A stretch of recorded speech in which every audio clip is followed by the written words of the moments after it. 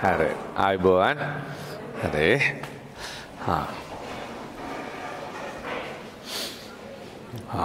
හරි කෝමනිති හරි එහෙමනම් ඔන්න අද දවසේ හරි අලුත්ම පන්තියක් ආරම්භය මම හිතන්නේ ඔන්ලයින් අයටත් ඇහෙනවා හරි හරි ඕකේ ටෙලිග්‍රම් එකේ දැම්මද ලින්ක් එක දාලා තින්නේ පොඩ බලන්න හරි? හරි.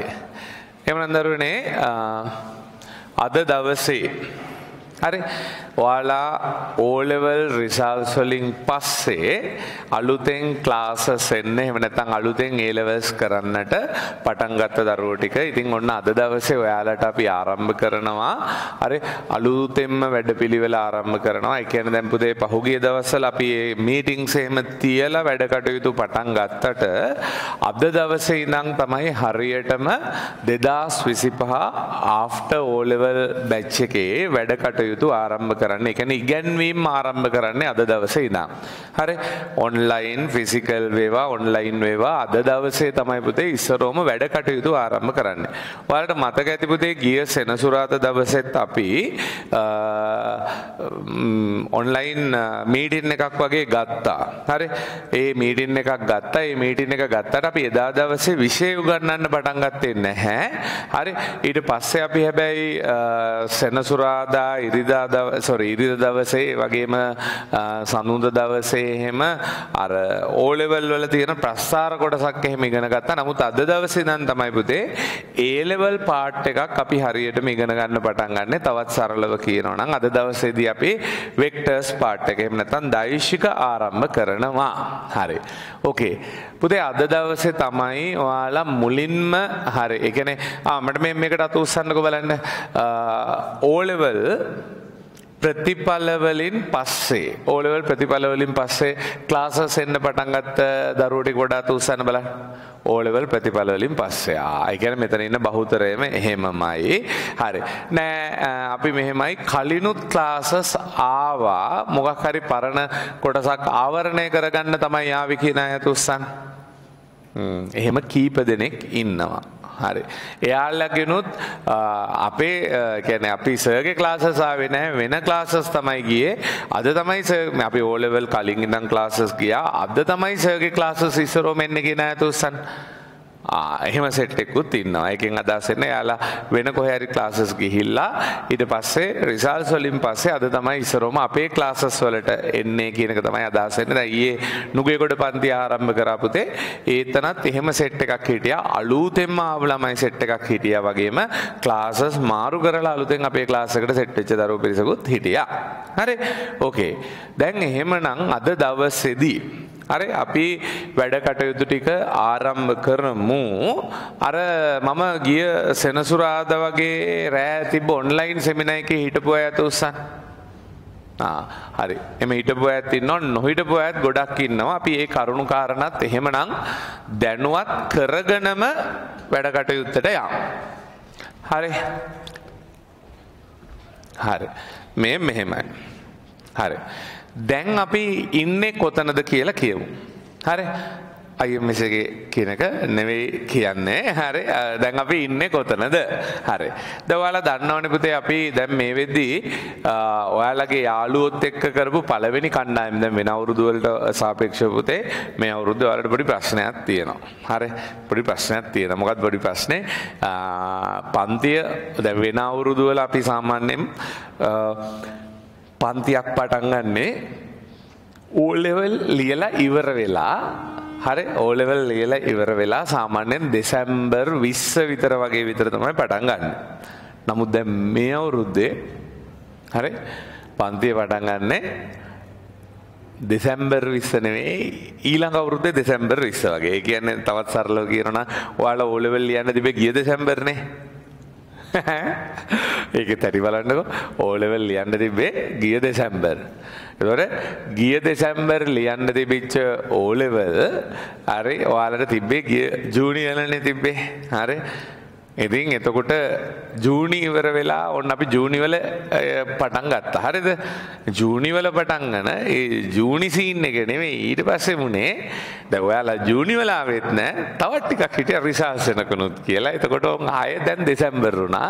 ඒ කියන්නේ තවත් සරලව කියනවනම් පුතේ ඕන් ටිකක් ඔළුවේත් තියාගන්න 2025 අගෝස්තු කිව්වහම තව තියෙන්නේ අවුරුදු එක හමාරයි. නේ දෙදස් විසිපහහි අගෝස්තු කිව්වම තව තියෙන්නේ අවුරුදු එක හමාරයි. වෙන අවුරුදු වල අර ඒ පැත්තෙන් දන්න එපා සර වෙන අවුරුදු වල සාමාන්‍යයෙන් පුතේ එක්සෑම්ස් කරන්න එක අවුරුදු දෙක හමාරත් තිබ්බට දුවපතේ ඔයාලට තියෙන්නේ අවුරුදු එක හමාරයි. අර එහෙම කිව්වම බය හිතෙනවා ඇති ඔපේ සර් අපිට බැරි වෙයිද කියලා. හරි ඇත්තරම් බැරිවෙයි තමයි. හරි එහෙම හරි. එහෙම එකක් නෑ ඇත්තරම් බැරිවෙයි නෙවෙයි හරි. එතන පොඩ්ඩක් අපි සැලකිය යුතු කාරණයක් තියෙනවා. එතන අපි චුට්ටක් මහන්සි වෙලා වැඩ කරන්න ඕනේ. මං ඒ කතාව කියන්න හේතුව තමයි පුතේ හරි. දැන් ඔයාලා කවදාකවත් සම්බන්ධ වෙන්න එපා පන්තියකට. අලුතෙන්ම කියලා පටන්ගෙන හරි ඒ පන්තියෙන් විතරක් වැඩ කටයුතු කරන පන්තියකට සම්බන්ධ වෙන්න එපා. හරි නැවතත් මම මේ කතාව අවධාරණය කරන්නම් ඔයාලා ඒලව ඕලෙවල්ස් කරන්න හිටියේ ගිය දෙසැම්බර් වල. හරි එතකොට ඒලෙවල් පන්තියන්ට තිබ්බේ ඇත්තටම එහෙමනම් කියනවා නම් ගිය දෙසැම්බර් වල අග. හරි නමුත් දැන් මේ අපේ ලංකා විභාග දෙපාර්තමේන්තුවේ කාර්යක්ෂමතාවය නිසා හරි නෑ ඔයාලගේ අවශ්‍යතාවය නිසා ඕලෙවල් විභාගේ මාස 6ක් 7ක් කල් ගියා. හරි ඔයාලගේ අවස්ථාවේ. විභාග දෙපාර්තමේන්තුවේ කාර්යක්ෂමතාවය නිසා රිසර්ච් එකත් තව මාස 6ක් 7ක් විතර කල් ගියා. හරි. ඉතින් ඒකත් එක්ක දැන් ඔන්න ටිකක් ලොකු ප්‍රමාදයක් තියෙනවා. ඒක නිසා දරුවනේ දැන් අය ඔයාලා අලුතෙන්ම වැඩ පටන් ගන්න කරගෙන යන්න ගියොත් තියෙන ප්‍රශ්නේ තමයි හරි. එතකොට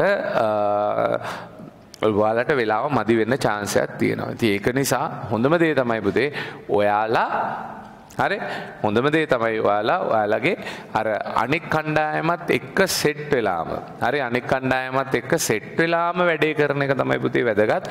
ඒ කියන්නේ ඔයාලා මේ කාලේ සතියට දවස් දෙකක්වත් අපි පන්ති කරමු.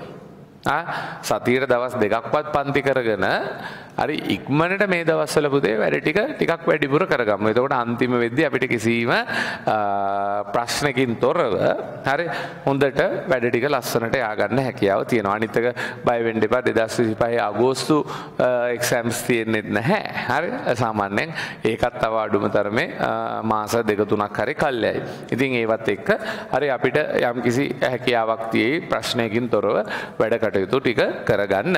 හරි.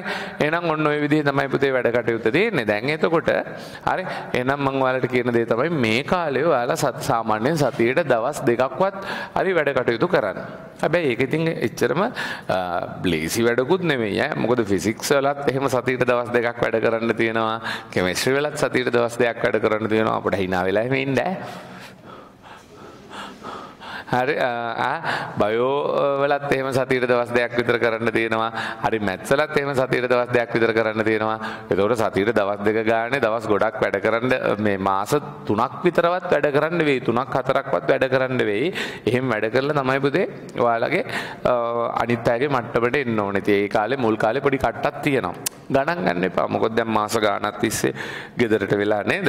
හරි මකුණු පෝෂණය කර කර හිටියානේ. හරි මං කියන්නේ නේද? හරි ඉතින් ඒක නිසා දැන් ඒක පහුගිය කාලේ රෙස්ට් එකේ හිටියනේ පොඩ්ඩක්. ඉතින් ඒක නිසා අපි දැන් හරි දැන් හොඳට වැඩ කරමු. හරි ඒ රෙස්ට් එක ඉඳ දැන් අපි ටිකක් හොඳට වැඩ කරමු. ඒක බය වෙන්න එපා. හරි. එතකොට දැන් අපි මෙන්න මේ ටික කියන්නම්. පුතේ අද වෙද්දී අපි ඔයාලගේ ෆස් ගරුප් එකේ කරපු දේවල් ටික මම පොඩ්ඩක් ලියලා තියන්නම්. පළවෙනි එක තමයි අපේ පුතේ ඒකක හා මාන. ඒකක හා මාන. හරි. දෙවෙනි එක තමයි පුතේ මිනුම් උපකරණ. හරි. තුන්වෙනි එක දෛශික. හරි. මේ තුනම අපි සාමාන්‍යයෙන් මිනුම කියන පාඩම යටතේ තමයි හඳුන්වන්නේ. හරි. මිනුම මෙෂර්මන්ට්ස් කියන. ආ මේ අද දවසේ පන්තියේ ඉංග්‍රීසි මීඩියම් ඉන්නවා නම් අත උස්සන්න පුතේ. ආ ඉංග්‍රීසි මීඩියම් අය ඉන්නවා. හරි. ඒකත් ඉංග්‍රීසි මීඩියම් පුතේ ඉංග්‍රීසි මීඩියම් ටියුට්ස් ටික. යාලට දෙන්න. හරි ඔයාලට පුතේ මේ මේ ඉංග්‍රීසි මීඩියම් ටියුට්ස් හම්බ වෙනවා. ඒ වගේම පේපර්ස් ටික ඉංග්‍රීසි මීඩියම් හම්බ වෙනවා. සියලුම දේවල් ඉංග්‍රීසි මීඩියම් හම්බ වෙනවා. හරි ඔයාලට පන්තියේදී පැහැදිලි කරද්දී. දැන් අද දවසේ නම් පුතේ මම අර ගොඩාක් කරුණු කාරණා කතා බහ කරන්න තියෙන නිසා මම මේ වගේ ඔක්කොම ටර්ම්ස් ටික කිය කිය ඉන්නේ බය වෙන්න එපා. මේ ඒ වුණාට පාඩම කරන දවසේදී පුතේ පාඩමේදී අපිට අලුතෙන් හම්බ වෙන ඔක්කොම ඉංග්‍රීසි මීඩියම් ටර්ම්ස් ටික මම ඔක්කොම කියලා දෙනවා. හරි. ආ ඉංග්‍රීසි මීඩියම් ගැන අමුතුවෙන් කතා කරන්න ඕනේ නැහැ. මෙතන ටැමිල් මීඩියම් ඉන්නවනම් අතොස්සන්. හරි. එහෙම නෑ වගේ මං හිතන ඔන්ලයින් එකේ ඇති. හරි ඔන්ලයින් එකෙත් පුතේ හරි දැන් අද දවසේ සමහර වෙලාවට අපිට chat එකට ලොකුට උත්තර දෙන්න හම් වෙන්නේ නැති වෙයි. හරි ඒත් ඉතින් පුතේ ඉස්සරහට උත්තර දෙනවා මම මේ මේ ඉංග්‍රීසි මීඩියම් ටැමිල් මීඩියම් ගැන කතා කරද්දී ඔයාලා දකින්න ඇති සමහර වෙලාවට අපේ YouTube channel එකේ තිබ්බා අයියා කෙනෙක් ගැන. ඒ අයියාගේ විශේෂත්වය තමයි මොකද්ද? එයා ටැමිල් මීඩියම් මේ ලෙවල් කරලා නුවරඑළිය දිස්ත්‍රික්කෙන් 9 වෙනි බවට පත් වෙලා ඉංජිනේරිං සිලෙක්ට් වුණා. හරි ඒකේ තියෙන විශේෂත්වය තමයි මම ටැමිල් මීඩියම් වල එක වචනයක්වත් දන්නේ නැහැ ෆිසික්ස් සම්බන්ධව. හරි ඒ වුණාට එයා තනිකරම සිංහල මීඩියම් ක්ලාස් එකේ ඉගෙනගෙන ඒක දෙමළට පරිවර්තනය කරලා දෙමළෙන් එක්සෑම්ස් ලියලා ෆිසික්ස් වලට ෆස්ට් අයි එකේම ඒකක් අරගෙන හරි ඒ තුනක් දාලා ඉංජිනේරින් ගියපු එක්කෙනෙක්. හරි මම ඉතින් ටැමිල් වලින් දන්න එකම දේ නාන්න උංගිලේල් කාදිලික් කිරේන් කියන විතරයි. හරි. දන්නේ නැද්ද? හරි. හරි. I love you කියන්න කියන එකක් නේ.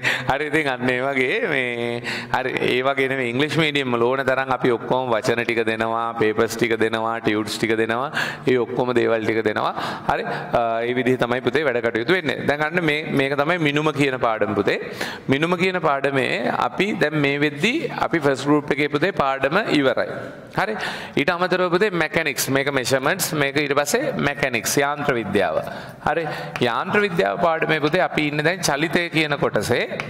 හරි චලිතය කියන කොටසේ චලිතයේත් පුතේ අපි තියෙනවා රේකීය චලිතය ඊට පස්සේ පුතේ රේකීය චලිතය තියෙනවා ගුරුත්ව චලිතය ආනත චලිතය කී කිය චලිත ගොඩක් තියෙනවා හරි රේකීය චලිතය හරි. ඊට පස්සේ සාපේක්ෂ චලිතය සාපේක්ෂ චලිතය අනිත් එක තමයි චලිත ප්‍රස්ථාර. හරි. රේකීය චලිතේ සාපේක්ෂ චලිතේ චලිත ප්‍රස්ථාර. හරි. ඔන්න ওই ටිකේ තමයි පුතේ අපි ඉන්නේ. දැන් එතකොට අපි මේ මෙතන තමයි ඉන්නේ දැන්. හරි. දැන් හෙට දවසේ අපිට නුවර පන්ති උගන්වන්න තියෙන්නේ මේ මෙතන. හරි. මෙන්න මෙතන තමයි ඉන්නේ. ඊට පස්සේ අපි කතා බහ කරනවා පුතේ. ස්ථිති විද්‍යාව යටතේ එන බල සමතුලිතතාවය ෆෝස් ඉක්විලිබ්‍රියම් කියන එක. බල සමතුලිතතාවය. අපි හෙට දවසේ මේ කොටස හෝ මේ කොටසෙන් දෙක දෙක එකක් අපි මෙතනින් ආවරණය කරගෙන පල්ලෙහාට යන එක තමයි කරන්නේ. හරි. දරුවනේ දැන් එතකොට මෙන්න මේකයි සිද්ධිය. හරි. අපි මෙතනින් පල්ලෙහා ටික දැන් ඔයාලා හරි ඔයාලා සාමාන්‍ය විදිහට මෙතනින් පල්ලෙහා ටික කරගෙන කරගෙන කරගෙන යන්න තමයි තියෙන්නේ. හරි බල සමතුලිතතාවය, ඝර්ෂණය, ගුරුත්ව කේන්ද්‍රය කිය කිය හරි එහෙම පල්ලෙහාට අපි ඒ ටික කරගෙන යනවා. හරි. එතකොට ඔයාලත් පුතේ හෙට දවසෙත් පන්ති සහභාගී වෙනවා. හරි හෙට දවසෙත් පන්ති සහභාගී වෙලා මෙතනින් පල්ලෙහා ටික ඔයාලා හෙට දවසේ ඉඳන් ලස්සනට කරගෙන යනවා. තේරුණාද? හරි. එතකොට අද දවසේ අපි පටන් ගන්නේ මේ මෙතන. මොකද මෙන්න මේ වෙක්ටර්ස් කියන එක දෛශික කියන එක තමයි අද දවසේ පටන් ගන්න. මොකද පුතේ මේක ෆිසික්ස් වල හැම දෙයක්ම ඉගෙන ගන්න මාරම වටින මාතෘකාවක් තමයි මේ දෛශික කියලා කියන්නේ. එතකොට අපි මෙතනින් පටන්ගෙන මේ මේක තමයි පුතේ අංක එකට කරන්නේ. හරි. ඊට පස්සේ ඒක කරලා මෙන්න මෙයාව කරනවා. අංක දෙක. හරි. ඊට පස්සේ අපි කරනවා මෙන්න මේ ටික චලිතය. මෙන්න මේ ටික. ඒ වගේම මෙන්න මේ ටික අංක 3ට කරනවා. මොකද දැන් ඉස්කෝලේ පටන් ගන්න ඕනේ දැන් තව ටික දවසකින් පුතේ. හරි ඉස්කෝලේ පටන් ගන්න මෙන්න මේවා කරගෙන යනවා පුතේ. එතකොට ඔයාලා මොකද වෙන්නේ? මේවත් කරගෙන යනවා. හරි. මෙන්න මේවා ටිකත් පුතේ අපි දැන් කරන මේ මේ මේවා ටික ඔක්කොම පල්ලෙහාට අපි සාමාන්‍ය පන්තියත් එක්ක කරගෙන යනවා. ඔයාලට මේ වැඩේ අමතර පන්තියකින් කරනවා. හරි. මේ වැඩේ අමතර පන්තියකින් කරනවා. තේරුණා නේද? බුද්ධ කතාව. මේ ටික සාමාන්‍ය විදිහට කරනවා. මේ ටික අපි අමතර පන්තියකින් මේ අමතර පන්ති වලින් මෙන්න මේ ටික කරගෙන යනවා. තේරුණා නේද පුතේ කතාව? හරි. අන්න ඔය විදිහට තමයි මේ ලස්සනට මෙන්න මේ වැඩ කටයුත්ත සිද්ධ වෙන්නේ. එතකොට ඒක නිසා පුතේ කිසි ඉෂුව එකකින් තොරව අපිට හරි සිලබස් එක සාමාන්‍යයෙන් මගේ බලාපොරොත්තුව තමයි පුතේ මාස 3ක් 4ක් කාලයක් ඇතුළත ඔයාලා ඔයාලගේ සාමාන්‍ය ඔයාලගේ පළවෙනි කණ්ඩායමේ මට්ටමට ගන්න එක. හරි. දැන් මෙහෙමයි. ඔයාලට මෙහෙම දෙයක් හිතෙන්නත් පුළුවන්. මං අර පළවෙනි දවසෙත් මේක කිව්වා. මේක නම් සිලබස් එකේ ආරම්භය. ඔයාලගේ යාළුවෝ දැන් ඉන්නේ මේ මෙතන. රේස් එකේ පොඩි කොටසක් දුවලා. හරි. මට කියනවා සාමාන්‍ය රේස් එක ඔයාලට රේස් එක දුවන්න පටන් ගන්න තිබ්බොත් ඔයා මෙතනින් පටන් ගන්න තිබ්බොත් හොඳ මෙතනින් පටන් ගන්න තිබ්බොත් හොඳ. ඔව් ඉස්සරහින් පටන් ගන්න තිබ්බොත් හොඳයි නැත්නම් මෙතනින් පටන් ගත්තොත් මේ ටිකක් දුවන්න එපා. හරි. දැන් ඔයා මෙතනින් පටන් ගන්න පුතේ මේ රේස් එක දුවන්න ගත්තොත් මෙතනින් පටන් ගන්න මේ රේස් එක දුවන්න ගත්තොත් ඔයා මෙතනින් පටන් ගන්න මෙතෙන් දෙද්දි මෙයා මෙතන ඉඳන් තව මෙහෙට ගිහිල්ලා. ඈ එතකොට ඔයාලා ගැප් එක දිගටම තියෙනවා. හරි. නමුත් දැන් අපි කරන්නේ පුතේ ඔයත් මේ මෙතනින්ම පටන් ගන්නවා. ඒ කියන්නේ ඔයාලගේ යාළුවෝ මට ඉන්න තැනින්ම පටන්ගෙන ඔයා මේ දවස්වල දෙපැත්තටම දුවනවා. හරි දෙපැත්තරම දුවනවා. චුට අමාරුවේ දෙපැත්තරම දුවා ගන්න. හරි හැබැයි ඒ විදිහට කොහොම හරි අමාරුවෙන් දුවා ගත්තොත් පුතේ හරි මේ මෙතෙන් දෙද්දී යාළුවොත් මේ ටික කව වෙලා තියෙනවා. මොකද යාළගේ පන්තියෙත් තාම ඉතින් එයාලත් පුරුදු වෙන ගමන්නේ පුතේ. හරි තාම අපි එමෙන් කරගෙන යන්නේ. එතකොට එයාලගේ පන්තියෙත් පුතේ මෙතෙන් දෙද්දී ඔයාලා මේ ටිකත් එක කරගත්තාම මුළු ඔක්කොම ආවරණය වෙලා. එහෙම නැත්තම් පුතේ වෙන්නේ මෙතනින් පටන්ගෙන එයාලා එතෙන්ද යද්දී ඔයා මෙතෙන් ඉදී ඔයා මෙතෙන් දෙද්දි මෙයාලා මෙතන ඉදී එයා මෙතෙන් දෙද්දි ඔයා මේ එයාලා මෙතෙන් යද්දි ඔයා මෙතනදී දිගටම පුතේ ગેප් එක තියෙයි. එතකොට ඉස්කෝලේනුත් ඔයාලා පහු කරගෙන ගිහිල්ලා තියෙයි. හරි ඉස්කෝලේනුත් පහු කරගෙන ගිහිල්ලා තියෙයි. එතකොට අවසානයේ සිද්ධ වෙන සිද්ධිය තමයි පුතේ. හරි ඔයාලාට එක්සෑම් ලියන්න වෙන්නේ සාමාන්‍ය එක්සෑම් එකෙන් පස්සේ. හරි O level results වලින් පස්සේ කියලා වෙනම කණ්ඩායමට කියලා වෙනම එක්සෑම්. එහෙමයක් තියන්නේ නැහනේ. ඒක නිසා ඔක්කොමලා ඉක්මනට පුතේ අපි එකම ලෙවල් එකට එමු. හරි. එහෙනම් හරි. දැන් ඉතින් ප්‍රමාද වෙච්ච එක යම්කිසි ප්‍රමාදයක් වුණා බය වෙන්න එපා පුතේ. අපි ඒකට දැන් අපි හරි උත්තරේ අද ඉඳන් හරියට ගමු. එහෙනම් අද අපි ආරම්භ කරන මාතෘකාව මොකද්ද කිව්වේ පුතේ? දෛශික. හරි? වෙක්ටර්ස් හරි. නිකමට මම ඔයාලගේ ඔලේ රිසර්ච් ගැන අහන්නම් අතෝසන් බලන්න මෙතන ඒ නමේ කට්ටිය. ඕ එන මේ ඇත් බර ගාණක් ඉන්නවා. හරි. ඇයි මොකද ගෙදරට වෙලා කරේ මෙච්චර කල් ආ? හරි හරි. අත්පාත් දාන්න. හරි. ගණන් විද්‍යාව දෙකට මේ තියෙන අදසන්. ආ ඒත් බහුතර ප්‍රමාණයක් ඉන්නවා. මම ඇත්තටම කියනවා පුතේ ඒ 9 සමානයි. හරි. ඒ 9 සමානයි ඒ දෙක. හරි ගණන් විද්‍යාව ඒ 9 සරි ගණන් විද්‍යාවට විතරක් ඒ තියෙන අය සමානයි ඒ 9 කට්ටිය. හරි ගණන් විද්‍යාව විතරක් ඒ තියෙන අයයි ඒ නමේ කට්ටියයි සමානයි. හරි. ඕකේ. ඊට පස්සේ ඊළඟට දෙකටම S තියෙන අය තුසම්බ ගණන් විද්‍යාව දෙකටම S තියෙන අය. හරි. මං එහෙම අයට නම් කියන්න පුළුවන් තරම් පුතේ සයන්ස් නොකර ඉන්නවා නම් හොඳයි. හරි. මොකද ඒකට හේතුව මම දන්නේ ඒකට සමහර වෙලාවට ඉතින් ඔයා දැඩි අසනීපයක ඉඳලා මොන හරි ප්‍රශ්නයක ඉඳලා A levels ලියලා එහෙම මොන හරි වුණාද දන්නේ නැහනේ. හරි. ඉතින් දෙකටම සාමාන්‍යයෙන් AB තියෙනවා නම් ගණන් විද්‍යාව දෙකටම AB තියෙනවා නම් පුතේ හරි. ඒක ඔයාලට හොඳ ප්‍රතිඵලයක්. හරි හොඳ ප්‍රතිඵලයක්. දැන් මම ඒ කියද්දි පුතේ ඔයාලා සමහරලාට මම මේ රිසල්ට් එක ගැන කියනවා අහලා ඇති මෙන්න මේ අයියා කෙනෙක්ගේ රිසල්ට් එකක්. හරි දැන් මෙයා නාවලපිටිය හොස්පිටල් එකේ ડોක්ටර් කෙනෙක්. හරි මෙන්න මේ ඩොක්ටර් එහෙම නැත්නම් මේ ඩොක්ටර් අයියා ඒ කියන්නේ ඩොක්ටර් අයියා කාලේ හරි තවත් සරලව කියනවා නම් ක්ලාස් ආපු කාලේ මෙයාගේ රිසල්ට් එක ඒකයි බී දෙකයිනේ.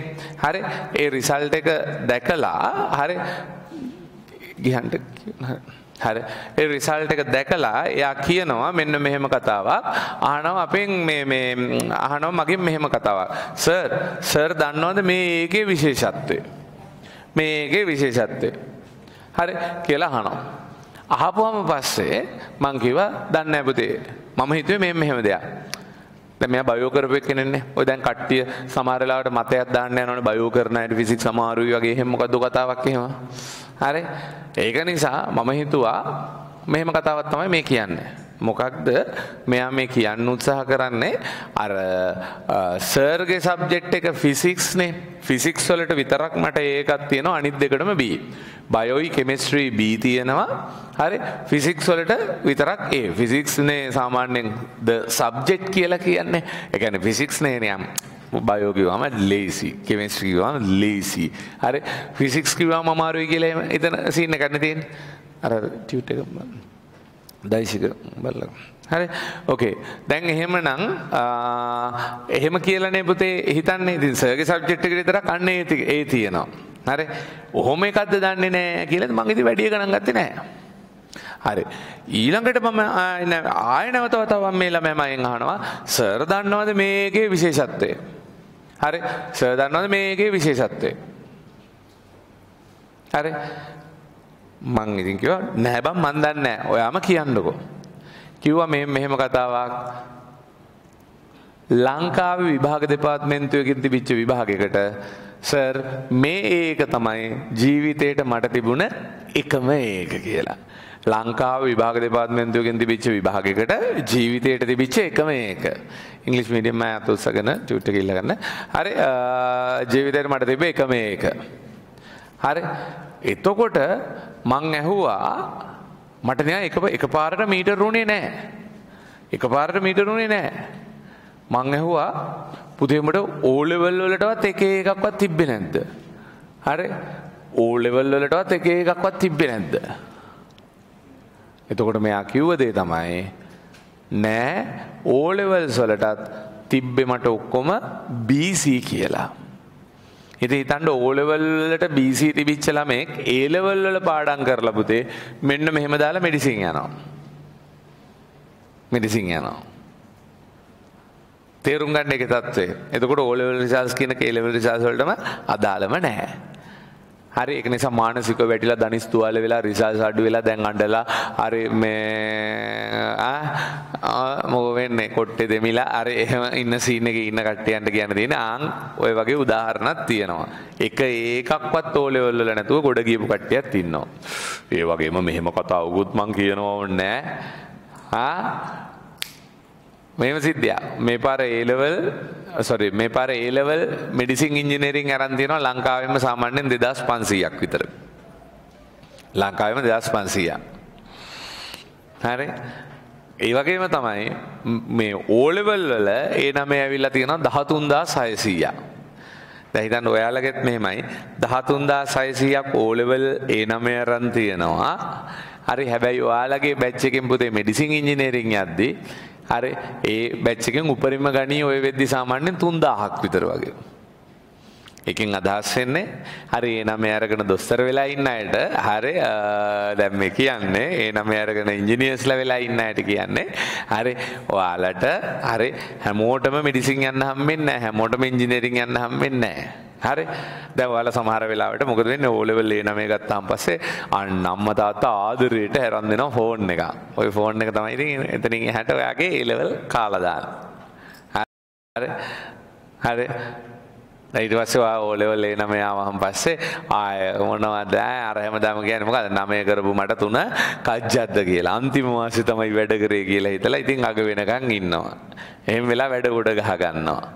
හරි එහෙම නැත්නම් සමහර ගෑන් ළමයින්ට සෙනසුරෙක් ලබනවා ඒ ලෙවල් ක්ලාස් යන්න ගත්තාම. හරි හරි හරි. ඉතින් යන්න ඒ වගේ හරි යන්න ඒ වගේ මොන මොනවා හරි ප්‍රශ්න ඇති වෙන ඔය සම්බන්ධතා පටන් හරි මොන මොනවා හරි ප්‍රශ්න ඇති වෙලා එහෙම ඩීවියේට් වෙච්ච ගමන් ඉතින් ඔයාගේ අනාගතේ ඉවරයි. ඒ කරන වැඩේ කරගන්න හම්බෙන්නේ නැහැ. තේරුණානේ පුතේ කතාව. ඉතින් ඒක නිසා හරි දැන් ඕවා ගැන හිතන්නේ නැතුව මෙතනින් එහාට හරි මෙතනින් එහාට පුතේ ලස්සනට අපි මහන්සි වෙලා වැඩ කරමු. හරි O level result එක කියන එක A level වලට කිසිම අදාළත්වයක් නැහැ. A level කියන්නේ වෙනම පැත්තක්. එහෙනම් දැන් ඔන්න නැවත තේරුම් ගන්න අපි මේ පන්තියේදී පුතේ මෙතනින් පටන් ගන්න හරි මේ පන්තියේදී මෙතනින් පටන් ගන්න කරගෙන යනවා. ඒ වගේම ඔයාලගේ සාමාන්‍ය පන්තියේදී පුතේ අපි මෙතනින් පටන් ගන්න මේ ටික කරගෙන යනවා. තේරුණා නේද පුතේ කතාව? හරි. දැන් එතකොට මට ඇත්තටම අවංකවම පුතේ හිතට එකඟව කරන්න බෑ. දැන් ඔයාලාගේ යාළු යාළුවෝ මාස 6ක් තිස්සේ කරපු වැඩ ටිකක් තියෙනවනේ. ඒ ටික ඉතින් අඩුවෙන් කරන්න බෑනේ ඔයාලට. ඒ ටික ඒ විදිහටම කරනවා. හරි ඒ ටික ඒ විදිහටම කරනවා. ඒකට සතියට දවස් දෙකක් කරන්න වෙනවා. හරි ඒක වැඩේ වෙන්නේ කොහොමද කියන එක පුතේ මම ඔයාලට දැනුම් දෙන්නම්. හරි අද දවස් ඇතුළත වැඩ කරන්න අද වැඩ කරද්දි දැනුම් දෙන්නම්. හරි දැන් එහෙමනම් අපි කතා බහ නවත්තලා අපි යමු අද දවසේ මාතෘකාවට දෛශික කියන මාතෘකාවට. හරි. මාතෘකාව ලියා ගන්නකො දෛශික එහෙම නැත්නම් වෙක්ටර්ස්. දෛශික එහෙම නැත්නම් වෙක්ටර්ස්. මුල් ඊවිඩම් බූස්ටර්ස් නැද්ද කියලා අහලා දෙනවා. තියෙනවා තියෙනවා.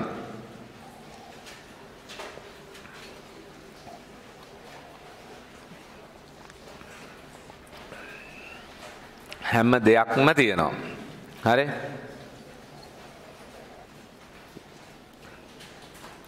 දෛශික වෙක්ටර්ස් කියන එක.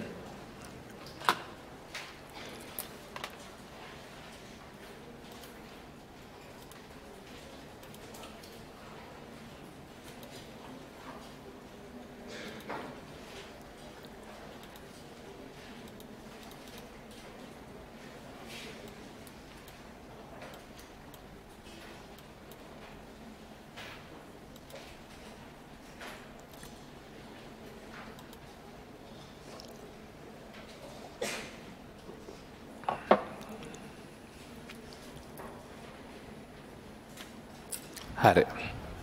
ඕකේ පුතේ. හා. අහන්නකෝ. අපි මෙහෙම දෙයක්. හරි. අපි භෞතික රාශි කියලා දෙයක් ගැන කතා කරනවා. හරි. භෞතික රාශියක්. අපි භෞතික රාශියකට ඉංග්‍රීසියෙන් කියනවා ෆිසිකල් කොන්ටිටි එකක් කියලා. හරි භෞතික රාශියක් කියන්නේ ෆිසිකල් කොන්ටිටි එකක්. ඒ කියන්නේ පුතේ මනින්න පුළුවන් දෙයක්. හරි මනින්න පුළුවන් දෙයක් තමයි අපි හඳුන්වන්නේ ෆිසිකල් කොන්ටිටි එකක් කියලා. හරි. දැන් උදාහරණයක් විදිහට දිග මයින්ඩ් බයිද මයින්ඩ් පුළුවන්? මයින්න පුළුවන්. ආ මේ ඊළං කතාව තමයි කියන්න තියෙන්නේ. මට එක් කියන්න බැරුණානේ මම පන්තියේදී පුතේ එක දිගට දේශනා කර කර යන්නේ. හරි?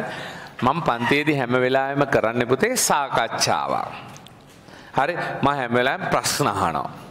හේ නැගිටින් ඈ? කිව්ව ගමන් බය වෙන්න එපා. එහෙම නැගිට්ටවල ප්‍රශ්න අහන්නේ හරිද? මම අහන්නේ ඔයාලා ඔක්කොගෙම හරි පොදුවේ සමස්තයක් විදිහට ප්‍රශ්න අහනවා. ප්‍රශ්න ආවම කට්ටිය හොඳට උත්තර දෙනවා. එතකොට ඒ වෙලාවේ ලොජිකලි හිතලා තමයි පුතේ උත්තර දෙන්නේ. හරි? අන්න ඒ ක්‍රමේ ප්‍රැක්ටිස් කරන්න ඒක නිසා හොඳට උත්තර දීලා ඉන්න. හරි. එතකොට මට කියන්න දිග කියන එක මනින්න බෑද පුළුවන්? පුළුවන්. හරි. කාලය කියන එක මයින්න පුළුවන්. ස්කන්ධය කියන එක මයින්න පුළුවන්. එහෙනම් අපි ඕව හඳුන්වනවා පුතේ භෞතික රාශි කියලා. එහෙනම් ලෝකේ මොනවා හරි දෙයක් මනින්න පුළුවන් නම් අපි ආව හඳුන්වනවා මොනවයි කියලා භෞතික රාශියක්. මනින්න පුළුවන් දෙයක් අපි හඳුන්වන්නේ භෞතික රාශිය. හරි. එහෙනම් මනින්න පුළුවන් දෙයක් අපි භෞතික රාශියක් කියලා හඳුන්වනවා. හරි. මට කියන්නකෝ කවුරු හරි ආදරේ කියලා තියෙනවද? කවුරු හරි ආදරේ කියලා තියෙනවද? ඈ? නෑ. නෑ. ද ඔව්ද? ආ? කවුරු හරි ආදරේ කියලා තියෙනවද? ඔව්ද නැද්ද? සුරහොනීවා හරි. හරි. අම්මාදර කියලා නැද්ද? තියෙනවානේ. ඕ මේ වෙන වෙන ඒවා හිතන්න එපා. හරි. හරි. අම්මා ඒ වුණාට සර්. හරි. අපිට දෙන්නේ නේ ගන්න නේද? හරි. හරි. දැන් කවුරු හරි ආදරය කියලා කිව්වොත් පුතේ. හරි. කවුරු හරි ආදරය කියලා කිව්වොත්. ඔයා ඊළඟට අහන්නේ මොකද කොච්චර ආදරේද කියලා අහනවා. පහක් ආදරේ 100ක් ආදරේ 15ක් ආදරේ. හරි එහෙම කියන්න බෑනේ. මොකද ආදරේ කියන දේ එහෙම පුතේ මනින්න බෑ.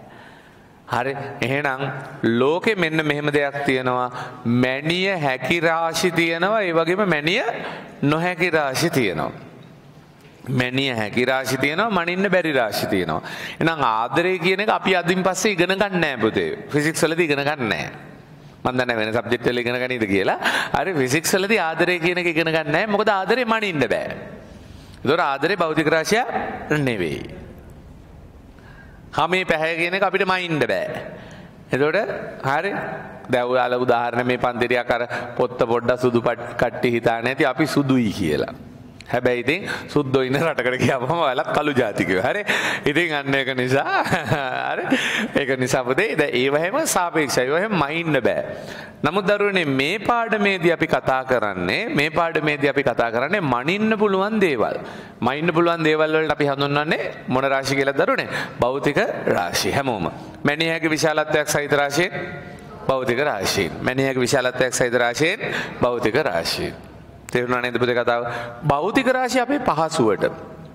හරි. දැන් උදාහරණයක් විදිහට මිනිස්සු පුතේ අපි වර්ගීකරණය කරනෝනේ අපේ පහසුවට. හරි. සාමාන්‍යයෙන් වැඩිපුර මොලේ තියන අය අයිති වෙන්නේ මොන ගණයටද? පිරිමි කියන ගණයට.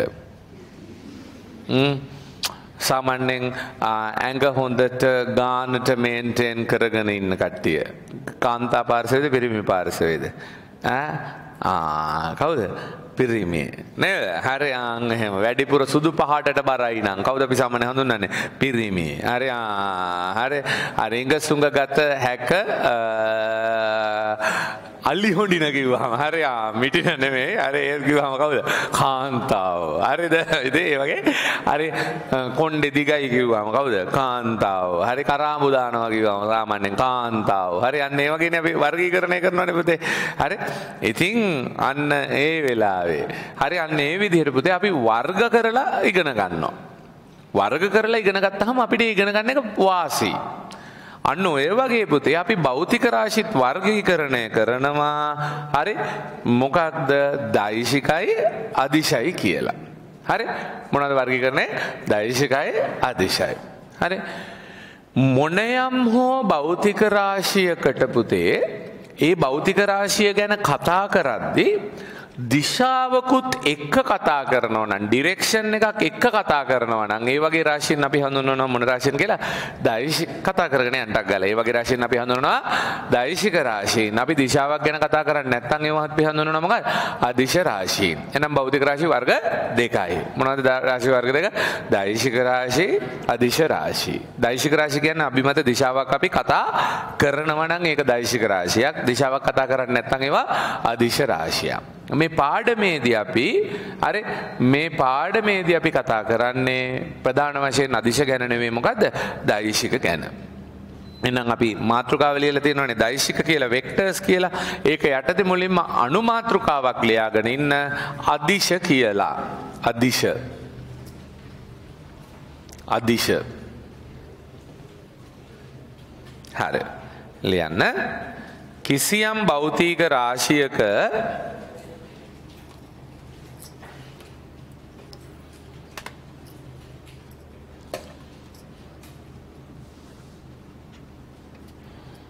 කිසියම් භෞතික රාශියක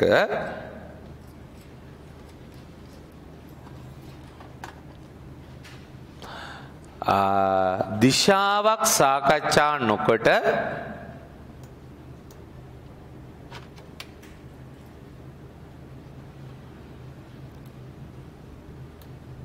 විශාලත්වයක් පමණක් සාකච්ඡා කරන්නේ නම්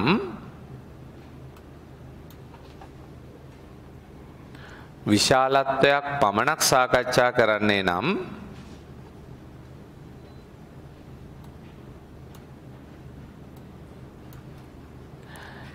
එවැනි කොච්චර කාදරෙද කියලා මන්න. ඩේට කාඩ්ඩයක් ආදරේලු හරි හරි. එවැනි රාශීන්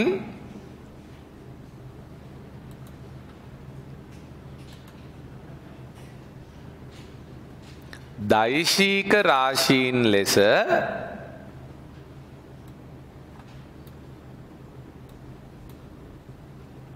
සොරේ එවැනි රාශීන් මොන රාශීන් ලෙසද අධිශ රාශීන් ලෙස හඳුන්වනු ලබයි.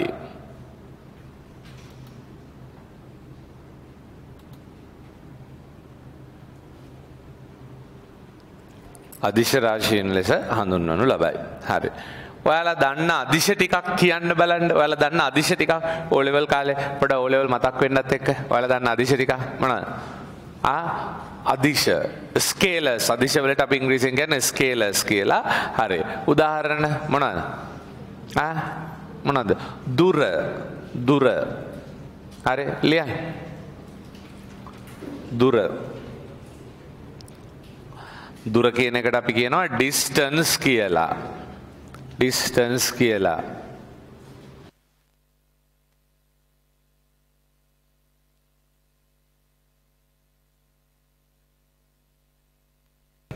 දුර ඩිස්ටන්ස් අය වේගය වේගය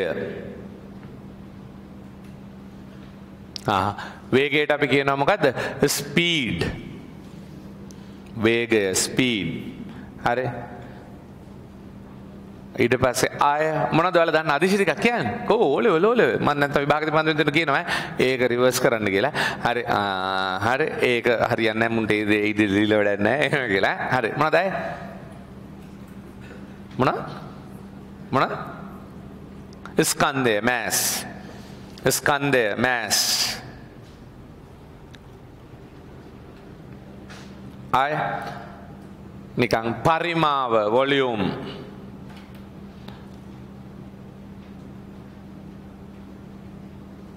අය කාලය. කාලය. ඔය ඒවට පුතේ දිශාවක් නෑ. හරි? කාලය දිශාවක් නෑ. හරි. ආයෙත් එක්කම ලියාගන්න පීඩනය ප්‍රෙෂ පීඩනය ප්‍රෙෂ හරි. එතන වරහන් ඇතුළේ ලියාගන්න පීඩනය අදිශ ලෙස ගැනුණද? පීඩනය අදිශ ලෙස ගැනුණද?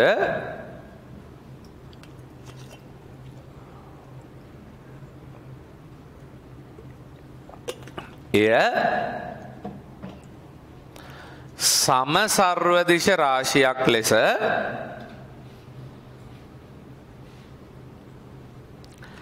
සම සර්වදිශ රාශියක් ලෙස ඉදිරියේදී සාකච්ඡා කෙරේ.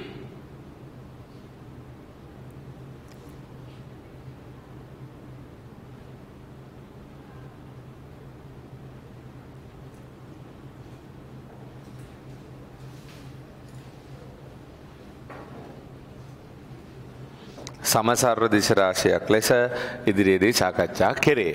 ඊට පස්සේ ආය ඔන්ලයින් එකේ දාලා තියෙනවා දරුවෙක් ඩෙන්සිටි කියලා. ඔව් ඝනත්වය. හරි මේ එහෙනම් මට කියනකො පීඩනය අපි සාමාන්‍යයෙන් ගන්නේ දෛශික විදිහට අදිශ විදිහට අදිශ විදිහට ගත්තට පීඩනය මොන රාශියක්ද? සම සර්ව දිශ රාශියක්. ඒක අපි ඉස්සරහට කියලා දෙනවා පීඩනය ගැන කතා කරද්දි කියන්නම්. හරි ඝනත්වය ඩෙන්සිටි ඝනත්වය ඩෙන්සිටි ගණත්වය ඩෙන්සිටි. ආය ඊට පස්සේ අපිට ඕනෙනම් අය මොනදා මේ මේක හොඳට වැදගත් වර්ක් කාර්ය. කාර්ය. කාර්ය. හේ. මේ මං ඒක වැදගත් කියලා කියන්න හේතුව ඔයාලට මතකද? කාර්ය කියලා කියන්නේ ආ දැන් මේ මේ පන්තියේ ඉන්න පුතේ ඔන්ලයින් ෆිසිකල් ඉන්න ඉංග්ලිෂ් මීඩියම් දරුවන්ට මම කියන්නේ පුතේ ඔයා පුළුවන් නම් කරන්න හොඳම දේ තමයි. දැන් සමහර ළමයි ඉන්නවා මෙහි පන්තියේදී කෑගල්ලේ පන්තියේ නුවර නුගේගොඩ ඔන්ලයින් ඕකේ ඉන්නවා පුතේ. පන්තියේ මම සිංහලෙන් නෝට් එක දෙනවා අහගෙන ඉඳලා සිංහලෙන් නෝට් එක දෙනවා අහගෙන ඉඳලා හරි? එයා නෝට් එක ලියන්න ඉංග්ලිෂ් වලින්. හරි? සිංහලෙන් එක අහගෙන ඉඳලා නෝට් එක ලියන්න ඉංග්ලිෂ් වලින්. අන්න ඕක තමයි පුතේ වැදගත්ම. දැන් අපේ සිංහල මීඩියම් ඉන්න ආචාර්ය මහාචාර්යවරු මෙතන ඉන්න කට්ටිය කාපු බීපුවා ගැන හිත හිතා වටපිට බල බල හරි සුදාම්මි ගැන හිත හිතා හරි නෝට් එක ලියනවනේ. එතකොට පුතේ කණෙන් අහනවා අතෙන් ලියනවා. දැන් ඔයාලා අහලා තියෙනවද ඕ ලෙවල් කාලේ සාමාන්‍යයෙන් මොකක් හරි දෙයක් කණෙන් අහලා මොලේට ගිහිල්ලා ඊට පස්සේ මොලෙන් හිතලානේ අතෙන් ලියන්නේ. මොකද මොලෙන් මේ අත පාලනය කරන්නේ. නමුත් ඒ ලෙවල් කරන ළමයින්ට අමුතු රිෆ්ලෙක්ස් එකක් ගොඩ නැගෙනවා පුතේ. කණෙන් කෙලින්ම අතට සම්බන්ධ වෙන එකක්. හරිද? මොලේට යන්නේ නැතුව හරි මොලේට යන්නේ නැතුව කණෙන් කෙලින්ම අතට තමයි යන්නේ. හරිද? ගොඩාක් අය මේ පන්ති වල නෝට් එහෙම ලියන්නේ ආන් එහෙමයි. හරි? කණෙන් අහලා අතෙන් ලියන මොලේට දාගන්නේ හරි ඕක නිසා මං සමහර වෙලාවල් වලට නෝට් එක වෙනස් කරලා දෙනවා. වරද්දලා මාරු කරලා දෙනවා. දුන්න ගමන් කට්ටිය ලියනවා ඉතින්.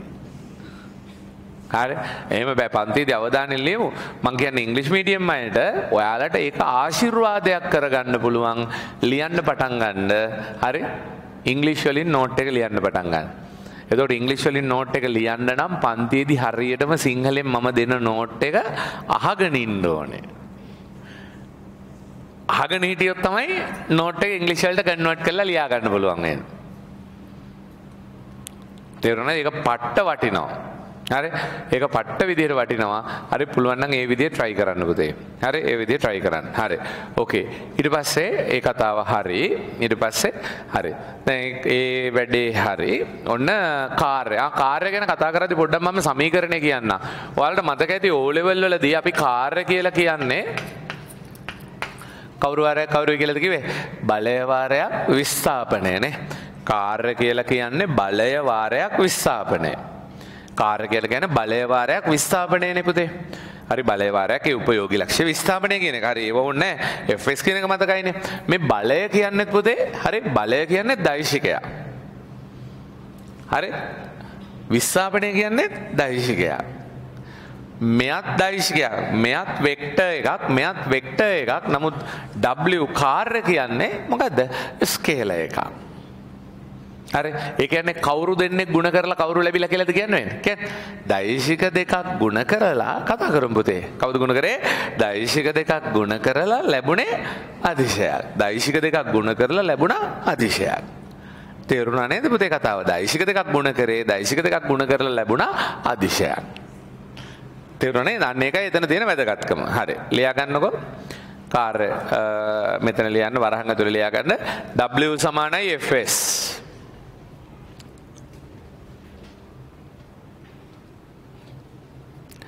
මේදී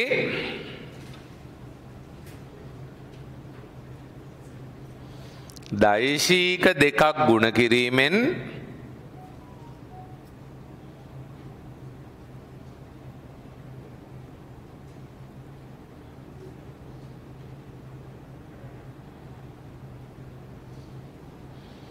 ලැබී ඇත්තේ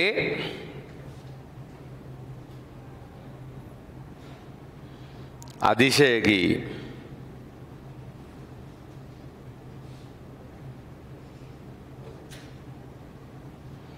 හරි. ආය. ඔවු. සමර දරු අය දාලා තියෙනවා එෆිෂන්සි කාර්යක්ෂමතාවය. හරි.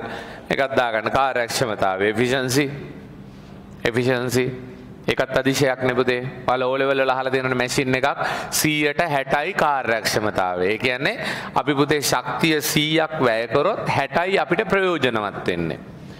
හරි බල්බ් ගැන අහලා තියෙනවනේ බල්බ්වල ප්‍රයෝජනේ මොකක් ගන්න එකද පුතේ? එළිය ගන්න එකනේ. හැබැයි ෆිලමන්ට් බල්බ් එහෙම අල්ලලා තියෙනවනේ. ෆිලමන් බල්බයක් අල්ලුවොත් හොඳට මේක මොන වෙලාද? රත් වෙලා. රත් වෙලා එන්නේ මොන ශක්තිය හින්දාද? හීට් එක හින්දානේ. ඒ කියන්නේ මොකක් හින්දාද? තාපය හින්දානේ. එහෙනම් මට කියන තාපය හදන එක අවශ්‍ය දෙයක්ද අනවශ්‍ය දෙයක්ද? අනවශ්‍ය දෙයක්. දැන් ওই ජෙනරේටර් එක සද්දයක් ඇහෙනවනේ.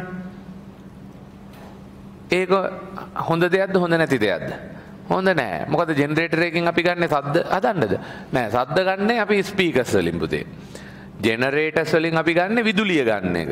නමුත් දැන් වෙලා තියෙන මොකද ඒකෙන් සද්දෙත් එනවා. එහෙනම් සද්දේනවා කියන්නේ ශක්තිය හානි වෙනවා. ජෙනරේටරේ ළඟට ගියාපුවම ආය රත් වෙලා තියෙයි හොඳටම. ඒ කියන්නේ තාපය හැදිලා. තාපය හදාගන්නේ සාමාන්‍යයෙන් පුතේ රෙදි මදින්න වතුර උණු කරන්න ජෙනරේටරේට දාලා වතුර උණු කරනවද නැහැනේ හරි ආ හරි අන්න ඒව එහෙනම් ශක්ති හානි. අන්නේ ශක්ති හානි වෙන ප්‍රමාණය එහෙම ගණනය කරන රාශියක් තමයි efficiency කියලා කියන්නේ. කාර්යක්ෂමතාවය කියන එක. හරි කාර්යක්ෂමතාවයත් අතිශයක්. ආයෝන්න විද්‍යුත් ධාරාව. Electric current. විද්‍යුත් ධාරාව. ඒ ඔක්කොම අතිශය.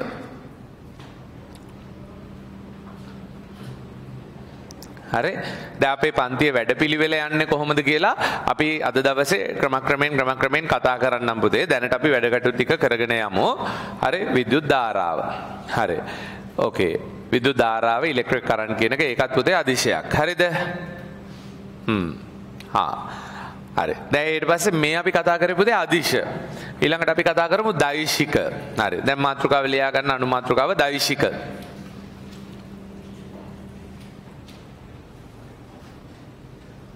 දෛශික. වෙක්ටර්ස්. හරි. ආ දැන් එහෙමනම් මොකද්ද? යම් භෞතික රාශියකට ක විශාලත්වයක් වගේම දිශාවකුත් සාකච්ඡා කරනවා නම් අන්න ඒ වගේ භෞතික රාශිය අපි හඳුන්වනවා මොනවා කියලා දෛශික කියලා. හරි? හැමෝම අර්ධකම මොකක්ද දෛශිකයක් කියනවා? යම් භෞතික රාශියක් ගැන සාකච්ඡා කිරීමේදී විශාලත්තු ගෙදරිදං ඉන්න අයත් පුතේ හොඳට කතා කරගෙන ඉන්න. හරි යම් බෞද්ධ රාශියකට විශාලත්වයක් මෙන්ම දිශාවක්ද සාකච්ඡා කරන්නේ නම් එවැනි භෞතික රාශී මොනව ලෙස හඳුන්වනවා? දෛශික ලෙස හඳුන්වනවා. විශාලත්වය වගේම දිශාවකුත් සාකච්ඡා කරනවා නම් ඒ වගේ භෞතික රාශීන් අපි හඳුන්වනවා මොනවද? දෛශික ලෙස සාකච්ඡා කරනවා. හරි. කිසියම් භෞතික රාශියකට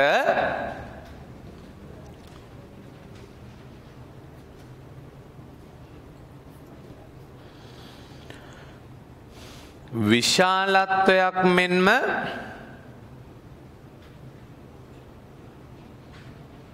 දිශාවක්ද සාකච්ඡා කරන්නේ නම්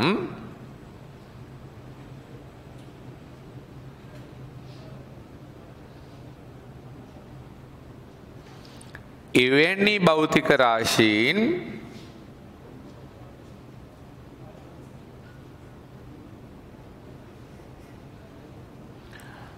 දෛශික ලෙස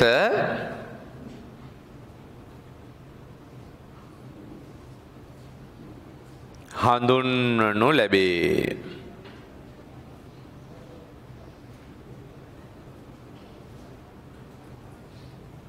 හරි. උදාහරණ. උදාහරණ.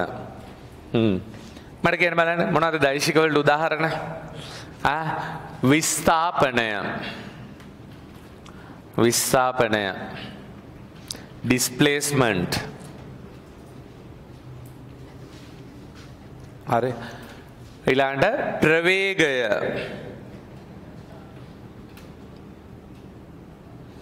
ප්‍රවේගය වෙලෝසිටි අයක ත්වරණය ඇක්සලරේෂන්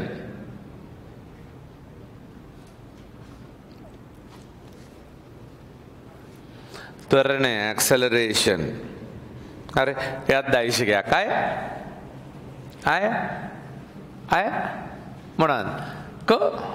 කියන්න කියන්න. බලය බලය ෆෝස්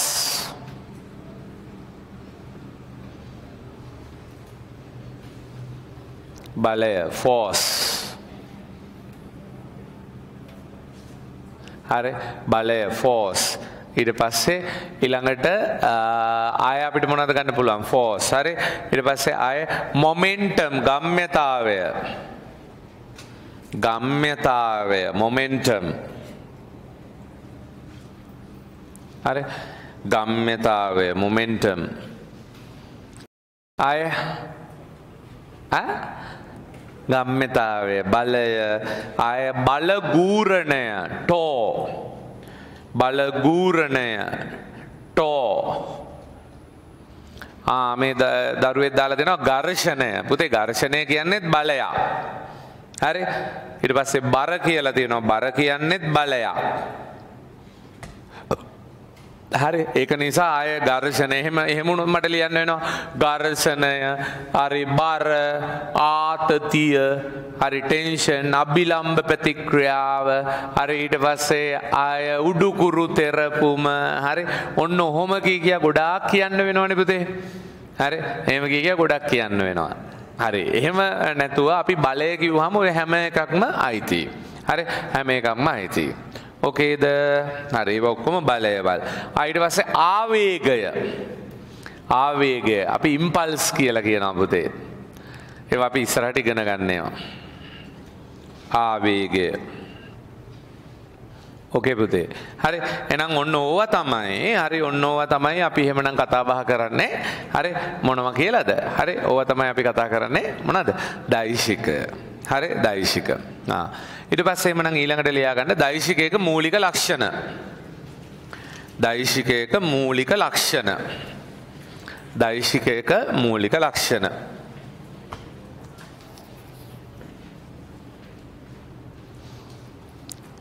AC එක අඩු කරන්න කියලා දෙනවා.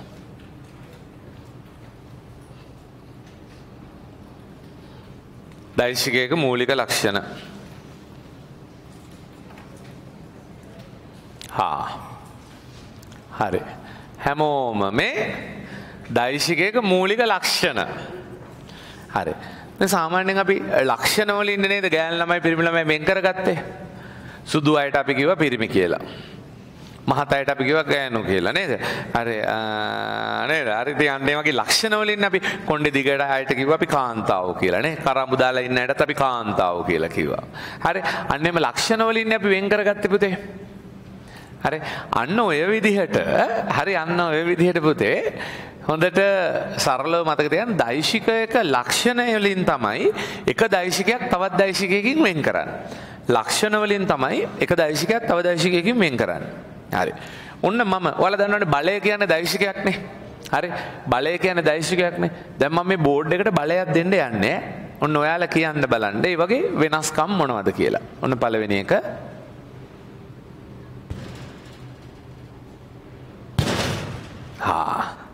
මොකද අවස්ථා දෙකේ වෙනස? කියහල්ලවා පළවෙනි බලේ දෙවෙනි බලේ වෙනස මොකද නැවත. ඒ ශික්.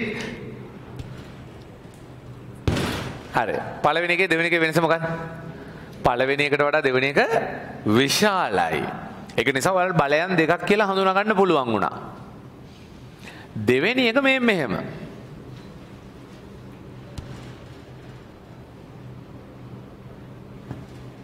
මොකද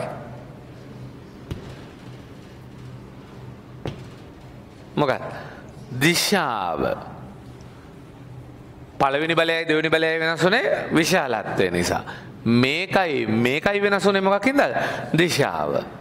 ඊළඟ එක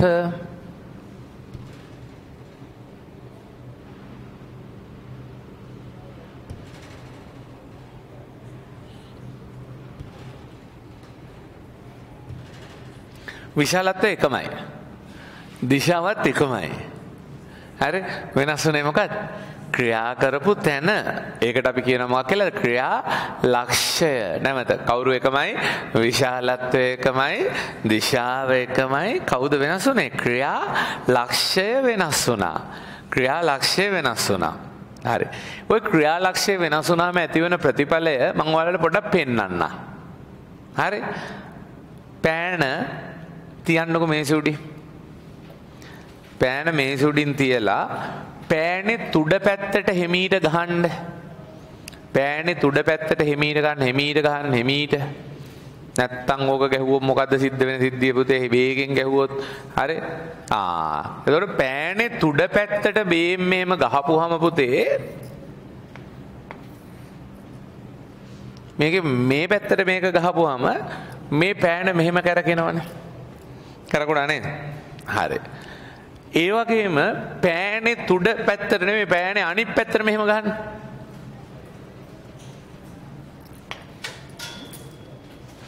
තා ඕ සමහර අය වැඩියෙන් ගහලා ටෝන් ටෝන් ගාලා වැටෙනවා එනවා.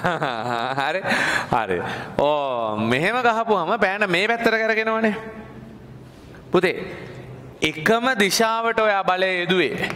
එකම ප්‍රමාණයෙන් බලය යෙදුවේ. නැමත මොන දිශාවද කිවේ එකම දිශාව. එකම ප්‍රමාණය. එකම දිශාව එකම ප්‍රමාණය. උනේ එකම ප්‍රතිඵලද වෙනස් ප්‍රතිඵලයද. වෙනස් ප්‍රතිඵල එකක් මෙහාට කරගුණ අනිතක මෙහාට කරගුණා. එහෙනම් එතනේ වෙනසට හේතුව මොකක්ද ක්‍රියාලක්ෂය වෙනස්වීම බලය ක්‍රියා කරන පොයින්ට එක ඇක්ෂන් පොයින්ට එක වෙනස්වීම. සරල උදාහරණයක් මම ඉන්නවා මෙහෙම පුතේ. මම මෙහෙම ඉන්නවා. මම මෙහෙම ඉන්නවා. මම මෙහෙම ඉඳිද්දි කවුද ඒ පඩි පොල්ලක් අරන් ඇවිල්ලා ගහනවා මගේ ඔළුවට. මෙන්න මෙතන ගහනවා. මොකද වෙන්නේ? පොල්ල කැඩිලා යනවා. හරි එහෙමද හරි හරි. එහෙම තඩි පොල්ලක් කරන් මෙහෙම ගහපුවම් පස්සේ මොකෝ වෙන්නේ මම පුතේ මේ මේ මේ පැත්තට වැටෙනවා. මෙහාට වැටෙනවා. ඔය පොල්ලෙම්ම ඔය දිසාවටම ඊළඟට ගහනවා පුතේ අර පල්ලහැට. මොකද වෙන්නේ? මම වැටෙන්නේ පස්සට නෙවෙයි කොහටද? ඉස්සරහට. මෙහෙම. බලන්න එකම බලය එකම දිශාවට හැබැයි ප්‍රතිඵලය කෙනකට වෙනස්. හැබැයි ඔය පොල්ල අරගෙන පුතේ ගහනවා මෙන්න මේ හරියට. පරම්පරාවට ප්‍රශ්නයක් නෑ හරි මේ හරියට ගහනවා. ආ එතකොට පුතේ වෙන්නේ මම පෙරලෙනවට වඩා හරි මම මේ පැතර විසි වෙනවා. ඔයාලා පෑන් පෑනේ මේ මේ හරියට ගැහුවා. ඔක අපි ඉස්සරහට කියන පුතේ පෑන ස්කන්ධ කේන්ද්‍රය ගැන එහෙම කතා කරනවා. මේ පැත්තට ගැහුවා පුතේ පෑන කැරකෙන්නේ නැතුව පෑන ඉස්සරහට විතරක් යනවා. තේරුණා නේද? එහෙනම් එතනේ වෙනස වුණේ එකම බලය වුණාට බලය ඇක්ෂන් එකේ ඇක්ෂන් වල පොයින්ට් එක වෙනස් වෙනවා. අන්නේ පොයින්ට් එක වෙනස් වීම නිසා තමයි බලයේ අන්න මේ මේ මේ පෑනේ සිද්ධ වෙන දේ වෙනස් වුණේ. හරි. එහෙනම් මට කියන්නේ මේකේ දේවල් තුනයි. හරි. මොනවද දේවල් තුන බලයේ? විශාලත්වයයි, දිශාවයි, ක්‍රියා ලක්ෂයයි. ඇහුනේ නැහැ කවුද? විශාලත්වයයි, දිශාවයි, ක්‍රියා ලක්ෂයයි. විශාලත්වයයි, දිශාවයි, ක්‍රියා ලක්ෂයයි. එහෙනම් යම් වස්තුවකට බලයක් දුන්නාම වෙන්න පුළුවන් මූලික වැඩ තුනයි. මොන සෝරි මූලික යම් දෛශිකයක මූලික ලක්ෂණ තුනයි. මොනවද මූලික ලක්ෂණ තුන?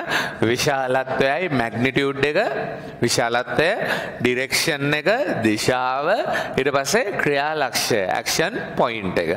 ඕවා තමයි පුතේ දෛශිකයක අපි මූලික ලක්ෂණ කියලා අපි හඳුන්වන්නේ. මාතෘකාව ලිව්වත් දෛශිකයක මූලික ලක්ෂණ කියලා. ඔව්. දෛශිකයක මූලික ලක්ෂණ. හරි. ලිය.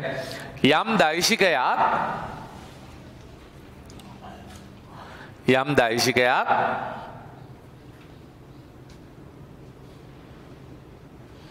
තවත් දෛශිකයකින්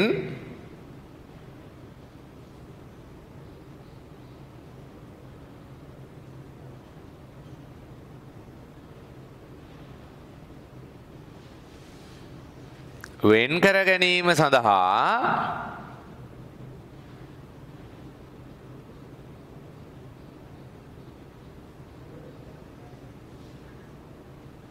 භාවිතා කරන ලක්ෂණ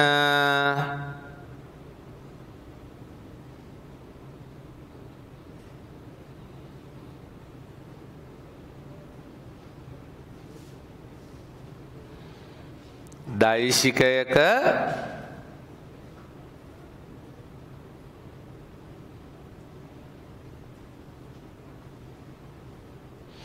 මූලික ලක්ෂණ ලෙස හඳුන්වයි.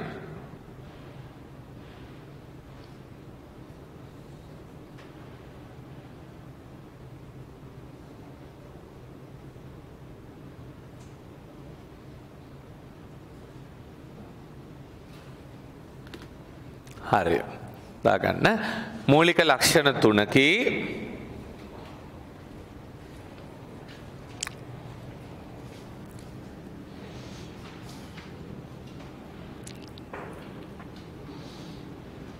මූලික ලක්ෂණ තුනකි. එක විශාලත්වය මැග්නිටියුඩ් කියන එක.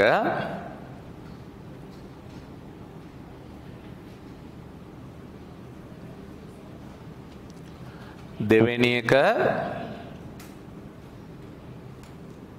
දිශාව.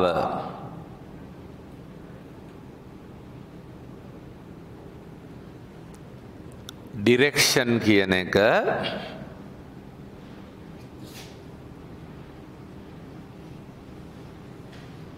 තුන්වෙනි එක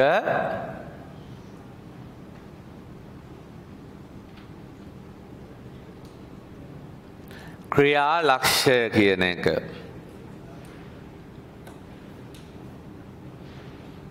ඇක්ෂන් පොයින්් කියන එක.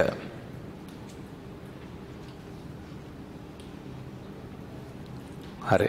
ඒ තුන්වෙනි එක යටතේ ලියා ගන්නක මෙන්න මේක නිකන් චූටියට ඇඳගෙන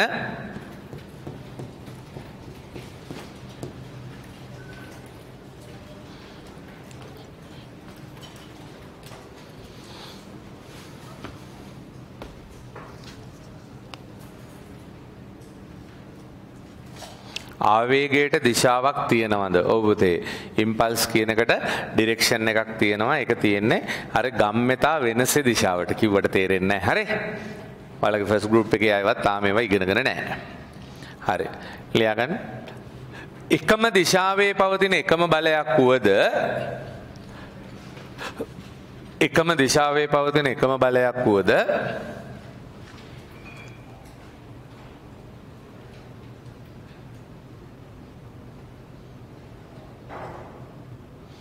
ක්‍රියා කරන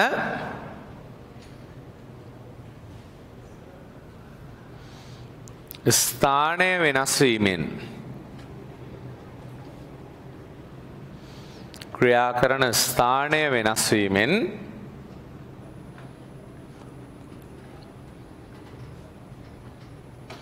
ක්‍රියා කරන ස්ථානය වෙනස් වීමෙන් ප්‍රතිඵලය වෙනස් වී ඇත.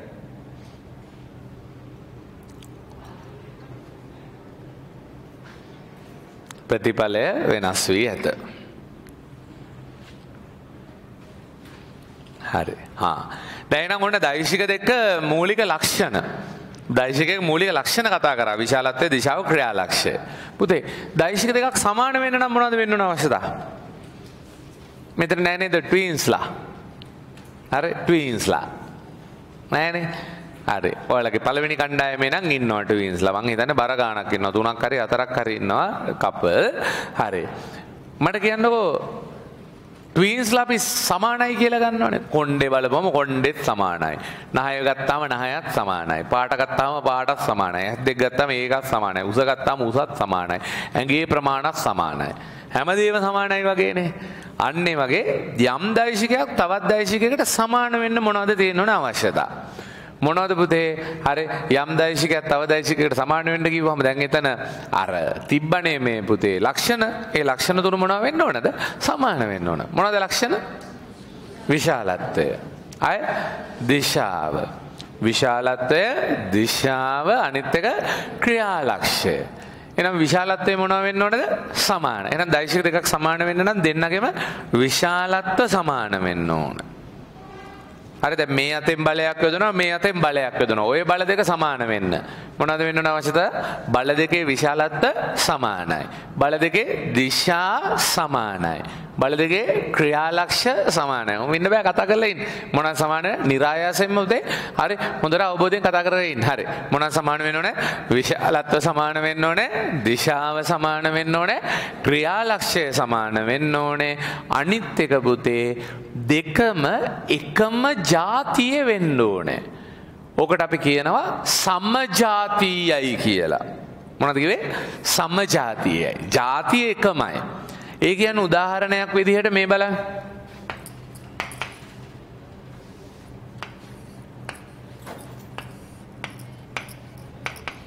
හරි. බලන්න දිශාව එකමයි. විශාලත්තත් එකමයි. හිතන්නකෝ එකම තැනක් තියෙනවා කියලා මේක. හැබැයි මේ මෙයයි මෙයයි. සමාන විය හැක සමාන විය නොහැක. සමාන වෙන්න බෑ. මොකද මේ තියෙන්නේ පුතේ මොකක්ද? ඈ? නිව්ටන්. නිව්ටන් වලින් මයින්නේ මොකක්ද? බලයක්. හලෝ මේ තියෙන්නේ නිව්ටන්. නිව්ටන් වලින් මයින්නේ මොනවා? බලය ෆෝස්.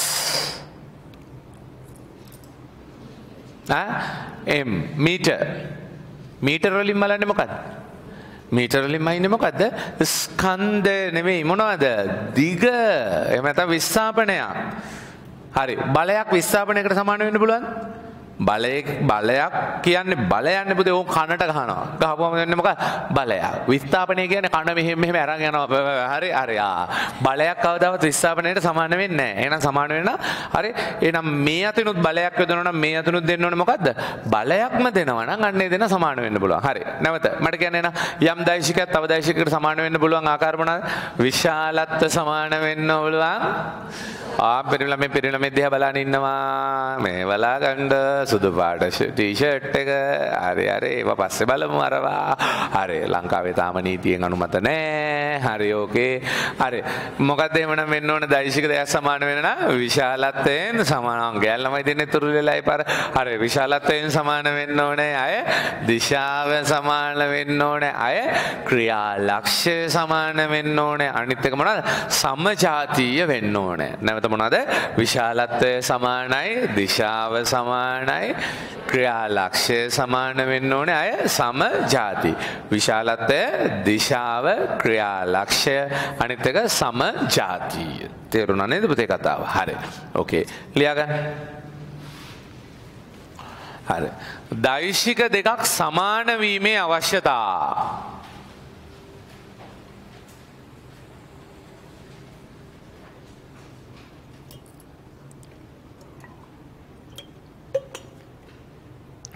සර් ඒ ට්වීන්ස්ලා බෝයිස් ඇන් ගර්ල්ස් එහෙම වුණොත් ඔව් පුතේ ට්වීන්ස්ලා වර්ග දෙකක් ඉන්නවා. Identical twins and non identical කියලා. හරි? අයිඩෙන්ටිකල් කියලා කියන්නේ පුතේ එකම යුක්තාණුව හැදිලා ඒ යුක්තාණුව දෙකට බෙදිලා හැදෙන නිවුන්නු තමයි අපි හඳුන්වන්නේ අයිඩෙන්ටිකල් කියලා. සමහර ඉන්න පුළුවන් නන් අයිඩෙන්ටිකල් අය. හරි. මෙතන ඔන්ලයින් එකේ බදුල්ලේ කට්ටිය එහෙම ඉන්නව නම් පුතේ අන්න දන්නවා නන් අයිඩෙන්ටිකල් ට්වින්ස්ලා දෙන්නෙක්. ඔයාලට ෆේමස් කට්ටියක් ඔයාලගේ දිස්ත්‍රික්කේ මේ පාර බදුල්ලේ බයෝවල දිස්ත්‍රික්කේ දෙවනියයි හරි. මැස්සල දිස්ත්‍රික්කේ පස්වෙනියයි හරි. දෙන්නම නිවුන්නු. හරි. හැබැයි එක්කෙනෙක් පිරිමි ළමයෙක් අනිත් එක්කනා ගෑනු ළමයෙක්. හරි. ඒ වගේ පුතේ. හරි. ගෑන්ලමේ පිරිනොයි ගිය අවුරුද්ද රිසල් සෙද මෙම විසි දෙකේ නෙමේ විසි එකේ රිසල් සෙද්දේ ට්වීන්ස්ලා ජෝඩු හිටිය හතරද්ද පහද්ද කොයද හරි. ඔක්කොමලා එකන ඒ මගන සිලෙක් නොවිච්ච ඇත් හිටිය. සිලෙක්් වෙච්චාය අතර හිටිය ට්වීන්ස්ලා ජෝඩු පහක් විතර. ඒ ඔක්කොම ලපුදේ අයිඩෙන්ටික එකන සම සම කට්ටිය. හරි. ගෑනු ළමයි දෙන්න පෙරිමි ළමයි දෙන්න එහෙම එහෙම කට්ටිය හිටිය මෙඩිසින් ඉංජිනේරින් සිලෙක්ට් වෙච්ච කට්ටිය. 2024 අයියලක් කලාගේ ඒකේ ඉන්නවා කෑගල්ලේ ඉන්නවා පුතේ. හරි? කෑගල්ලේ ඉන්නවා ඊට පස්සේ කුරුණෑගල ඉන්නවා ඊට පස්සේ ඒත් ඉන්නවා මං හිතන්නේ බදුල්ලේ. හරි? ට්වීන්ස්ලා හරි? ඒ සෙට් එකම වැඩි ලකුණු ලිස්ට් වල ඉන්නවා. හරි සමහර ට්වීන්ස්ලා ඉන්නවා පුතේ. දෙන්නම ඉතින් අර එකට ඉඳිද්දි පුතේ වැඩ කරනවා වැඩිනේ හොඳට. අර ඒක නිසා සාමාන්‍යයෙන් ට්වින්ස්ලා ටිකක් හොඳට පර්ෆෝම් කරන කට්ටිය ඉන්නවා. හරි. හැබැයි අයිඩෙන්ටිකල් වගේම නන් අයිඩෙන්ටිකල් වෙන්නත් පුළුවන්. හරිද? ඕකේ. දැන් මොකද්ද අපි කිව්වේ? දෛශික දෙකක් සමාන වීමට නම් කියලා නේ. හරි දෛශික දෙකක් සමාන වීමට නම් සමාන වීමට නම්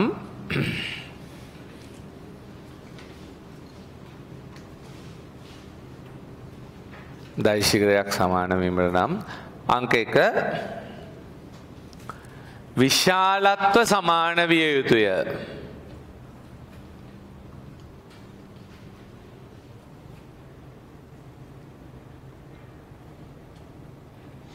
සර් මම මේ සැරේ O level ලියන්නේ ක්ලාස් එකට දැම්ම සම්බන්ධ වුණාට කමන්නේ නැන්ද පුතේ ප්ලෑන් කරලා හරියට කරගෙන යන්න ගැටලුවක් නැහැ එහෙම ඉන්නව කට්ටිය. විශාලත්ව සමාන විය යුතුය. හරි දෙවෙනි එක දිශා සමාන විය යුතුය. දිශා සමාන විය යුතුය.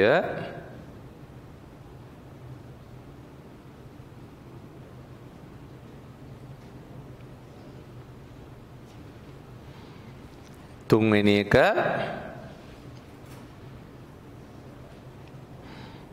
හරි.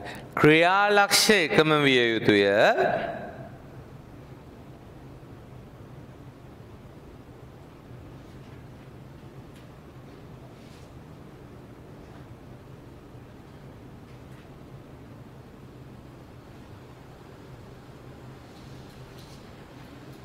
එකම විය යුතුය හරි.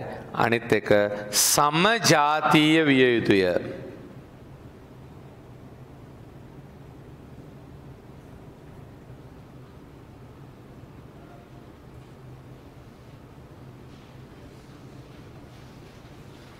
හරි. ලියන්න. මෙලෙස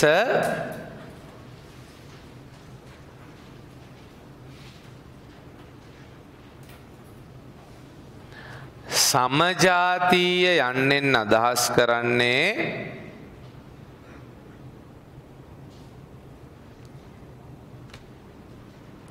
සමජාතීය යන්නෙන් අදහස් කරන්නේ දෛශික දෙකම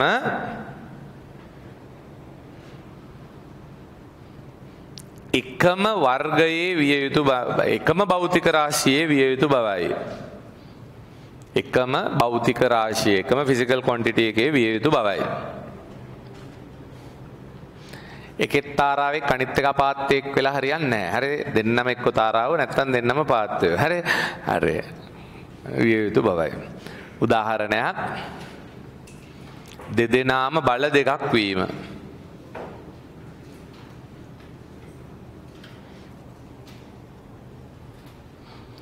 දෙදෙනාම බල දෙකක් වීම. හරි. ඕකේ ඊළඟට ඉළං කතාව ලියා ගන්න දෛශිකයක් නිරූපණය කිරීම. දෛශිකයක් නිරූපණය කිරීම.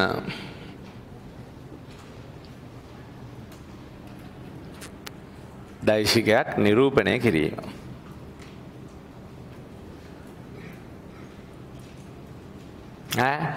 ඔය දන්නවනේ ද ඇඳුම් නිරූපණය කරන්න පුතේ. හරි. ඇඳුම් නිරූපණය කරනවා ගැන්නේ ඒ ඇඳුමේ තියෙන ලක්ෂණ.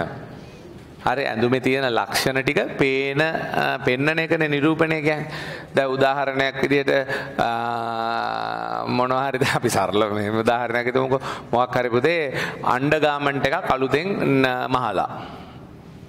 අර ගැන්නේ අන්ඩවයා එක මොනහරි අලුතෙන් මහලා හරි ඒක නිරූපණය කරන්න ගන්න මොඩලි මොඩ්ල මොඩල් හරි පිරිමි හරි ගෑනු හරි කියලා හිතන්නකෝ. පොර ඒක ඇඳලා ඊට පස්සේ පුතේ මේ උඩිනුත් තව ඇඳුම් ඇඳකට මොඩලින් ෂෝ එකේ යනවා. වැඩක් තියනවද? නෑ නේ ඉතින් අර ඇඳුමේ දේවල් නිරූපණය වෙන්නේ නෑනේ. හරි තේරුණානේ පුතේ කතාව? දැන් උදාහරණයක් විදිහට එකක් අලුතෙන් ඔන්න වෙළඳ පොලට දානවා. පොර මොකද කරන්නේ ෂර්ට් එකක් ඇඳලා උඩින් කෝට් එකක් උද්දාගෙන යනවා. හරි. එතකොට ෂර්ට් එක නිරූපණය වෙන්නේ නැහනේ. අන්න ඒ වගේ. හරි දැන් අපි කරන්න යන්නේ දෛශිකය නිරූපණය කරනවා කිව්වම දෛශිකයේ ලක්ෂණ ටික නිරූපණය කරනවා. හරි. මොකද දෛශිකයේ ලක්ෂණ කියලා අපි නිරූපණය කරන්න යන්නේ එහෙනම් දෛශිකයේ විශාලත්වයයි දෛශිකයේ දෛශයක් මේ ඉලස්ට්‍රේටඩ් මේකක් විදිහට මේ මේ ඩයග්‍රෑම් එකකින් අපි දැන් පෙන්වන්න යන්නේ. හරි. එතකොට අපිට පෙන්වන්න තියෙනවා මොකද? විශාලත්වය පෙන්වන්න තියෙනවා. අය දිශාව පෙන්වන්න තියෙනවා. අය මොකද? ක්‍රියා ලක්ෂය පෙන්වන්න තියෙනවා. හලෝ හලෝ මොනවද පෙන්වන්න තියෙන්නේ? විශාලත්වය සහ දිශාව සහ ක්‍රියා ලක්ෂය. හරි. ලියා ගන්නකෝ දෛශිකයක් නිරූපණය. ඉහත සඳහන් කළ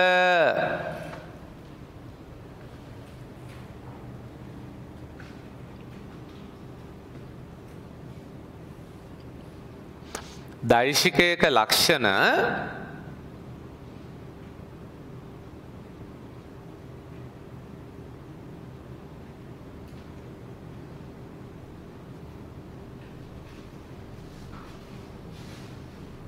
සටහනකින් දක්වා දීම සටහනකින් පෙන්වා දීම. මෙහිදී සිදු කරයි.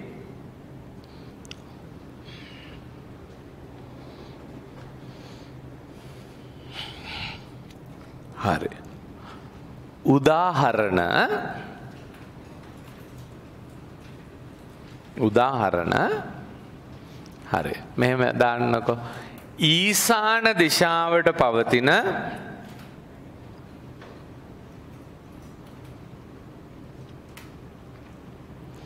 නිව්ටන් පණහක බලයක්. ඊසාන දිශාවට පවතින නිව්ටන් පණහක බලයක්. හරි. ඊසාන දිශාවට පවතින නිවටන් පණහක බලයක්. හරි. දැනම් මට නිවටන් කියද නිරූපණය කරන්නන ඇහෙන්නෑ කෝ නිවටන් පණහා නිවටන් පනාක බලයක් තමයි නිරූපණය කරන්න තියෙන්නේ. හරි. එනම් ගන්නක නිවටන් කෝදුව. නිවටන් රූල ගන්න. නිවටන් රූල ගන්න. ගෙනව නැත්ත ඔන්ලයින් අය ටක් ගාලා දුවලා ගිහිල්ලා නිව්ටන් රූල ගන්න. පොත් මේසෙ උඩ නැත්තා. හ්ම්? නිව්ටන් රූල නැද්ද ඔන්ලයින් අය? මොකද තත්ත්වය? නිව්ටන් රූල නැද්ද? නෑ? ඒ මොකද? ගණ්ඩ ගණ්ඩ එක හදන්ඩ වෙයි. එහෙම එකන්නෑ ඇයි? ඕලෝ කාල දන්න ඇද හරි. ඒ දැන් නිවටන් රූල් කියල දෙයක් තියෙනවාද? නෑ. අපිට තියෙන එකම දේමක අඩි රූල්. එත අඩි රූලෙන් තමයි ඕක දැන් පෙන්න්න තියෙන අඩුවලෙන් තමයි ඕක දැන් පෙන්න්න තියෙන හරි. පුතේ මෙ මෙහෙමයි. ආකණ්ඩක ඔන් ඕකෙදී අනුගමනය කරන්න ඕන දේවල්. හරි. මුලින්ම අපි මෙ මෙහෙම දෙයක්. හරි. මට මොන දිශාවට තියෙනවද නිරූපණය කරන්න තියෙන මොන දිශාවට තියෙනවද නිරූපණය කරන්න තියෙන්නේ? ඊසාන දිශාවට. හරි. ඊසාන දිශාවට නම් නිරූපණය කරන්න තියෙන්නේ මම කරන්නේ මේ මෙහෙම ඇඳලා. හරි. සොරි මම මේ මෙහෙම ඉස්සරෝම හරි. මෙන්න මේ මෙහෙම අඳිනවා. හරි. දරුණයහන් මේකෙන් අදහස් වෙන්නේ මොන දිශාව කියන එක ඊසාන දිශාව. සොරි මේකෙන් මේ පෙන්වන්නේ මොකද උතුරු දිශාව. හරි? දැන් මම මේ අදහස් මේ අඳින සටහනේ උතුර මේකයි කියලා තමයි අදහස් වෙන්නේ. හරිද? ඊළඟට ඔයා දන්නවනේ අපිට නෑනේ නිව්ටන් කෝදුවක් හරි? අපිට තියෙන මීට රූලක්නේ පුතේ තියෙන්නේ. මීටර් රූලක්නේ අපිට තියෙන්නේ. මීටර් රූලේ පරිමාණය සෙන්ටිමීටර් වලින් ඉන්නේ තියෙන්නේ පුතේ. හරි. එහෙනම් මම මොක මෙන්න මෙහෙම කියනවා. හරි මම පල්ලෙහැන් ලියනවා. සෙන්ටිමීටරයකින් හරි සෙන්ටිමීටරයකින් සෙන්ටිමීටරයකින් අපි කියනවා පුතේ හරි සෙන්ටිමීටරයකින් නිව්ටන් දහයක් නිරූපණය වේ. හරි. කොච්චරකින් කොච්චර නිරූපණය කරනවා කියලා ගැන සෙන්ටිමීටරයකින් නිව්ටන් දහයක්. හරි? සෙන්ටිමීටරයකින් නිවටන් දහයක් නිරූපණය කරනවා. එන සෙන්ටිමීටරයකින් නිවටන් දහයක් නිරූපණය කරනවා කියලා කියන්නේ හරි ඕකෙන් තමයි මම පාවිච්චි කරන පරිමාණය. හරි පරිමාණයක් ගත්තා. එන පළවෙනි එක තමයි දිශාව දැක්කුවා. ඊට පස්සේ තමයි පරිමාණය දැම්මා. හරි මට මොන දිශාවටද දැන් තියෙන්නේ? ඊසාන දිශාවට. වල දන්නවනේද? උපාලි ඊළඟ නැවෙන් ගිහින් ධම්මේ නිදිද බලා වරය. හ්ම් බලන්න පොඩි කාලේ ඉඳන් ඔයාලට කොච්චර හොඳ සංවර දේවල්ද උගන්වලා තියෙන්නේ. නිදිද බලා වරෙන් කියලා තමයි උපාලිට කියන්නේ. මෙන්න මොනවත් නිදිද කියලා බලලා ඉන්න විතරයි කියලා දෙන්නේ. හරිද? ආ හරිද? ඒ කෙසේ වෙතත් හරි මෙන්න මෙහෙම. අපි මේ වගේ එක දැන් අපි කරන්නේ පුතේ බේ මෙහෙම එකක් අඳිනවා කඩිරක්. හරි. මට කියන්න දැන් මේ කඩිර හරි මේ කඩයිර තියෙන මොන දිශාවේ කියහල් මේ කඩයිර තියෙන දැන් මොන දිශාවේද උතුරු දිශාවේ කඩයිර තියෙන උතුරු දිශාවේ කඩයිර තියෙන උතුරු දිශාවේ ලස්සනට අවබෝධයෙන් කඩයිර උතුරු දිශාවේ. දැන් මට ඕනේ මොන දිශාවටද අදින්නද ඊශාන දිශාව. එහෙනම් උතුරෙන් මම අඳින්න ඕන අංශක හතලිස් පහක්නේ උතුරෙන් අංශක හතලිස් පහක්න ඊසාන කියන්නේ. හරි. එනම් මේ මෙම හතලිස් පහයන්දා මෙන්න මේ වගේ රේකාවක් අඳින ඔන්න දැන් උතුරෙන් අංශක හතලිස් පහයි. මොන දිශාවටද තියෙන්නේ මෙයා? ඊසාන දිශාවට. මෙයා ඊසාන දිශාවට තියෙන්නේ එතකොට මෙයා ඊසාන දිශාවට තියෙනවා ඊතලයකුත් දැම්ම මෙන්න ඊසානට දැන් මෙහෙ ඉරක් ඇඳලා මෙහාට ඊතලයක් දැම්මොත් හරියන්නේ නැහනේ. මෙහාට ඊතලයකුත් දැම්මා. සෙන්ටිමීටර් කොච්චර? සෙන්ටිමීටර් කොච්චර? 5ක්. සෙන්ටිමීටර් 5ක්. හරි සෙන්ටිමීටර් 5ක්. ඇයි මට අඳින්න ඕන නිව්ටන් 50ක් නේ. නිව්ටන් 50ක්. දැන් නිව්ටන් 10ක් නිරූපණය කරන්නේ සෙන්ටිමීටරයකින්නේ. හරි එහෙනම් නිව්ටන් 50ක් අඳින්න නම් මං අඳින්න ඕනේ සෙන්ටිමීටර් 5ක්. එකකින් 10යි දෙකකින් 20යි තුනකින් 30යි අන්න ඒ වගේ පහක් තමයි දැන් මං අඳින්න ඕනේ. හරි. දැන් දරුවනේ සරලව කියන්නේ මෙයා දැන් අපිට කියන්න පුළුවන් කීයයි සෙන්ටිමීටර කියලා 5යි සෙන්ටිමීටර. මෙයා 5යි සෙන්ටිමීටර. හරි. මෙයයි මෙයා 5යි සෙන්ටිමීටර. දැන් මම මේක දිහා බලනවා. උන් දැන් මම කියවලා බලනවා. හරි. ආ මොකද්ද ඉරක් ඇඳලා තියෙනවා. උතුරු දිසාවට නෙවෙයි උතුරෙන් අංසක හතලිස් පහයි. එනම් මේ ඉර ඇඳල තියෙන මොන දිශාවටද ඊසාන දිශාවට. සෙන්ටිමීටර් පහයි. සෙන්ටිමීටර් පහයි. එහනම් මට හිතෙන මේ මම දුරක් තමයි පෙන්නල තියෙන නෑ. යට කියලා දෙෙන සෙන්ටිමීටරයකින් නිවට දහය එන සෙන්ටිමීට පහින නිවටන් පණහයි නිවටන් පණ එනම් මම මේ මොකක් දැඳල තියෙන්නේ කියල දැම්මට තේරෙනවා. ඊසාන දිශාවට නිවටන් පණහක් තේරුණා නේද පුතේ කතාව. එහෙනම් පළවෙනි එක තමයි දිශාව දක්වන්න පරිමාණයක් තෝරගන්න රේඛාව අඳින්න පුතේ වරදවා කරන්න එපා මෙතන නිව්ටන් 50 එහෙම නෙවෙයි ඈ. මෙතන නිව්ටන් 50 එහෙම නෙවෙයි. නිවටන් පණහ නෙමේ මොනව පණහයිද? මොනව පහයිද? සෙන්ටිමීට පහ කියල තමයි ලකුණු කරන්න ඕනේ. මොකද අපි මේ රේකාව හරි මේක අඳින්න ඕනේ හරිනම් හරියටම කෝණෙ මයින අඳින්න ඕනේ. අංශක 45ක කෝණයක් සහ හරියටම දුර මැනලා අඳින්න ඕනේ. හරියටම සෙන්ටිමීටර් කොච්චරද පහක්. හරියටම සෙන්ටිමීටර් පහක්. හරියටම සෙන්ටිමීටර් පහක්. හරි. හරියට තමයි මැනලා අඳින්නට අවශ්‍ය. තේරුණා නේද පුතේ කතාව? හරි. මට හැමෝම කියන්නේ මම බලාපොරොත්තු වෙනවා දැන්. රාශයෙන් තුනක් නිරූපණය කරන්න. මොනද නිරූපණය කරන්න පුළුවන් දේවල් විශාලත්වයයි දිශාවයි අනිත්තක ක්‍රියා ලක්ෂයයි.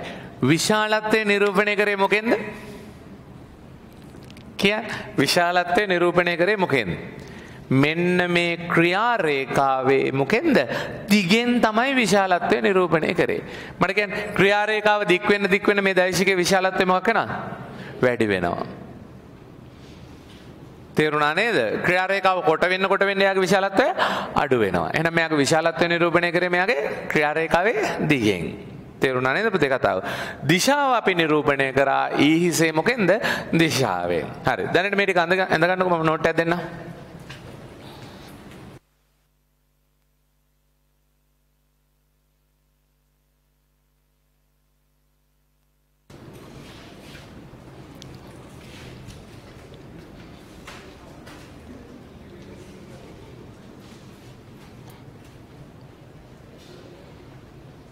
අංශක 45 ගන්න කොහොමද කියලා අහලා දෙනවා කෝණමානය.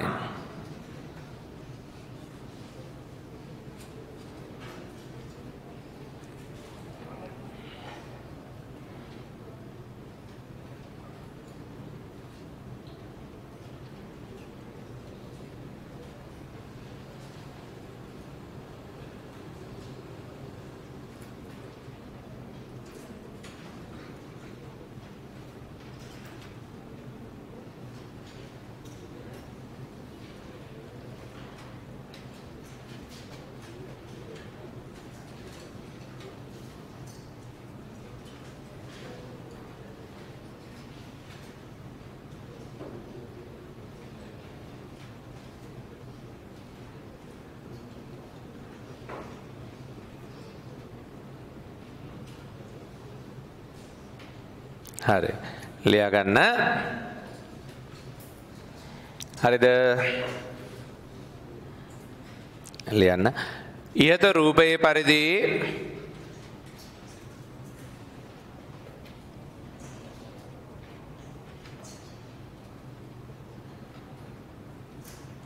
මුලින්ම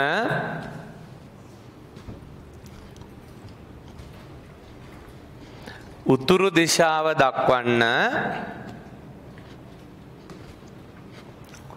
මුලින්ම උතුරු දිශාව දක්වන්න. පැන්සල් වලින් ලියන්න එපා. මුලින්ම හරියට වැඩ ටික කරන්න. උතුරු දිශාව දක්වන්න. දෙවෙනි එක. එක. අභිමත පරිමාණයක් තෝරා ගන්න.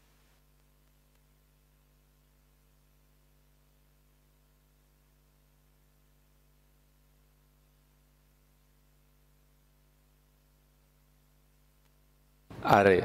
දැන් මේ පරක්කු වෙලා ඉන්න දරුවෝ නේ ඔයාලා පුතේ? බය වෙන්න එපා ඒකට. හරිද? එහෙමයි වෙලා ආයෙ දැන් පැන්සල් වලින් ලියලිය ආයෙ ගෙදර ගිහිල්ලා ලියන්න හරි. හරි පැන්සල් වලින් ලියලියා තව තව වෙලාව නාස්ති කරගන්න එපා. දැන් කරන එක හරියටම කරගන්න.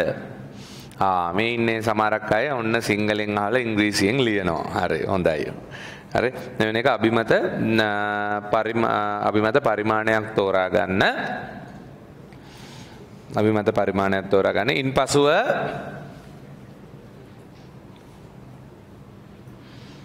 ඉහත ආකාරයේ නිරූපණය කළ හැක.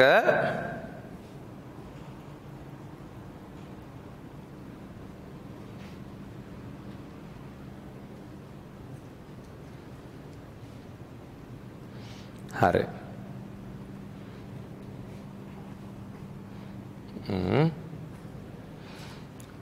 පල්ල හැන්දාගන්න මෙහෙම. අංක එක. අංක එක. දෛශිකයේ විශාලත්වය.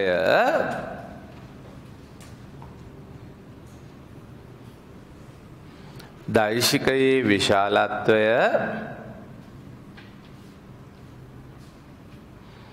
දෛශිකයේ විශාලත්වය. ක්‍රියාරේකාවේ දිගෙන් නිරූපණය කරයි.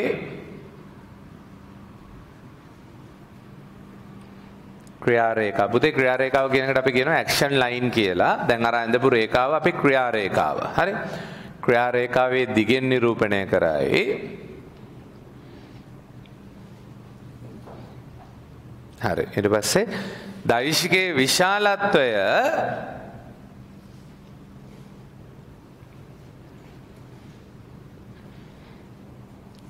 සොරි දෛශිකයේ විශාලත්වයනේ අපි නිරූපණය කරේ ක්‍රියාරේඛාවේ දිගෙන්. ඊට පස්සේ දෛශිකයේ දිශාව දෛශිකයේ දිශාව ඊහිසේ දිශාවෙන් නිරූපණය කරයි.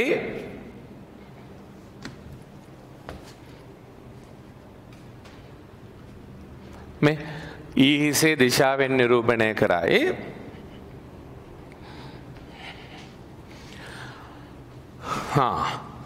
මේ පුතේ හොන්දට බලාගන්න මෙතන මන් දැක්ක එක ළමෙක් ලකුණු කරලා තියෙනවා නිව්ටන් 50යි කියලා නෑ මේ රේඛාව ඇඳලා තියෙන්නේ නිව්ටන් වලින් නෙමෙයි මේ රේඛාව ඇඳලා තියෙන්නේ මොන වගේද පුතේ සෙන්ටිමීටර් වලින් එතකොට මෙයාව මම ලියන්න ඕනේ මොනවද සෙන්ටිමීටර්. ඒක කියවන අපි දැනගන්න ඕනේ මෙතන සෙන්ටිමීටර් 5යි කියන්නේ මෙන්න මේ පරිමාණයට අනුව නිව්ටන් කීයයි කියලා 50යි කියලා. එකට 50000යි කියලා සිතියන් ඒ කාලේ කරන්නේද පුතේ? ඒකෙන් අදහස් වෙන්නේ එකක් ලෙස පෙන්වන කෙනා කී ගුණයක් ලොකු වෙලා 50000 ගුණයක් ලොකු කරලා හිතන්න ඕනේ. ඒ කියන්නේ වැවක් ඇඳලා තියෙනවා නම් එක කොටුවක් ඇතුලේ හරි ඒ වැව ඇත්තටම ඒ කොටුව වගේ කී ගුණයක් ලොකුයි? 50000 ගුණයක් ලොකුයි. තේරුණා නේද? හරි. ඕකේ ආ නැවත. දැන් එහෙමනම් අපිට දේවල් තුනක් පෙන්වන්න තියෙන්නේ. මොනවද පුතේ පෙන්වන්න තියෙන දේවල් තුන ටක් ගාලා කියන්නේ? විශාලත්වයයි දිශාවයි ක්‍රියාලක්ෂයයි. කවුද කවුද කවුද? විශාලත්වයයි දිශාවයි ක්‍රියාලක්ෂයයි. ක්‍රියාලක්ෂය ගැන කතා කරද්දී ඔබ ලස්සනට තේරුම් ගන්න අපිට හිතෙන්නෙම මේ මේක පටන් ගන්න තැනින් ක්‍රියාලක්ෂය නිරූපණය වෙනවයි කියලා. හරි? මොකෙන්ද නිරූපණය වෙනවා කිව්වේ? පටන් ගන්න තැනින් මොකද? ක්‍රියාලක්ෂය. නෑ පටන් ගන්න තැනින් ක්‍රියාලක්ෂය නිරූපණය කිරීම අනිවාර්ය නැහැ. ඇයි ඒකට හේතුව කියන එක පුතේ මං ඉස්සරහට කියලා දෙන්නම්. හරි ඉස්සරහට තව දෛශික ත්‍රිකෝණ නීතිය ගැන එහෙම කතා කරද්දි තමයි ඒක අපි කතා කරන්නේ. හරි. කො පටන් ගන්න තැනින් කවුරු නිරූපණය කිරීම අනිවාර්ය නොවේ. ක්‍රියාලක්ෂය නිරූපණය කිරීම අනිවාර්ය නොවේ. නැවත මොකේකින් මොකක් නිරූපණය කිරීම අනිවාර්ය නොවේ.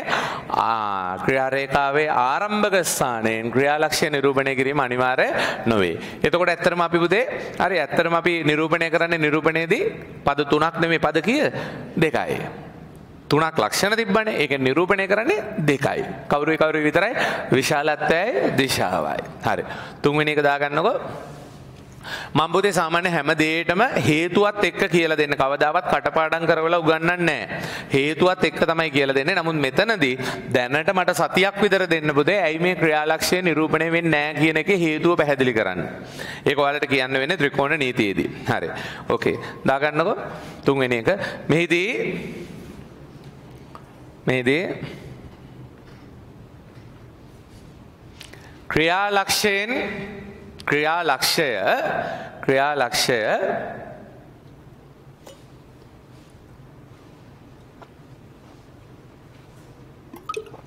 ඉහත රේකාවේ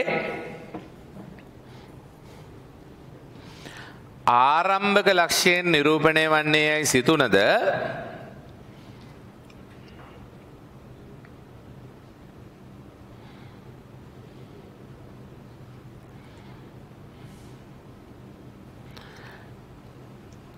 එලෙස සිදු කරනු නොලැබේ.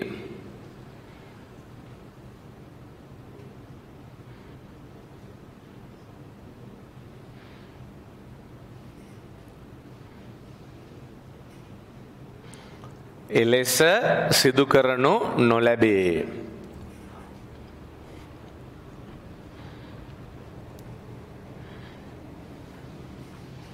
හරි ඉහත අඳින ඊට පස් වෙනම ඉහත අඳින ලද රේඛා කණ්ඩය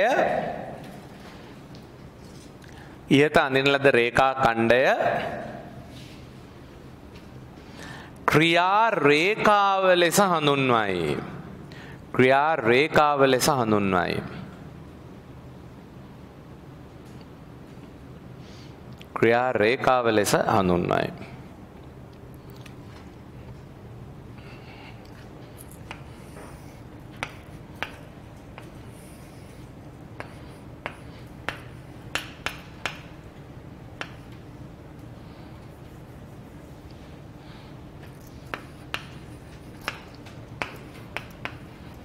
හරි. දරුවනේ මේ මෙහෙම නිරූපණ සටහනක් එනවා. හරි නිරූපණ සටහනක් එනවා. මේ මේ තියෙන්නේ නිරූපණ සටහනක්. මේ නිරූපණ සටහනේ තියෙන දෛශික දෙක සමානද වෙනස්ද? මේ නිරූපණ සටහනේ තියෙන දෛශික දෙක සමානද වෙනස්ද? සමානද වෙනස්ද? ඇහෙන්නේ නැහැ. ඇහෙන්නේ නැහැ. මට කියන්නේ දෛශික දෙකක් සමාන වෙන්න මොනවද තියෙනවද අවශ්‍යතා?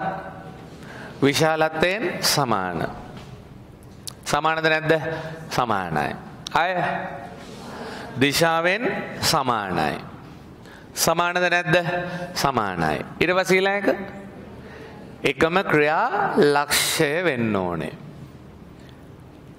අනිත් එක සම ජාතිය. බලන්න එකම ඒකකයෙන් මැනලා තියෙනවා කියන සමජාතියද නැද්ද? සමජාතියයි. එකම විදිහට නිරූපණය කළ සමජාතියයි. කවුරු වෙනස් කියලා හිතනවද? ක්‍රියාලක්ෂය වෙනස් කියලා හිතනවා. මට කියන ඇත්තරම ක්‍රියාලක්ෂය වෙනස්ද වෙනස් නැද්ද. දැන් ඔයාලා හිතනවා සර් මේක ක්‍රියාත්මක වෙලා තියෙන්නේ මෙතන මේක ක්‍රියාත්මක වෙලා තියෙන්නේ මෙතන මේ දෙන්නේ ක්‍රියාලක්ෂය වෙනස් කියලා හිතනවා. ඒ හිතන්නේ ඔයා මොන මනස්ගාතය ඔලුවට දාගනද ආරම්භක ලක්ෂයෙන් ක්‍රියාලක්ෂය නිරූපණය වෙනවා කියලා හිතලා. නමුත් අපි කිව්වා ආරම්භක ලක්ෂයෙන් ක්‍රියාලක්ෂය නිරූපණය වීම අනිවාර්ය වේ අනිවාර්ය නොවේ.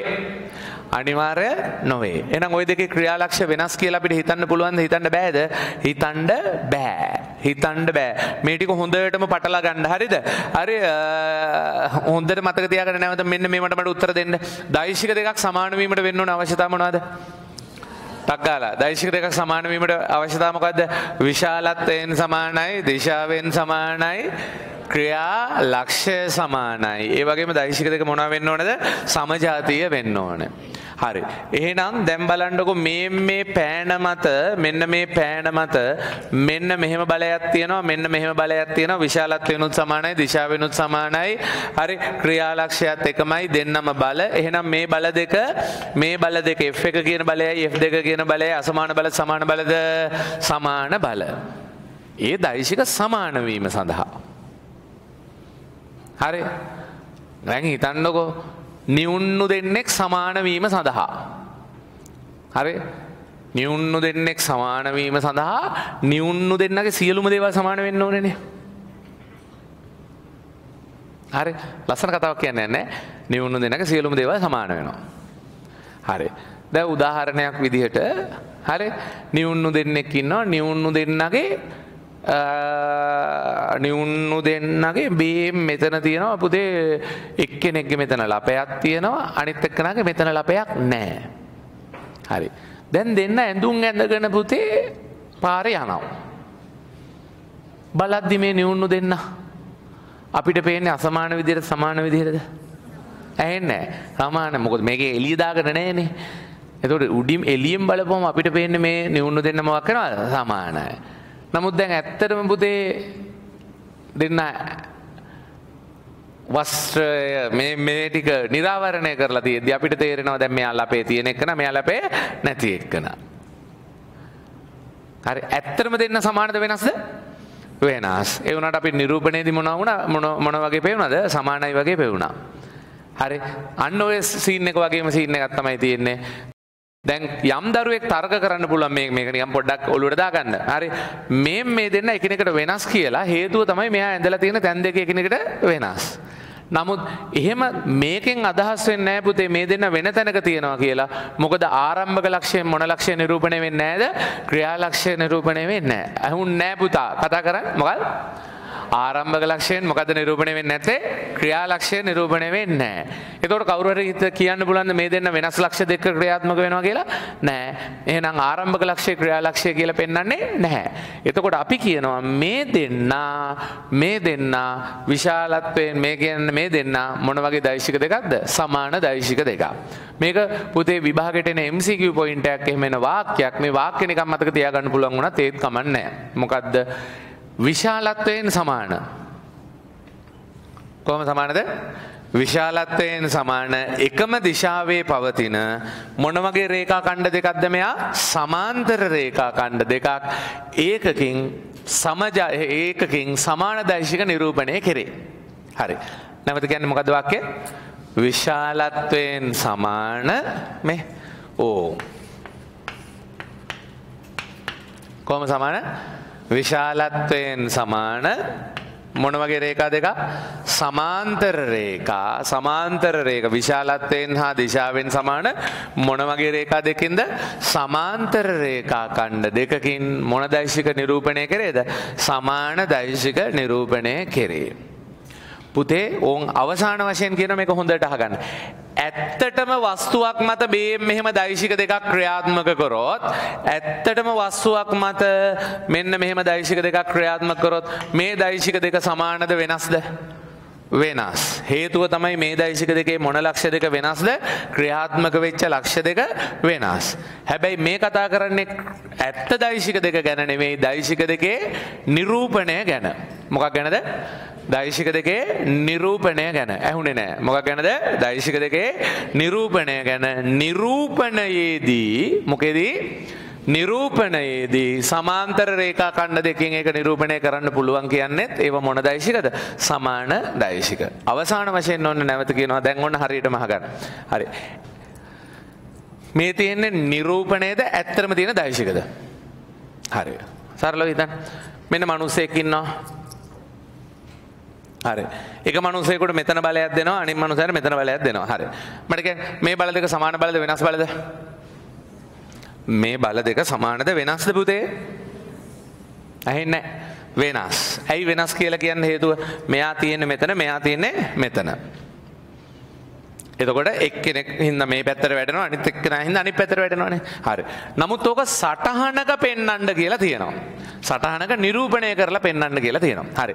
දැන් ඒතකොට නිරූපණය කරද්දි මම නිරූපණය කරන්න ඕන මොනවද? විශාලත්වය නිරූපණය කරන්න ඕනේ. අය දිශාව නිරූපණය කරන්න ඕනේ. අයින් මොනවද නිරූපණය කරන්න ඕනේ? ක්‍රියා ලක්ෂ්‍ය.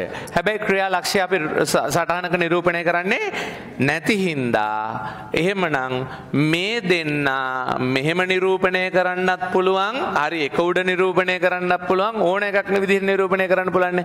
එහෙනම් හොඳට මතක තියාගන්න. අදින් පස්සේ නිරූපණ සටහනකදී මොන සටහනකදී? නිරූපණ සටහනකදී සමාන්තර රේඛා ඛණ්ඩ දෙකක් යනු අසමාන දෛශික වේ සමාන දෛශික වේ සමාන දෛශික වේ නැවත මොන සටහනකදී? නිරූපණ සටහනකදී සමාන්තර රේඛා දෙකක් යනු මොන දෛශිකද? සමාන දෛශිකයි. නැවත අහගන්න මොන සටහනකදී? නිරූපණ සටහනකදී සමාන්තර රේඛා ඛණ්ඩ දෙකක් යනු මොන දෛශික වේ සමාන්තර දෛශික වේ. තේරුණානේ කතාව. හරි. ලියා ගන්නකො.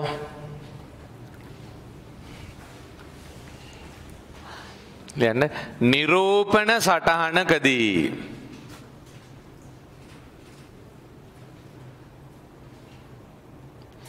නිරූපණ සටහනකදී යටින් ඉරක් ඇඳගන්න නිරූපණ සටහනකදී කියලා.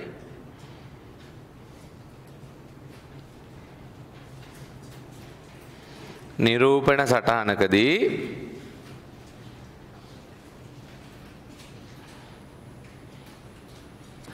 සමාන්තර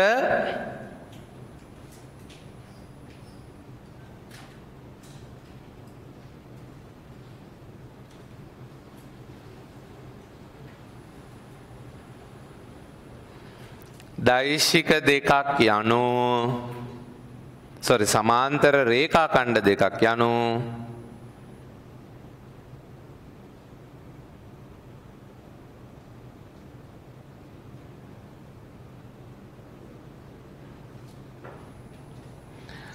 සමාන දෛශික දෙකක් ලෙස හැඳින්විය හැක.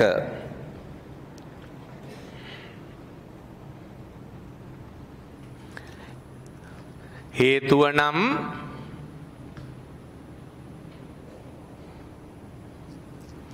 ආරම්භක ලක්ෂයෙන් ක්‍රියාලක්ෂය නිරූපණය නොවීමයි. ආරම්භක ලක්ෂයෙන් ක්‍රියාලක්ෂය නිරූපණය නොවීමයි.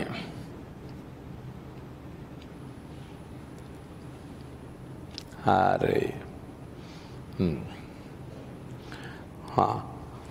මෙන්න මේක ඇඳගන්න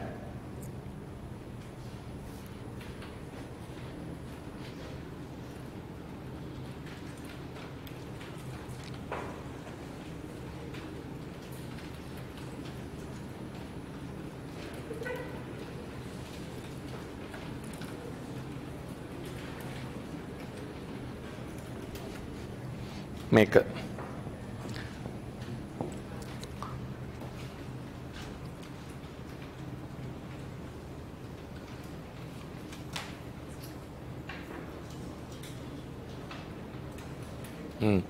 මේ ඔන්න දැන් මම ආයේ මේ ටික සමරයිස් කරනවා. හරි. මට මේවට හැමෝම උත්තර දීලා ඉන්නේ. එතකොට ඔයාලට තේරෙයි මේක තේරුම් ගත්තද නැද්ද කියලා. හරි. දෛශිකයක මූලික ලක්ෂණ තුනයි. මොනවද දෛශිකයක මූලික ලක්ෂණ තුන? විශාලත්වයයි දිශාවයි ක්‍රියා ලක්ෂයයි. ඒක නිරූපණය කරන රේඛාව මොකක් කියලා හැඳින්වෙන්නේ? ක්‍රියා රේඛාව. ක්‍රියා රේඛාවේ දිගින් නිරූපණය වෙනවා මොකක්ද? විශාලත්වය. ක්‍රියා රේඛාවේ දිශාවෙන් නිරූපණය කරනවා දෛශිකයේ දිශාව. ක්‍රියාරේඛාවේ දිශාවෙන් නිරූපණය කරනවා දෛශිකයේ දිශාව. ආරම්භක ලක්ෂයෙන් ක්‍රියා ලක්ෂ්‍ය නිරූපණය වීම අනිවාර්ය වේ අනිවාර්ය නොවේ අනිවාර්ය නොවේ. ඊට පස්සේ පුතේ දෛශික දෙකක් සමාන වීමේ අවශ්‍යතා. දෛශික දෙකක් සමාන වීමේ අවශ්‍යතා. මොනවාද? දෛශික දෙක සමාන වීමේ අවශ්‍යතා. නියුණු සමාන වීම සඳහා පුතේ උපන් ලපේ තිබීම තිබිය යුතුයි නොතිබිය යුතුයි. දෙන්නට මෙක් උපන් ලැපේ නැති වෙන්න ඕනේ. එහෙම නැත්නම් දෙන්නගෙම තියෙන්න ඕනේ. තේරුණානේ කතාව හරිය. මට කියන්නේ නිරූපණය වීම සඳහා නිරූපණය සමාන වීම නෙමෙයි. දෛශික දෙක සමාන වීම සඳහා අවශ්‍යතා මොනවාද? විශාලත්වය සමාන වෙන්න ඕනේ දිශාව සමාන වෙන්න ඕනේ ක්‍රියා ලක්ෂය සමාන වෙන්න ඕනේ සම ජාතිය වෙන්න ඕනේ. අවශ්‍යතා කීයක් තියෙනවද? හතරයි. මොනවාද? විශාලත්වයයි දිශාවයි ක්‍රියා ලක්ෂයයි සම ජාතියයි. නමුත් අවසාන කතාව අපි කිව්වා දෛශික නිරූපණයේදී මෙන්න මේ රේඛා ඛණ්ඩ දෙකෙන් සමාන්තර රේඛා ඛණ්ඩ දෙකෙන් මොන දෛශික නිරූපණය වේ? සමාන දෛශික නිරූපණය වේ. ඇයි? දෙන්නගේ විශාලත්ව. අසමාන වේ සමාන වේ. දිශාව අසමාන වේ සමාන වේ. හරි ඊට පස්සේ පුතේ දෛශික එකම වර්ගයනේ එකම වර්ගයේ හින්දානේ මෙහෙම නිරූපණය කරන්න පුළුවන් වෙලා තියෙන එකම සටහනේ. හරි. ඒ වුණාට දෛශික දෙක ඇඳලා තියෙන එක තැනකද තැන් දෙකද? තැන් දෙක. එතකොට අපිට හිතෙනවා මේ දෙන්නගේ මොන ලක්ෂ වෙනස් කියලාද? ක්‍රියාලක්ෂ වෙනස්. ඒ හිතන්නේ මොන අදහස ඔලුවට දාගෙනද? ආරම්භක ලක්ෂයෙන් ක්‍රියාලක්ෂය පෙන්වනවා කියලා. ආරම්භක ලක්ෂයෙන් ක්‍රියාලක්ෂය පෙන්වනවද අනිවාර්යෙන්? නෑ. එහෙනම් අන්න එහෙනම් මට කියන්නේ නිරූපණ සටහනක සමාන දෛශික දෙයක් වෙන්න මොනවද වෙන්න ඕන අවශ්‍යතාව? එකිනෙකට සමාන්තර රේඛා ඛණ්ඩ දෙකක් වෙනවා කියන්නේ. ඒ දෛශික දෙක මොකක්ද? එකිනෙකට සමානයි. තේරුණා නේද පුතේ කතාව? හරි. ඔය මේ තව කොහේ හරි පන්තියකට කලින් ගිහිල්ලා තියෙන අය පුතේ දෛශික පොඩ්ඩක් හරි ඉගෙනගෙන තියෙනවා නම් ඔයාලට මේ මෙහෙම මතක ඇති. PQ කියලා දෛශික දෙකක් තියෙද්දි හරි අපි සමාන්ත්‍රාශ්‍රයන් නිරූපණය කරන්න මෙන්න මෙතනින් අඳිනවා මේකට සමාන රේඛා ඛණ්ඩයක් Q කියලා පුතේ. මේ ටීට කෝණයක් ආනද. ඒ කියන්නේ මෙයා වෙනුවට මෙතනින් අඳිනවා. එතකොට මෙයා වෙනුවට මෙතනින් අඳේ මෙයාව නිරූපණය කරලා මෙතනින් පුතේ. ඒ කියන්නේ මේ දෙන්න එකිනෙකට සමානයි කියන එක තමයි අපි මේ පෙන්නලා තියෙන්නේ. තේරුන්නේ අලුත් අය ඒක දන්නේ නැහැ. හරිද? ඕකේ පුතේ. දැන් එහෙනම් ඒකත් හරි. නැවතත් අපි අවසාන වශයෙන් කියන්නේ දෛශික දෙක සමාන වීම මූලික ලක්ෂණ හතරයි. මොනවාද? විශාලත්වය දිශාව ක්‍රියාලක්ෂය සම ජාතිය. නිරූපණ සටහනක දීපුදේ සමානවීම සඳහා මොනවද වෙන්න ඕන අවස්ථා? විශාලත්වයෙන් සමාන එකම දිශාවේ තියෙන හරි සමාන් ඒ කියන්නේ එකම එකිනෙකට සමාන්තර තියෙන විශාලත්වයෙන් සමාන රේඛා ඛණ්ඩ දෙකක් තිබ්බොත් නිරූපණ සටහනකදී අපිට කියන්න පුළුවන් දෛශික දෙක විශාලත්වයෙන් මොන වෙනවා කියලා සාමාන්‍ය දෛශික දෙක සමාන දෛශික කියලා. තේරුණානේ පුතේ කතාව. හරි? ඕකේ. දැන් එහෙමනම් ඊළඟට ආ මේ හරි. දැන් පොඩ්ඩක් මතක් කරමු අපි. සිලබස් එකේ පළවෙනි පාඩම දෛශිකද? අවලට අද සිලබස් එක හම්බුන්නේ නැහැ නේ. සිලබස් එක හම්බුන්නේ නැහනේ. හරි. සිලබස් එකක් දෙන්නම් ඔයාලට ඒ ඔක්කොම ටික පරණ ටියුට්ස් ඒ දේවල් සියලුම දේවල් හම්බ වෙනවා. හරිද? එතකොට හරි. සිලබස් එකේ පළවෙනි පාඩම දෛශික නෙවෙයි. මොකද්ද පළවෙනි පාඩම? ඒකක හා මාන. නමුත් ඒකක මාන වැදගත් වෙනවද පුතේ අනික් පාඩම් කරන්න? නෑ. මිනුම් උපකරණ වැදගත් වෙනවද අනික් පාඩම් කරන්න? නෑ. අනික් පාඩම් කරන්න වැදගත් වෙන පාඩම මොකක්ද? දෛශික. හරි අනිත් පාඩම් කරන්න වැදගත් වෙන පාඩම තමයි දෛශික. ඒක නිසා අපි ඒක නිසා තමයි පුතේ මේ අද මුලින්ම පටන් ගත්තේ මොනවද? දෛශික. හරි. දැන් ඔයාලා අද පන්ති ආවම පස්සේ ඊළඟට අය කවද්ද හම්බෙන්නේ? හරි. නුවර ළමයි මේක ලියාගන්න. හරි. නුවර ළමයි ඊළඟට හම්බ වෙන්නේ පුතේ ඊළඟට හම්බ වෙන්නේ හෙට දවසේ ඒ කියන්නේ සෙනසුරාදා උදේ 7 හමාර 12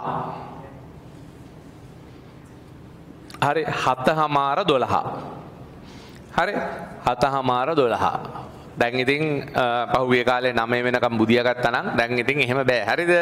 හරි 7මාර 12. දැන් සමහර වෙලාවට ඔයාලට 7මාරට එන්න බෑ කියලා හිතන්නකෝ. 7මාරට එන්න බැයි නම් බය වෙන්න එපා. හරි ඔයා සාමාන්‍යයෙන් 8වත් වෙද්දි එන්න. මොකද අපි 7මාරි දැන් සාමාන්‍යයෙන් 8 වෙනකම් කරන්නේ ගණන් හදන එක. හරිද? එතකොට 7මාර 12 තමයි පන්තිය.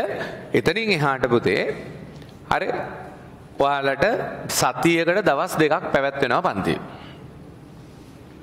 හරි සතියට දවස් දෙයක් පන්තිය පැවැත්වෙනවා ඒ පන්තිය පැවැත්වීමේදී එතකොට එක පන්තියක කරනවා අර චලිතයෙන් පස්සේ කොටස් ටික අනිත් පන්තියේදී කරනවා මෙන්න මේ දෛශික ආශ්‍රිත කොටස් ටික හරි එතකොට දැනට ඔයාලට ටෙස්ට් පේපර්ස් වලට ඔයාලා දන්නවනේ ඔයාලගේ යාළුවන්ට පේපර් ක්ලාස් එකක් තියෙනවා කියලා.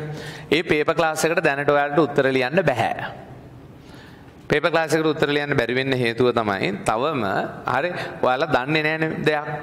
හැබැයි අර කලින් ඉඳන් කොහේ හරි ක්ලාසස් ගිහිල්ලා ඊට පස්සේ ක්ලාස් එක මාරු වෙලා ආපු දරුවෝ ටිකක් අත ඉස්සුවනේ. හරි. අන්න එයාලා ඉතින් පේපර් ක්ලාස් එකට ලියලා බලන්න try කරලා. හරි try කරලා බලන්න. එතකොට ඒක ලියන්න පුළුවන්. අලුත් අය papers ලියන්න යන්න එපා දැන්ට. හරි. ඒ හැබැයි අලුත් අයට ඒ කියන්නේ සර් එතකොට අපිට papers ලියන්න පුළුවන් අර syllabus දෙකම එකම මට්ටමට ආවට පස්සේද? ඒ කියන්නේ යාළුවන්ගේ මට්ටමට ආවට පස්සේද? නෑ නෑ. එහෙම එකක් නෑ. හරි?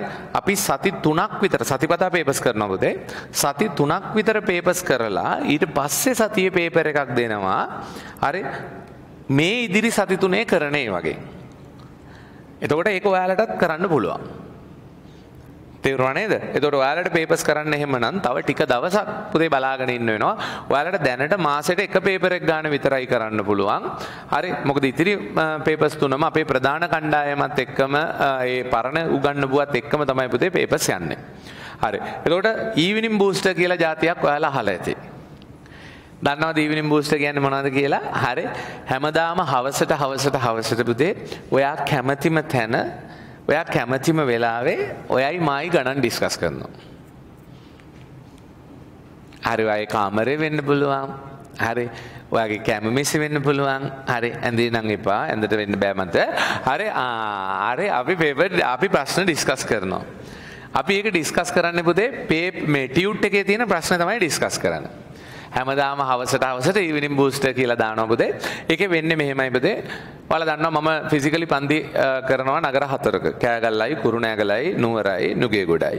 ඔය හතරෙම පුතේ හදන ගණන් මම මාරුවෙන් මාරුවට දැන් කියන්නේ දැන් හිතන්නකෝ කෑගල්ලේ කරන ගණන් තියෙනවා නුවර ගණන් තියෙනවා නුගේගොඩ කරන ගණන් තියෙනවා කුරුණෑගල තියෙන ගණන් කරන ගණන් තියෙනවානේ.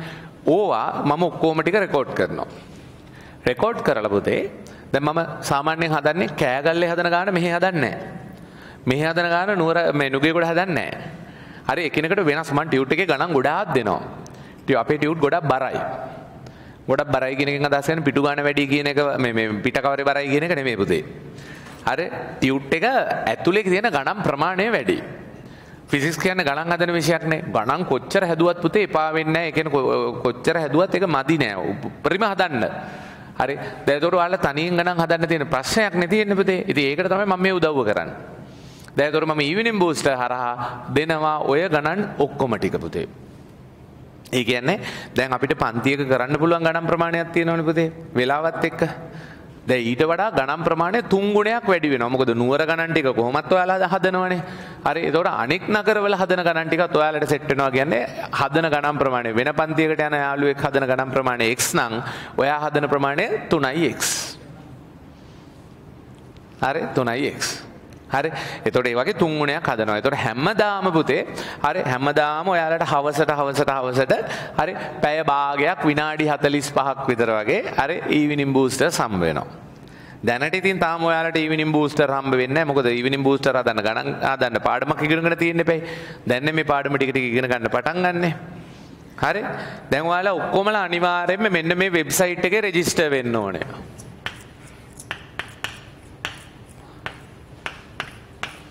හරි. දන්න නැත්තන් ලියාගන්න. දැන්ටම රෙජිස්ටර් වෙලා ඉන්න තුසන් ආ. හරි. මෙන්න මේක රෙජිස්ටර් වෙන්න ඕනේ. පුතේ අවංකවම මේ මේක හරියටම කරන්න රෙජිස්ටර් වෙන එක එකපාරට ඕකට ෆොටෝ අප්ලෝඩ් කරන්න තියෙනවා. අනේ මට බෑ මං කැතයිනේ. හරි ඔයාගේ කැත ලස්සන කවුරුත් බලන්නේ නැහැ පුතේ. හරිද? මගේ මම ලස්සනයිනේ. මගේ ෆොටෝ එක අරන් කවුරු හරි හරි මාව ලෝක රූ රෙජින කරුත් එහෙම මට යන්න වෙලා නැහැනේ. හරි එහෙම කියලා ඉන්න එපා. කවුරුත් ඔය ෆොටෝ ගන්නෙ නැහැ. කාටවත් ඒ ෆොටෝ මේවා වෙන්නේ නැහැ. ඒවා වෙනම ඩේටාබේස් එක තියෙන. ඒවා ෆොටෝස් එළියට යන්නවත් එහෙම කිසි දෙයක් නැහැ. ඔයාලා ෆොටෝ එකක් අරගෙන ඒකට අප්ලෝඩ් කරන්න ඕනේ. ඒ වගේ මේ ෆොටෝ එකත් එක්ක දාන්න ඕනේ. මොකද්ද? තව තියෙනවා මොකද්ද? ඔයාගේ ID එකත් එක්ක. ෆොටෝ එකකුත් ගන්න ඕනේ. නමුත් ඇත්ත කතාව තාම ඔයාලා ලංකාවේ පුරවැසියෝ විදිහට පිළිගන්නේ නැහැ. මොකද තාම ඔයාලට ID එකකුත් නැහැ නේ. ID එක වෙනුවට තියෙන අර පොඩි කොලයක් නේද? හරි. හරි.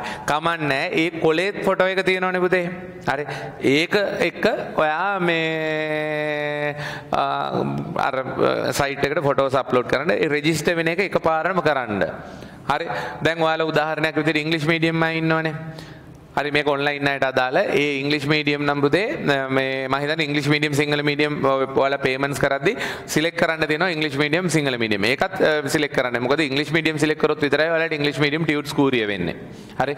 ෆිසිකල් පන්තියේ නාය ඔන්ලයින් එකට කිසිම ගෙවීමක් කරන්න අවශ්‍ය නැහැ. එහෙම මේකක් නෑ. හරිද? අර එතකොට ඔන්ලයින් අයට හරි ඔන්ලයින් අයට මේ පුතේ ගෙවන්න පුළුවන්. අර කෙලිම සයිට් එකෙන් ගෙවන්න පුළුවන්. ඒ වගේම බැංක් ස්ලිප්ස් වලින් ගෙවන්න පුළුවන්. හරි ඊට පස්සේ දෙවනි මාසෙ දැන් මේ මාසෙ දැන් බෑ. දෙවනි මාසෙ දැන් එක එක දිස්ත්‍රික්ක වල තියෙනවා. පුතේ ආයතන 20 ගාණක්. හරි ආයතන 20 ගාණක් තියෙනවා ලංකාව පුරාවට. හරි ඒ ආයතන වලට ගිහිල්ලා ගෙවන්න පුළුවන්. මේ මාසේ දන්නේ නෙවෙයි ඊළඟ මාසේ ඉඳන්. හරි අන්න ඒ විදිහට පුතේ මේ payments options තියෙනවා. ඔයාලා හැමෝම මේක රෙජිස්ටර් වෙන්න ඕනේ. evening booster දාන්නේ මේක හරහා. ඊට පස්සේ පුතේ ඔයාලට උගන්වන පාඩමේ වීඩියෝ එකකුත් දානවා වෙබ්සයිට් එකට. හරි හිතන්නකෝ කවදා හරි දවසක් පන්තියෙන්න බැරි වුණා කියලා. හරි පන්තියෙන්න බැරි වුණොත් ඔයාලට ඒක හරහා වීඩියෝ එක බලන්න පුළුවන්. හැබැයි මේ මෙහෙම දෙයක් ෆිසිකල් අයට වීඩියෝස් දාද්දී පැය හතර වීඩියෝ එකක් නං මුළු වීඩියෝ එකම වෙබ්සයිට් එකට දානවා දැම්මට ඔයාලට වොච් ටයිම් එක දෙන්නේ පැය දෙකක් විතර. හරි ඒ කියන්නේ පැය හතර වීඩියෝ එක පැය දෙකෙන් බලන්න ඕන. කොහොමද එහෙම අලා ෆෝවර්ඩ් කරලාද? හරි ෆෝවර්ඩ් කරලා බලන්නත් පුළුවන්. හරි ෆෝවර්ඩ් කරලා බලනවට වඩා දැන් ඇත්තම කතා උදාහරණයක් විදිහට පන්තිය උගන්වද්දී නෝට් එක ලියවන ඕනේ ගොඩාක් වෙලාව. ඒ නෝට් එක ලියවෙන වෙලාව අපි සරලව කරන්න බලාපොරොත්තු වෙන්නේ. හරි නෝට් එක ලියවෙන වෙලාව අපි සරලව කරන්න බලාපොරොත්තු. ඔයාලා මෙහෙම කරන්න. ඔයාට අද මීළඟ සතියේ පන්තියෙන් බැරුණා කියලා හිතන්න. එතකොට ඔයා නෝට් එක වෙන යාළුවෙක්ගෙන් හරි ඉල්ලා ගන්න. ඉල්ලගෙන නෝට් එක ලියාගන්න. ලියාගෙන වීඩියෝ එක බලන්න. එතකොට මේක මේ ගානෙන් පැහැදිලි කිරීම ටික හොඳට අල්ලගන්න පුළුවන්. ඉතින් සර් ඔච්චර කර කර ඉන්නේ නැතුව පැය හතරයකට පැය හතරම දෙන්නකෝ. නෑ. එහෙම කරපුවම ඔයාලා වෙන්නේ මොකද්ද? උදේට ඕම් පොඩ්ඩක් වැස්සක් එනවා. වැහි පොදක් වැටෙනවා. අනේ මට බෑ. මං අද ඔන්ලයින් බලනවා කියලා ඉන්නවා ගෙදරට වෙලා. දැන් ඔන්ලයින් දරුවා ඔන්ලයින් එකට හරියට සෙට් වෙලානේ ඉන්නේ පුතේ. අපේ ගාල්ලේ දරුවෙක් වෙන්න පුළුවන් මහතර දරුවෙක් වෙන්න පුළුවන් බණ්ඩාරවල දරුවෙක් වෙන්න පුළුවන් හම්බන්තොට වෙන්න පුළුවන් අනුරාධපුර වෙන්න පුළුවන් පොළොන්නරුව වෙන්න පුළුවන් පුදුකුඩු ඉරුප්පොළ වෙන්න පුළුවන්. හරි පුදුකුඩු ඉරුප්පොළ නෑ. හරි එහෙම දරුවෙක් එයාලා දැන් ඒකට සෙට් වෙලා ඉන්නේ එයාලා ඒකට දැන් වෙලාව වෙන් කරගෙන තියෙන්නේ. දැන් ඔයාලා ෆිසිකල් එන කට්ටියනේ ෆිසිකල් එන අය ඔන්ලයින් එකට වෙලාව වෙන් කරගොන්නේ නෑනේ ඕක සමහර වෙලාවට ඊළඟ සතිය වෙනකම්ම පුතේ. හරි බලන්නේ නෑ. අන්තිමට ඊළඟ සතිය පන්තිය දෙනවා. මෙලෝ දෙයක් තේරෙන්නේ නැහැ මොකද ගිය සතිය පාඩම දන්නේ නෑනේ. හරි ඒක නිසා ඔන්ලයින් මේ ෆිසිකල් අය ඔන්ලයින් වීඩියෝ බැලීම ඔන්ලයින් වීඩියෝ බැලීම අධෛර්යමත් කරන්න තමයි හරි මේ විදිහට වෙලාව අඩු කරලා දෙන්නේ. එතකොට ෆිසිකල් උන් අනිවාර්යෙන් පැමිණිය යුතුයි පන්ති. නැත්තම් මේකෙන් බලන එක ලේසි නෑ. එහෙනම් සර් ඇයි ඔක දාන්නේ? දාන්නේ මොකද මොනවා හරි සංකීර්ණ ගානක් සංකීර්ණ තියරි කොටසක් උගන්වපුවම පස්සේ ඔයාට ඒක මේ අමාරුණා කියලා හිතන්නකෝ. එතකොට ඔයාලට පුළුවන් මොකද වෙබ්සයිට් එකට ගිහලා නැවත වතාවක් බලන්න. අන්න ඒ වැඩේට තමයි මේක දාන්නේ. තේරුණා නේද පුතේ කතාව? හරි අන්න ඒක ඒ විදිහට එහෙමනම් කරගෙන යමු. දැන් එතකොට හෙට දවසේ පන්තියට එද්දී ඔයාලා වෙනම පොතක් තියෙන්න ඕනේ පුතේ. හරි ඒකේ අපි කතා කරන්නේ දෛශික නෙවෙයි හරි අනෙක් පාඩම ඒකත් ලියා ගන්න වෙනම පොතක් අරන් එන්න කියලා. එතකොට දෛශික වලට එක පොතයි හරි දෛශික වලට එක පොතයි සෙනසුරාදා පන්තියට තව පොතයි.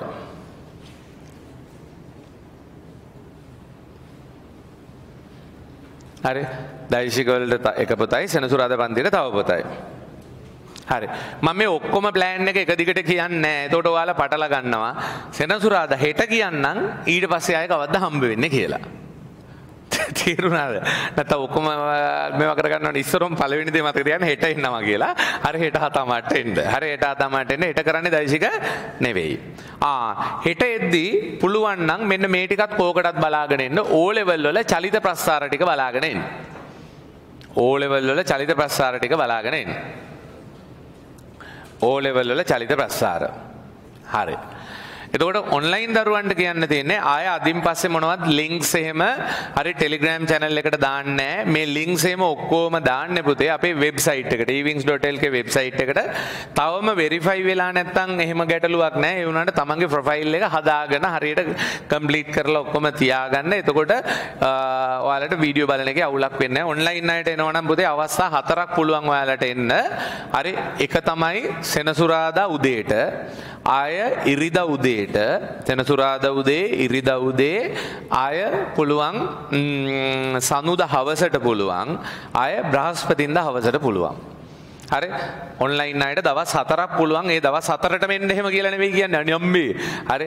ඒ දවස් හතර කිව්වේ මොනවද? කෑගල්ලයි කුරුණයි කුරුණෑගලයි නුගේගොඩයි නුවරයි. පන්ති හතර තියෙන දවස්. සනුදා උදේට ඉරිදා උදේට සනු සොරේ සෙනසුරාද උදේට ඉරිදා උදේට සනුද හවසට සහ බ්‍රහස්පතින්ද හවසට.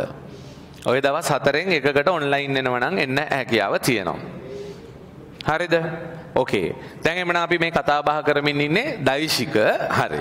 ඊළඟට එමනම් ලියා ගන්න මාතෘකාව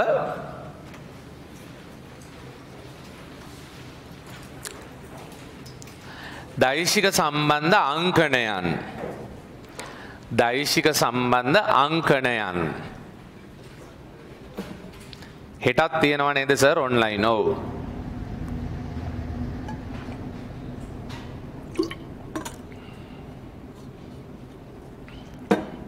ඔන්ලයින් අය දවස් හතරෙන් එක දවසක් ආවාම ඇති නේද? ඔව් එක දවසක් ආවාම ඇති.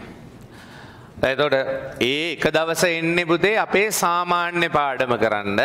ඔයාලට මගහැරපු පාඩම කරන්න. හරි මොකක්ද වෙන්නේ කියන එක. ආ මේ අපේ ටෙලිග්‍රෑම් channel එකට සම්බන්ධ වෙලා ඉන්න අය දොසන් හ්ම්. ටෙලිග්‍රෑම් channel දෙකක් තියෙනවා. එකක් දැන් නුවර අය නම් නුවරට අදාළව වෙනම channel එකකුත් තියෙනවා. ඕල් අයිලන්ඩ් channel එකක් තියෙනවා. එකක් ලියා ගන්නකො. නුවර channel එකට සම්බන්ධ වෙන්න. හරි. ඕවරෝල් ටෙලිග්‍රෑම් channel එකට සම්බන්ධ වෙන්න. සහ අනිත් එක YouTube channel එක හරි subscribe කරලා bell icon එක click කරන්න. අනේ ගොම්පට්ටයා. හරි මේ මේ ඕක මොකද? ඕකේ තමයි පුතේ අපේ දාන ඔක්කොම වැදගත් දේවල් ටික දාන්නේ. හරි. මයිගයිඩසගේ කට විංසක රජිස්ට වෙන්න ඕනෙද? නෑ නෑ. හෙමයක් නෑ. එයාලා මයිගයිඩසගෙන් සාමාන්‍ය පරිදි වැඩ කටයුතු කරගෙන යන්න. මොකක්ද මයිගයිඩස් කියලා කියන එක ෆිසිකල් ලයිට දාලා නෑ. හරි? ඕකේ හරි. දැන් එහෙමනම් දෛසික සම්බන්ධ අංකණයන්. හරි. ඕකේ ආගන්න හ්ම්.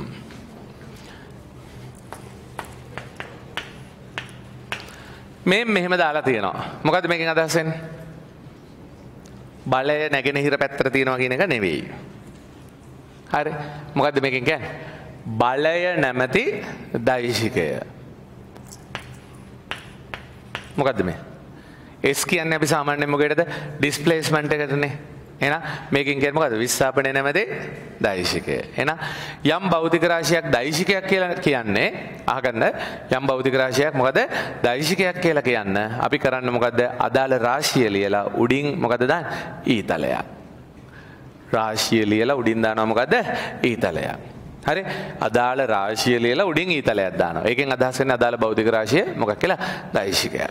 අදාළ භෞතික රාශිය දෛශිකයක්. තේරුණා නේද පුතේ කතාව. හරි. ඒක මෙහෙමත් කියනවා. එහෙම නැතුව මෙහෙම මෙහෙම. මෙන්න මෙහෙම දාපුවමත් කොහේ හරි පදයක් යටින් මේ මෙහෙම දාලා තිබ්බහම ඒකනුත් අදහස් වෙන්නේ අදාළ රාශිය මොකක් කියලා දෛශිකයක්. තේරුණානේ පුතේ මොකෝ යට ඔබන්නේ මොනවද? හ්ම්. හරි ඕකේ ලියන්න. පළවෙනි එක. පළවෙනි එක. කිසියම් භෞතික රාශියක්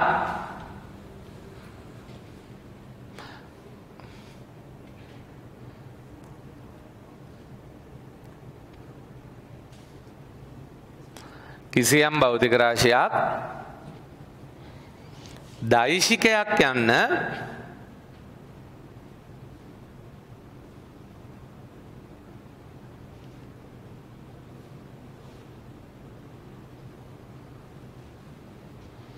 පහත පරිදි නිරූපණය කරයි.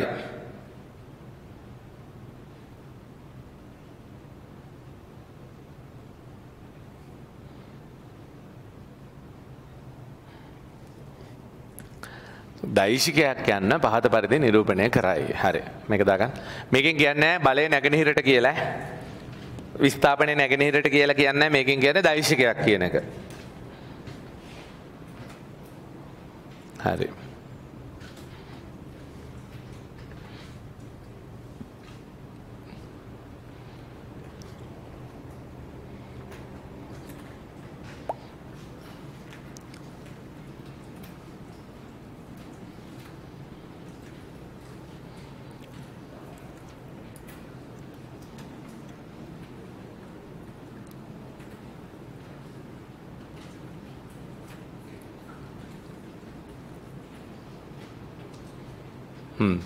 ඊළඟ පුතේ ලියන්න ඊළඟ දෛශිකයක මාපාංකය. දෛශිකයක මාපාංකය. Magnitude. Magnitude of a vector. දෛශිකයක මාපාංකය. Magnitude of a vector. දෛශික සම්බන්ධ අංකණයන් යටතේ තමයි යොක තියෙන්න ඕන. දෛශිකයක මාපාංකය. හරි. හලෝ මේ පුතේ සමහර වෙලාවට ගණන් වලදී එහෙම අහනවා ප්‍රවේගයේ විශාලත්වය සොයන්න කියලා. මොකක්ද හොයන්න කියලාද? ප්‍රවේගයේ විශාලත්වය. ඒ කියන්නේ ප්‍රවේගයේ මොකක් විතරයිද හොයන්න කියලා තියෙන්නේ? වටිනාකම විතරයි. කවුරු හොයන්නේ නැහැ? දිශාව හොයන්න නැහැ. අපි දන්නවා ප්‍රවේගය යනු අදිශයද දෛශිකයද? ටගල ටගල ටගල ප්‍රවේගය යනවා අදිශයද දෛශිකයද? දෛශිකයක්. ප්‍රවේගය කියන්නේ දෛශිකයක්. නමුත් දැන් හොයන්න තියෙන ප්‍රවේගය මොකක්ද? විශාලත්වය. එතකොට ඒක මට හොයාගන්න තියෙන දෛශිකයේ දිශාව නැතුව මොකද්ද වටිනාකම විතරයි. අන්න ඒ වගේ වෙලාවට අපි හඳුන්වනවා මෙයා මාපාංකය කියලා. දෛශිකයේ වටිනාකම විතරක්. හරි ඔය මාපාංකය කියන වචනේ ඔයාලට කොහෙන්ද ඇහිලා තියෙන කලින්? රිෂ්ඨ මාපාංකය කියලා අහලා තියෙනවද? අහවල් රටේ භූමිකම්පාවක් සිද්ධ වෙනවා රිෂ්ඨ මාපාංක මෙච්චරයි කියලා. රිෂ්ඨ මාපාංක මෙච්චරයි කියලා. ආ තේරුණාද? එතන රිෂ්ඨ මාපාංකය කියන කියන්නේ රිෂ්ඨ කියන පරිමාණයේ වටිනාකම. හරි එහෙනම් යම් දෛශිකයක වටිනාකම විතරක් සලකනවා කියන එක තමයි අපි හඳුන්වන්නේ මොකද එම දෛශිකයේ මාපාංකය කියන එක. ඒ මාපාංකය අපි සලකුණු කරන්නේ මෙන්න මෙහෙම. මෙන්න මේ වගේ පුතේ දෙපසින් මෙහෙම ඉරි දාලා. හරි. එහෙනම් කවදාරි දවසක මෙන්න මෙහෙම කියලා තිබ්බොත් B මොකද මේක කියන්න බලය නැමැති දෛශිකයේ වටිනාගම නිවටන් පණහයි. මෙතන දිශාවක් සඳහන් කිරීම අවශ්‍ය වේ අවශ්‍ය නොවේ. අවශ්‍ය නොවේ. මේ ගානක බලය හොයන්න කියලා කියනවා. ගානක බලය හොයන්න කියලා තියෙනවා. එතකොට මේ මෙහෙම උත්තරයක් ලිව්වොත් ෆුල් ලකුණු ලැබෙයි නොලැබෙයි. නොලැබෙයි. මොකද මේ බලයේ අපිට විශාලත්වයක් හොයන්න තියෙනවා බලයේ කවුද? දිශාවත් හොයන්න තියෙනවා. එහෙනම් නිව්ටන් 50යි අහවල් දිශාවට කියලා පිළියන්න ඕනේ. නමුත් මේකෙන් අදහස් වෙන්නේ බලයේ විශාලත්වය විතරක් නෙමෙයි බලයේ මොකක් විතරක් හොයන්න කියලා තියෙන්නේ. විශාලත්වය විතරයි. අන්න ඒකට අපි කියනවා මොකද්ද?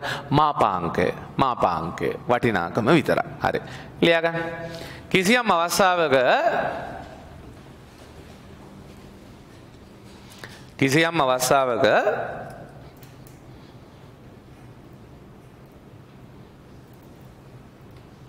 දෛශිකයක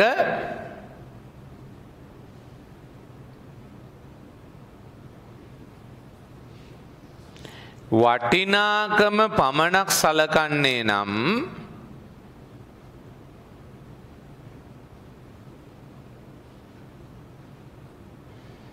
එය දෛශිකයේ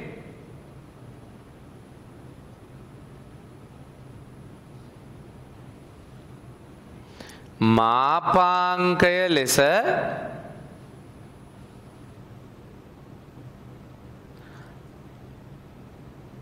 සල්ලකනු ලබයි.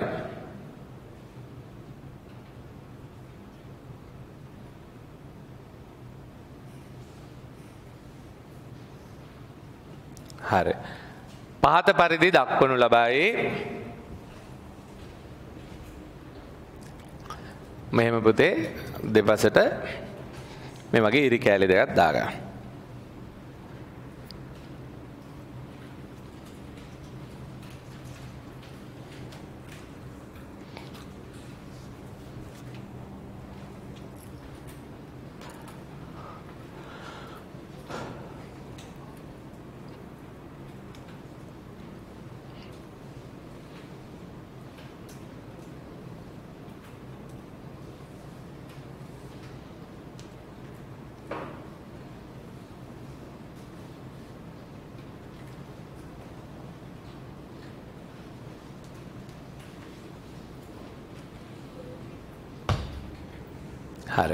හරි ලයන්න. මෙසේ දක්වා ඇති අවස්ථාවල දිශාවේදීම අවශ්‍ය නොවේ. දිශාවක් නෑ කියන එක නෙමේ අදහස් කරන්න දිශාවේදීම අවශ්‍ය නොවේ.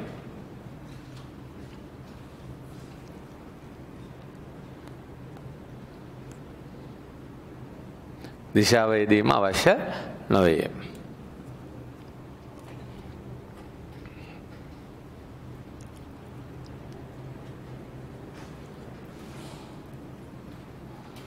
දිශාවේදීම අවශ්‍ය නොවේ. හරි? ඕකේ ඊළඟට ඒ කතාව හරි. හරි. ඉට පස්සේ රින දෛශිකය නෙගෙටව් වෙක්ට රින දෛශිකය හරි. මාපාංකය ගැන මැග්නිටව් කියන එකනේ. දැව දෛශික සම්බන්ධ අංකනයන් ඇතම තමයි මේකත් කරන රින දෛශිකය හරි. මොකද ඍණ දෛශිකය කියලා කියන්නේ.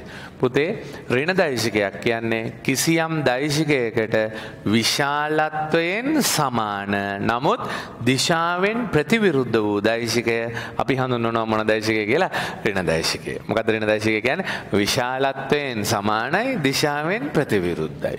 දැන් බලන්න මෙන්න මේකෙන් අදහස් වෙනවා මේ බල මේ දෛශිකය දැන් ගිහිල්ලා තියෙන කොහේ ඉඳන් කොහාටද ඒවල ඉනම් බීවලට. එනම් මම මේකට හඳුන්වනවා මොන දෛශිකය කියලා. AB දෛශිකය. ඇහුනේ නෑ. මේක මොන දෛශිකයද? කොහේ ඉඳන් කොහටද තියෙන්නේ? ඒවල ඉනම් බීවලට. ඒවල ඉනම් බීවලට. මෙයාගේ ඍණ දෛශිකය කියලා කියන්නේ කවුද? මේ මෙයා.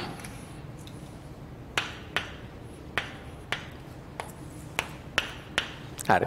මෙයා තිබුණේ කොහේ ඉඳන් කොහටද? ඒවල ඉඳම් බීවලට. අරයා තියෙන්නේ B වල ඉඳන් A වලට. මොකක්ද එහෙනම් ඍණ දෛශිකයක් කියන්නේ? යම් දෛශිකයකට විශාලත්වයෙන් සමාන නමුත් දිශාවෙන් ප්‍රතිවිරුද්ධ දෛශිකය අපි හඳුන්වනවා මොන දෛශිකය කියලා ඍණ දෛශිකය හැමෝම. මොකද ඍණ දෛශිකය යනු යම් දෛශිකයකට විශාලත්වයෙන් සමාන නමුත් දිශාවෙන් ප්‍රතිවිරුද්ධ වූ දෛශිකය අපි හඳුන්වනවා මොන දෛශිකය කියලා ඍණ දෛශිකය. ඍණ දෛශිකය. හරි. ඕකේ.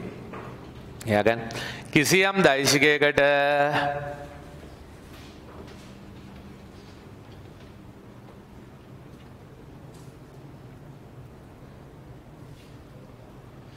විශාලත්වයෙන් සමාන.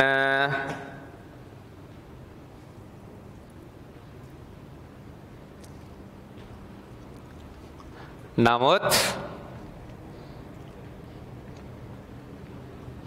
දිශාවෙන් ප්‍රතිවිරුද්ධ වූ දෛශිකය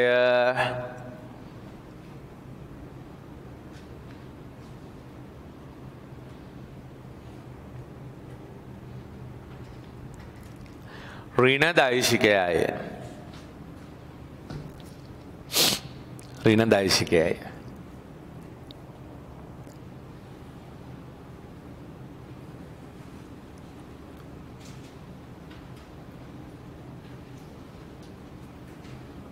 හරි ඊට පස්සේ වෙනම යම් දෛශිකයක් ඍණ ලකුණෙන් ගුණ කළ විට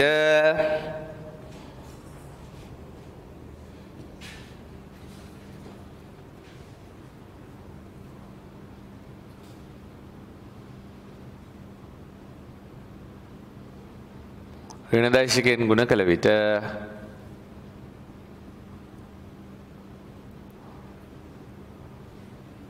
මෙම ඍණ දෛශිකය ලැබේ.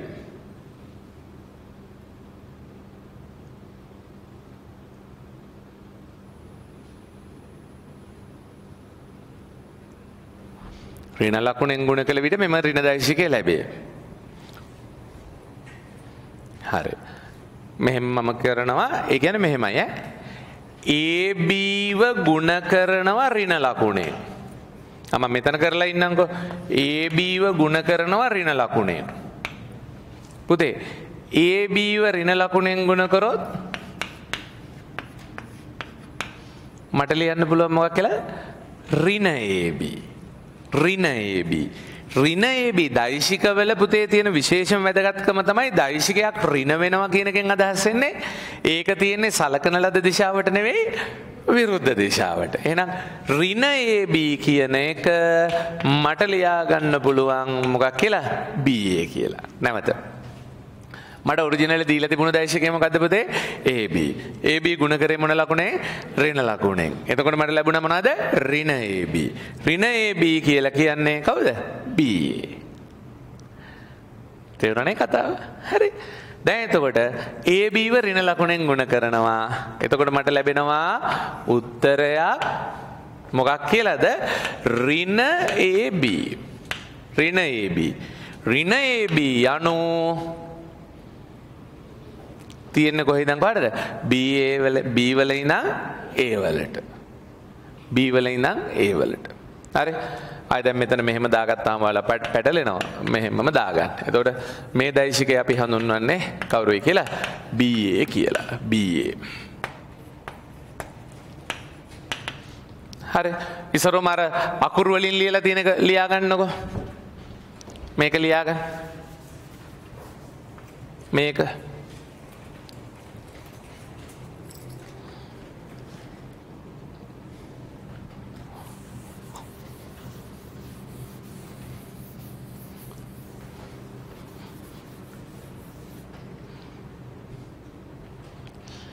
AB ඍණ ලකුණෙන් ගුණ කරා. එතකොට ඍණ AB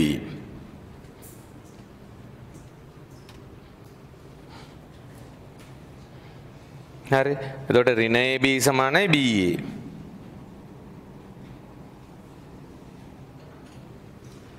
ඍණ AB කියන්නේ BA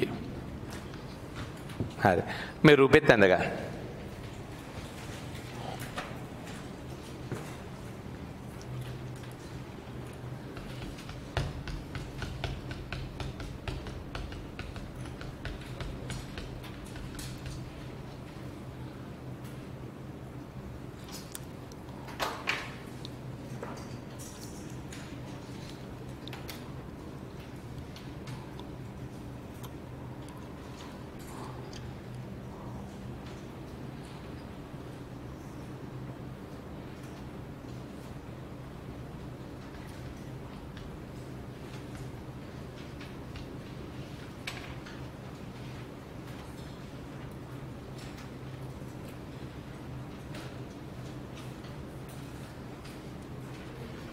හරි.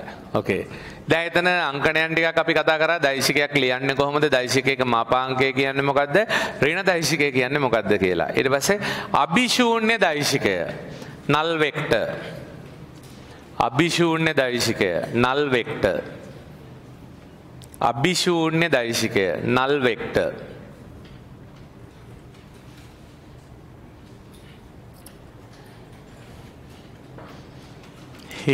හෝ අභිශූන්‍ය දෛශිකය. නල් වෙක්ට හරි. මොකද අභිශූන්‍ය දෛශිකයක් කියන්න? නමෙන්ම තියෙනවා අභිශූන්‍ය. අභිශුන්‍ය. මොකද? ශුන්‍යයි. වටිනාකම ශුන්‍ය වෙච්ච දෛශිකයක්. අපි හඳුන්වනවා මොන දෛශිකයක් කියලා? අභිශූන්‍ය දෛ. නල් කියන්නේ නෑ කියන එකනේ පුතේ. හරි වටිනාකම ශුන්‍ය වෙච්ච දෛශිකයක් අපි හඳුන්වනවා අභිශූන්‍ය දෛශිකයක්. උදාහරණයක්. ගහක එල්ලිලා තියෙන ගෙඩියක ප්‍රවේගය. කීයද? ඈ? ප්‍රවේගය මං ඇහුවේ. එතකොට ප්‍රවේගයක් කිව්වහම ප්‍රවේගයට අපි දන්නවා දිශාවක් තියෙනවා. නමුත් මේ වෙලාවේ ප්‍රවේගයේ වටිනාකම කීයද? බිඳුවයි. අන්න ඒ වගේ එකක් අපි හඳුනනවා මොන දෛශිකයක් කියලා අභිශූන්‍ය දෛශිකයක්. නිකම් වචන විභාගයට කවදාවත් අහන්නේ අභිශූන්‍ය දෛශිකයන් මොනවද කියලා. සමහර වෙලාවට ඕන වෙන අවස්ථා තියෙනවා. ඒකයි මේව දෙන්නේ ඈ. හරි අභිශූන්‍ය දෛශිකය. ලියන කිසියම් දෛශිකයක අභිදිශාව කිසියම් දෛශිකයක අභිදිශාව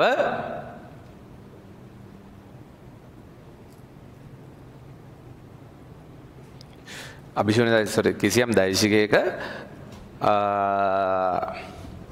අභිදිශාව නෙමෙයි කිසියම් දෛශිකයක වටිනාකම ශුන්‍ය වන්නේ නම්.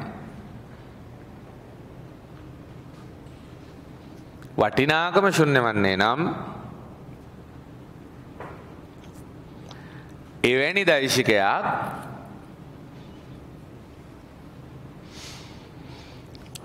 අභිශූන්‍ය දෛශිකයක් ලෙස හඳුන්වයි.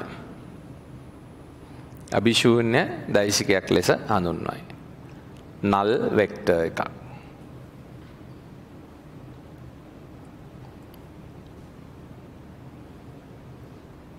උදාහරණ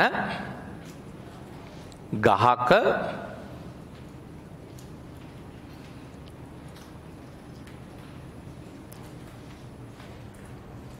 ගෙඩියක ප්‍රවේගය. ගහක ගෙඩියක ප්‍රවේගය. කියද ගහක ගෙඩියක ප්‍රවේගය? හරි. එතකොට අපිට සලකන්න වෙන්නේ කියද බිඳුවයි. යට දිශාවක් නෑනේ. ගහක ගෙඩියක ප්‍රවේගය. පුතේ දැන් ඒ වගේම මේ මෙහෙම එකක් හිතන්න. මේ මගේ වස්තුව. මෙන්න මගේ වස්තුව. මේ වස්තුවට මම දෙනවා නිව්ටන් 10ක් නිව්ටන් කීයද දීලා දෙන්නේ? 10ක් ඒ දිශාවටම දෙනවා මේ eh, සොරි මෙන්න මෙහෙම 10කුත් දෙනවා. පුතේ මෙයාගේ මෙයාගේ තියෙන විශේෂත්වය මොකද්ද? විශාලත්ව මොනවා වෙනවද?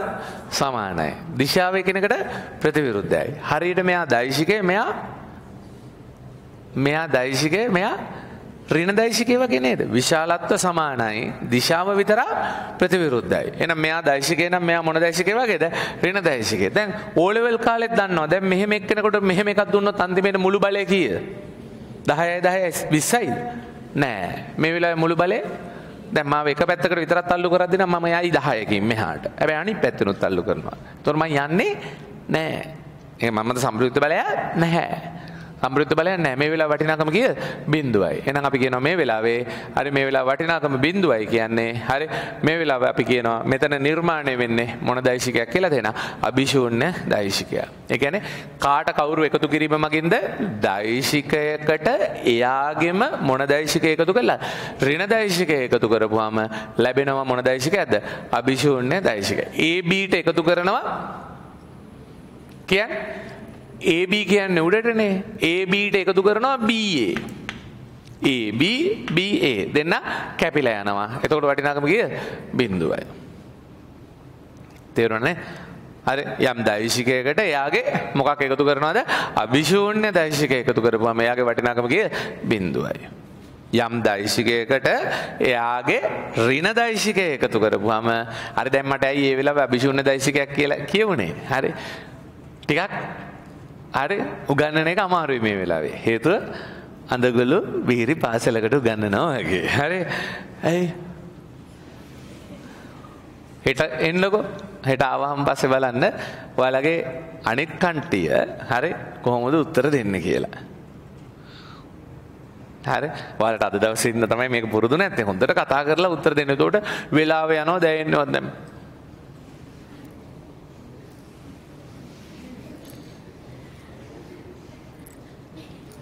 එහෙම ඉන්නවට වඩා මගේ ප්‍රශ්නයට උත්තර දීගෙන ඉන්න. හරි. හැමෝම මට කියන්න කොහොමද අභිෂූර්ණ දෛශිකයක් ලැබෙන්නේ කොහමද?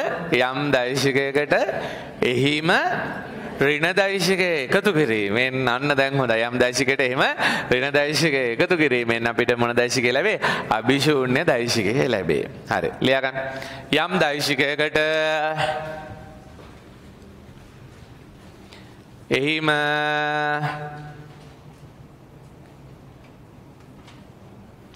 ඍණ දෛශිකය එකතු කිරීමෙන්ද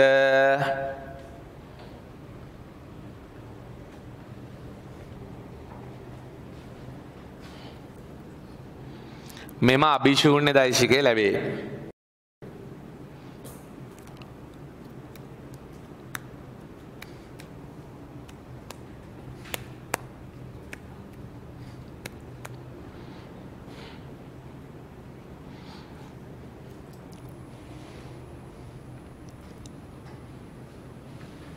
හරි. ඕකේ. මෙන්න මේක නිරූපණය කරන්න බලන්න පුතේ. දැන් ඔන්න ඒ අංකණයන් ටිකත් හරි ඈ. අභිශූන්‍ය දෛශිකේ, ඍණ දෛශිකේ, දෛශිකේක මාපාංකය ඒවා ටිකත් හරි. ඕකේ. දැන් එහෙනම් මේක නිරූපණය කරන්න බලන්න. මිනිසෙක් මිනිසෙක් මීටර් 60ක් දුර මිනිසෙක් මීටර් 60ක් දුර නැගෙනහිර දිශාවට ගමන් කරයි.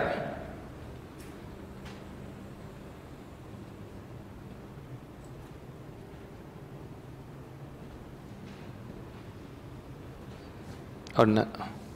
එතැන් සිට අංසක අනුවක් එතැන් සිට අංසක අනුවක් දක්ෂිනාවර්තව හැරී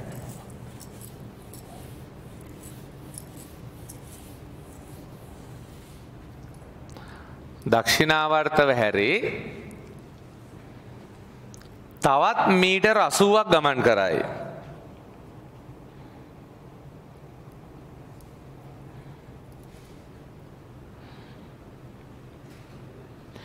අංක 1 නිරූපණය කරන්න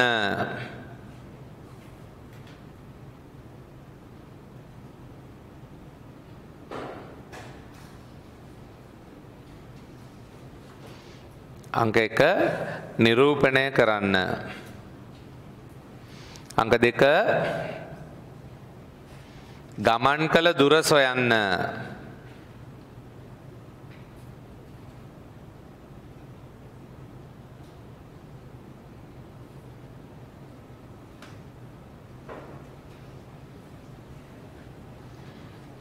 අංක තුන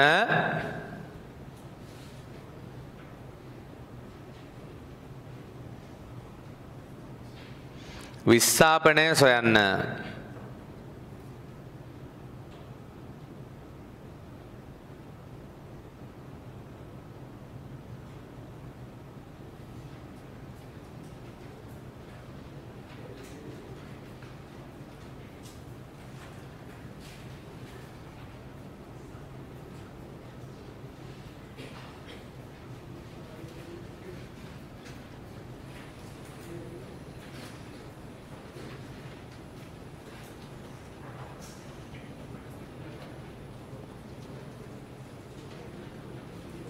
හරි.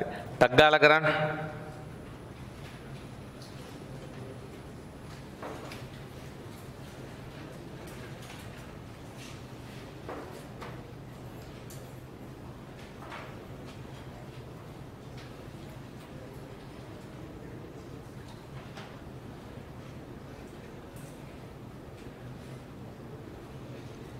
ටක් ගාලා කරන්න.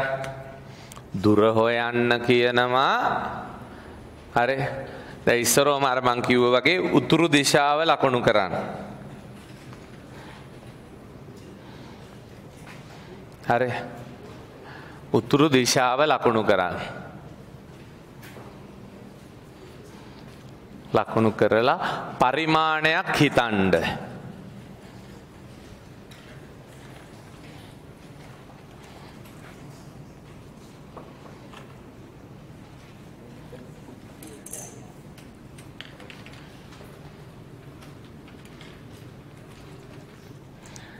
මම මෙච්චරකින් මෙච්චරක් නිරූපණය කරනවා.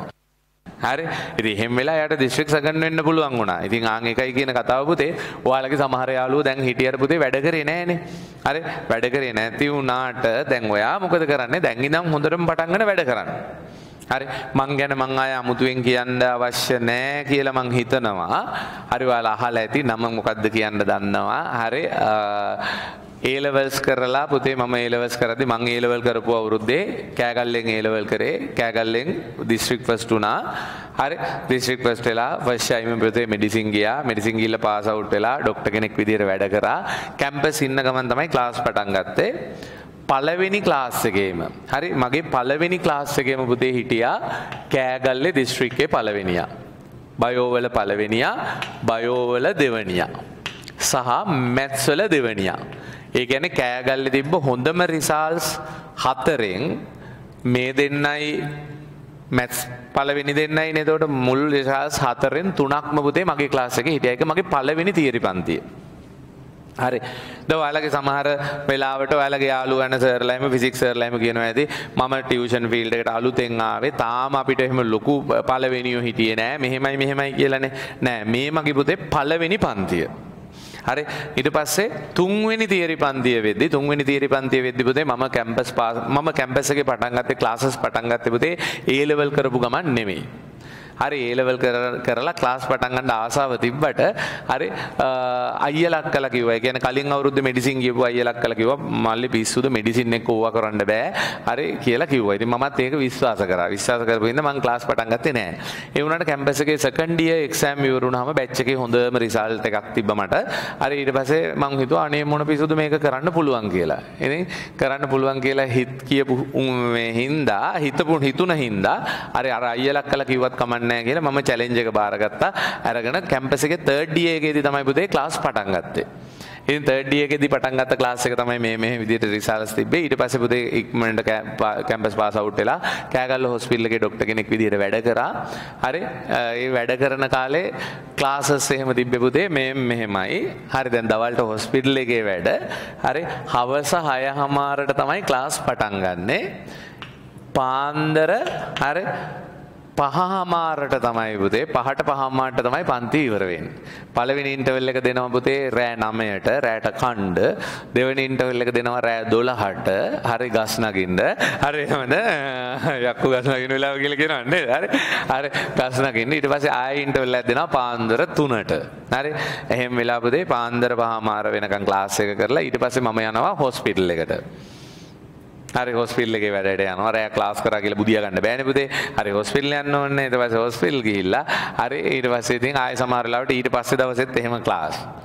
සාමාන්‍යයෙන් අඩුවෙන්ම ළමයි හිටපු දවසෙත් ළමයි 600ක් විතර හිටියා. ඉතින් ඔයා සරල හිතා ගන්නකො ළමයි 600ක් විතර මෙහෙම හෝල් එක දාගෙන ඇහැරවගෙන ඉන්නවා කියන එක කොච්චර දෙයක්ද කියලා. හරි ඉතින් ළමයි හොඳට උත්තර දීලා හැම හිටියා. ඉතින් ඒක නිසා මටත් හරි සතුටෙන් මම මේ වැඩ ටික කරා. ඉතින් ඔහොම ඉඳලා කැම්ප් මේ මේ හොස්පිටල් එකේ ඉන්න කාලේ මගේ තුන්වෙනි තියරි පන්තියේ හරි තුන්වෙනි තියරි පන්තියේ රිසල්ට්ස් ආවා. ඒකේ හිටියා පුතේ ෆස්ට් මේ ෆස්ට් දිස්ත්‍රික් ෆස්ට් නෙවෙයි මේ ෆස්ට් අයිලන්ඩ් ෆස්ට්. හරි. තුන්වෙනි තීරණ දැන් දැන් නම් අයිලන්ඩ් ෆස්ට් පුතේ කීප වතාවක් ඉඳලා තියෙනවා. ඒ කාලේ ගුරුවරයෙක් විදිහට මට තිබිච්ච ලොකුම ආසාව තමයි ටියුෂන් නවත්තන්න කලින් කවදා හරි දවසක අයිලන්ඩ් ෆස්ට් කෙනෙකුට උගන්වනවා කියන දේ තමයි මට හිතුනේ. මොකද මට ඒ කාලේ අයිලන්ඩ් ෆස්ට් කියන්නේ ලොකු දෙයක්. හරි. හැබැයි පටන් ගත්ත තුන්වෙනි තියරි පන්තියේ ඒත් කෑගල්ලේ පන්තියක් හරි තුන්වෙනි තියරි පන්තිය පුතේ දිස්ත්‍රික් ෆස්ට් උනේ අයිලන්ඩ් ෆස්ට් දිස්ත්‍රික් සෙකන්ඩ් උනේ පුතේ අයිලන්ඩ් ෆෝර්ත් හරි ලංකාවේ හතර. ඒ අයියාගේ තිබ්බ විශේෂත්වය මේ අයියා නුවර. හරි තමයි ඕ ලෙවල්ස් කරේ. කින්සුඩ් එකේ තමයි ඕ ලෙවල්ස් කරේ. හරි නුවර කම්පිටිෂන් එක වැඩි නුවරින් දිස්ත්‍රික් ෆස්ට් වෙන්න බැරි වෙයි කියලා හිතාගෙන මේ අයියා ගියා කෑගල්ලට. හරි නුවරින් දිස්ත්‍රික් ෆස්ට් එන්න එයාගේ ගෙවල් තිබ්බේ රඹුක්කන. හරි නුවරින් දිස්ත්‍රික් ෆස්ට් එන්න බැරි වෙයි කියලා හිතාගෙන එයා ගියා කෑගල් කෑගල්ලට. අන්තිමට කෑගල්ලේ උනේ දිස්ත්‍රික් සෙකන්ඩ් හරි හැබැයි ඒ අවුරුද්ද බැරි වෙලා හරි යා නුවර හිටියනම් නුවර දිස්ත්‍රික්කේ පළවෙනියා. හරි මොකද ඒ අවුරුද්දේ මට මතක විදිහට නුවර දිස්ත්‍රික්කේ පළවෙනියා ලංකාවේ 11 කොයිද හරි ලංකාවේ 11 ඉතින් මේ මම මේ මේ නිකන් මේ කතා ටික කිව්වේ පුතේ හරි නිකන් අර මුල ඉඳන්ම රිසල්ට්ස් තිබ්බා කියන එක අඟවන්න. හරි? සාමාන්‍යයෙන් මෙහෙම කතාවක් තියෙනවා පුතේ. ඇත්ත කතාව මේකයි. ළමයි ප්‍රමාණය වැඩි වෙන්න වැඩි වෙන්න හරි? රිසල්ට්ස් ප්‍රමාණයත් පුතේ වැඩි වෙනවා. ඒකනේ සම්භාවිතාවය. හරි? සම්භාවිතාවය මේකෙන් ඔයාලට තේරෙනවා ඇති මේක සම්භාවිතාවය ඉක්මවා ගියපු දෙයක් කියලා. පළවෙනි පන්තියේ ළමයි පොඩ්ඩක් ඉදිද්දිත් මේටි මෙහෙම තියෙන්න පුළුවන් නම් තුන්වෙනි පන්තියේ අයිලන්ඩ් ෆස්ට් ඉන්න පුළුවන් නම් පුතේ. හරි ඉතින් ඒතනින් යම් දෙයක් කියවුණා. හරි. ඒ අද වෙද්දි සාමාන්‍යයෙන් මට මතක විදිහට දිස්ත්‍රික් ෆස්ට්ලා ඔක්කොම 61ක් ඉන්නවා පන්තිවල. ලංකාවේ හරි ලංකාවේ හරි මොන ෆිසික්ස් ගුරුවරයාගේද ඕක තියෙන්නේ කියලා පොඩ්ඩක් හොයලා බලන්න. දිස්ත්‍රික් ෆස්ට්ලා 61ක් හරි දිස්ත්‍රික් ෆස්ට්ලා 61ක් ඔතනින් සාමාන්‍යයෙන් අවම වශයෙන් පුතේ පණහක්වත් අවම වශයෙන් පණහක් පනස් පහක්වත් හරි අපේ ක්ලාසස් විතරක්ම ඇවිල්ලා තනියෙන්ම මේ ක්ලාස් එකකින් විතරක් වැඩ කරගත්ත කට්ටිය ඉන්නේ. හරි. දැන් මම සාමාන්‍යයෙන් කවදාකවත් පුතේ මගේ ක්ලාස් ඇවිල්ලා ඊට පස්සේ නැවතුණා නම් හරි. ඊට පස්සේ නැවතුණා නම් මම කවදාකවත් රිසල්ට්ස් ගහන්නේ නැහැ. හරි. හැබැයි වෙන ක්ලාස් එක ඉඳන් අවසාන කාලේ ඒ ක්ලාස් එක හොඳ නෑ කියලා මගේ ක්ලාස් එකට ඇවිල්ලා අවසාන කාලේ පන්ති ආවනම් හරි අවසාන කාලේ පන්ති ආවනම් මම මේ රිසල්ට්ස් ගහනවා. මොකද අන්තිමේට මගේ පන්තියේ නේ ළමයි නැවතුනේ පුතේ. මම දැන් සරල උදාහරණයක් කියන්නම්කෝ. ගිය අවුරුද්දේ මේ මේ 22 නෙමෙයි 21 නුවරඑළිය දිස්ත්‍රික්කේ පළවෙනියා. හරි? 21 නුවරඑළිය දිස්ත්‍රික්කේ පළවෙනියා. සමාධි තලගල කියලා පොරමඩුල්ල සෙන්ට්‍රල් එකේ නම කිව්වහම හිතෙන්නේ අක්කා කෙනෙක් කියලා. නෑ.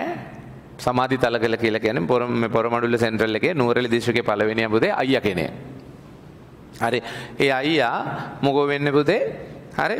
ආ මගේ YouTube channel එකේ තියෙනවා ඒ අයියා කතා කරපු කතා එහෙමත් තියෙනවා.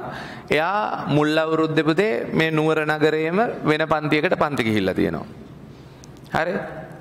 ඒ පන්තියේ අන්තිමේට පුතේ ඒ පන්තිය හරි නෑයි කියලා ඒ පන්තියෙන් පුතේ අයින් වෙලා තියෙනවා. අයින් වෙලා ඊට පස්සේ අපේ ක්ලාස් එකට ආවා.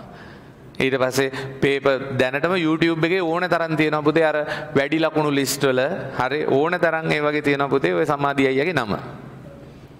හරි ඉතින් මොකද ඔක තියෙන විශේෂත්වය මම දැක්ක මේ ඊයේ පෙරේද දවසක හරි වෙන ෆිසික්ස් සර් කෙනෙකුත් පුතේ දාලා තියෙනවා. ඉතින් ඒකෙන් හොයලා බලද්දී තමයි අපි දැනගත්තේ මුල් කාලේ ඒ පන්ති ගිහිල්ලා ඊට පස්සේ පන්ති නවත්තලා. හරි පන්ති නවත්තලා වුණාට ඒ ගුරුවරු පුතේ විශ්වාස ගන්නවා. යම් පන්තියක් නවත්තනවා කියන එකෙන් අදහස් වෙන්නේ පුතේ ඒකෙන් අදහස් වෙන්නේ ඒ ගුරුවරයාගේ සෙට් එක සෙට් වෙන්නේ නැහැ කියලා.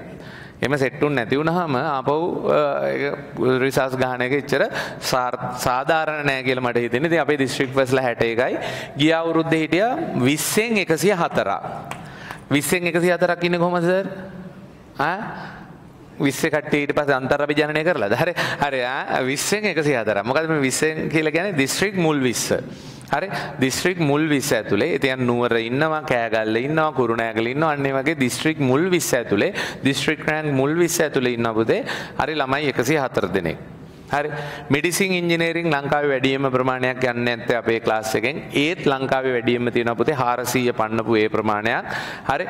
හරි ඒත් ඒ ක්ලාස් එකෙන්. ඒ ටික මම මේ නිකමට කිව්වේ ආය උදේ අදින් පස්සේ කවදාවත් ඕවා කියන්නේ නැහැ. හරි? ওই ටික කියන්න හේතුව තමයි වෙන මොනවත් නෙමෙයි. හරි. ඔයාලට මේ එන්නේ මොන වගේ මිනිස්සෙක් ළඟටද කියන එක ඔයාලට යම්කිසි ඇඟවීමක් තියෙන්න ඕනනේ. මගේ ලොකු සීන් නෑ මොනවත්. හරි. මම පොළවේ පය ගහලා ඉන්න සාමාන්‍ය මිනිස්සෙක් පුතේ. හරි. ඔයාලයි මායි අතර තියෙන එකම වෙනස ඔයාලට උපාධියක් නෑ මට උපාධියක් තියෙනවා. හරි. මේ ඊට අමතරව හරි. ඉතින් මේ ඔයාලට වඩා හරි උගන්නලා පුරුද්දක් තියෙනවා. ඔයාලට ෆිසික්ස් බෑ මට පුළුවන්. හරි. වගේ පොඩි පොඩි වෙනස්කම් ටිකක් විතරයි තියෙන්නේ. හරි. උඹලා ඕනේ වෙලාවක මට ඇවිල්ලා කතා කරපල්ලා. හරි කිසිම ප්‍රශ්නයක් නෑ. මට දෙන්න පුළුවන් උපරිම සහයෝගය හැම පැත්තෙම දෙනවා. හරි. ඉතින් ඔයාලා ගොඩ යන එක තමයි පුතේ මගේ බලාපොරොත්තුව. වස්තුව. ඔයාලා ගොඩ දාන්නකෝ. ඔයාලා මාගේ නම හඳුනාගන්නේ ෆිසික්ස් වලින්නේ. හරි.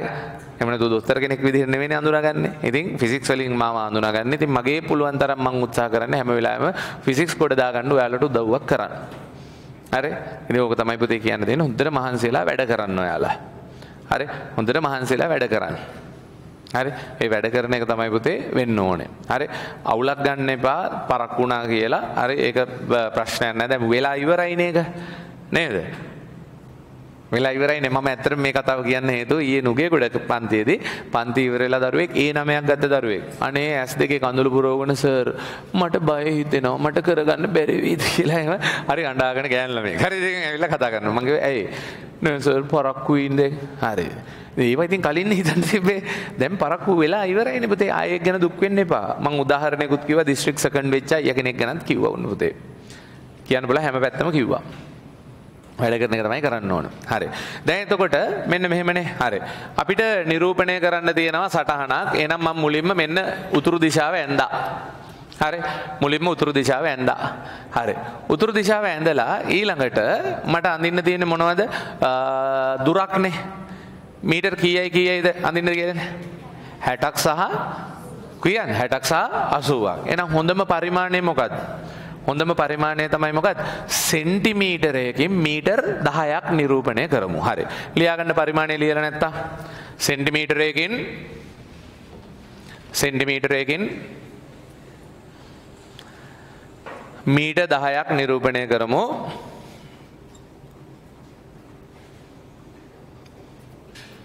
සෙන්ටිමීටරයකින් මීට දහයක් නිරූපණය කරමු. හරි. ඕකේ හා. දැන් ඉස්සරෝම මම මේ මෙහෙම ඉරක් අඳිනවා මේ ඉර අඳින්න උතුරු දිශාව නිරූපණය කරන්න. දරුවනේ මෙයා මුලින්ම ගිහිල්ලා තියෙන මොන දිශාවටද? නැගෙනහිර දිශාවට. කීයක්ද ගියේ? ටග්ගල කියන්නේ මීටර් 60ක් එහෙනම් මීටර් 60ක් නම් මම මෙතන අඳිනවා සෙන්ටිමීටර් කීයක රේඛාවක්ද? 6ක රේඛාව හරියට මැනලා අඳින්න. හරියට මැනලා අඳින්න. හරි නැගෙනහිර දෙසට කියන එකට පුතේ මෙතන අංශක 90ත් ලකුණු කරන්න අංශක 90 කියලා ලියන්න ඕනේ ඍජු කෝණයක් ඇඳ නම් ඇති හරි දැන් එතන ඉඳන් මේ මෙයා දැන් ඇවිදන් යනවා ඩැන් ඩැන් ඩැන් ඩැන් ඩැන් ඩැන් ඩැන් කියලා ඇවිදගෙන යනවා ඇවිදගෙන ගිහිල්ලා අංශ කීයක්ද හැරෙන්න ඕනේ අංශක 90 පුතේ මං ඒකට කරන්න ඕනේ ඉස්සරෝම මේ මෙයාගේ ඩිරෙක්ෂන් එක පොඩි කඩිරකින් අඳිනවා සතපදේපා ඇයි කඩිරකින් අඳින්නේ ගණයිරකින් අදින්න නැතුව ඒ කඩේරකින් අඳින්න. ඩිරෙක්ෂන් එක ගණ්ඩ කියලා ගණයිරක් ඇන්දොත් අන්තිමයට මේරේ දිග වැඩි වෙනවා. මොකද මේර මං අඳින්නේ සෙන්ටිමීටර් කීයක් විතරයිද? කීයද අඳින්නේ? 6යි. දැන් තව පොඩ්ඩක් දික් කරනවා. දැන් තව පොඩ්ඩක් දික් කරනවා. දික් කරේ කඩයිරකින්. ඒ ගන්නේ මම මේ දිශාව ගන්න. හරි. දැන් මට කියන්නේ මෙතන ඉඳන් අංශක මං කීයක් හරවනවා? අංශක 90.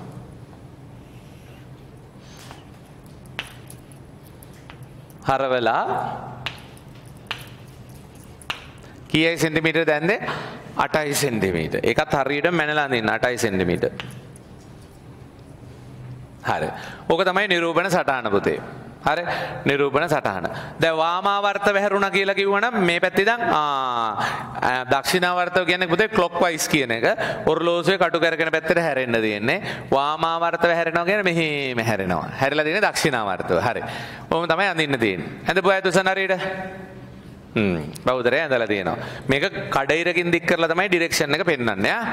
හරි. දැන් අංශක 60ක් ගියා එහෙම ගියා 60ක් කරුණා කියනවනම් මෙහෙම මෙහෙම. මෙහෙම අංශක 60ක්. හරි. දැන් ඊළඟ කතාව. හරි. ඊළඟට අපි අඳින්න යන්නේ මොකද්ද? දුරයි විස්ථාපනයයි නේ. දුරයි විස්ථාපනයයි. හරි. දුරයි විස්ථාපනයයි. මුලින්ම අහලා තියෙන දුර නේද? ඕ ලෙවල් කාලේ දුර කියන එක මතකයිනේ මොකද්ද? ගමන් කරපු ගමන්පතයේ දිග. කීයද ගමන් කරපු ගමන්පතයේ දිග? මේ ටික 6යි මේ ටික 8යි. 8යි 6යි 14යි. දාහතරයි සෙන්ටිමීටර්නේ. හැබැයි පරිමාණයක් නිරූපණය කරලා තියෙනවා කියයි කියලා? දහයක් කියලා. එනම් දාහතර වරත් දහය. කියද?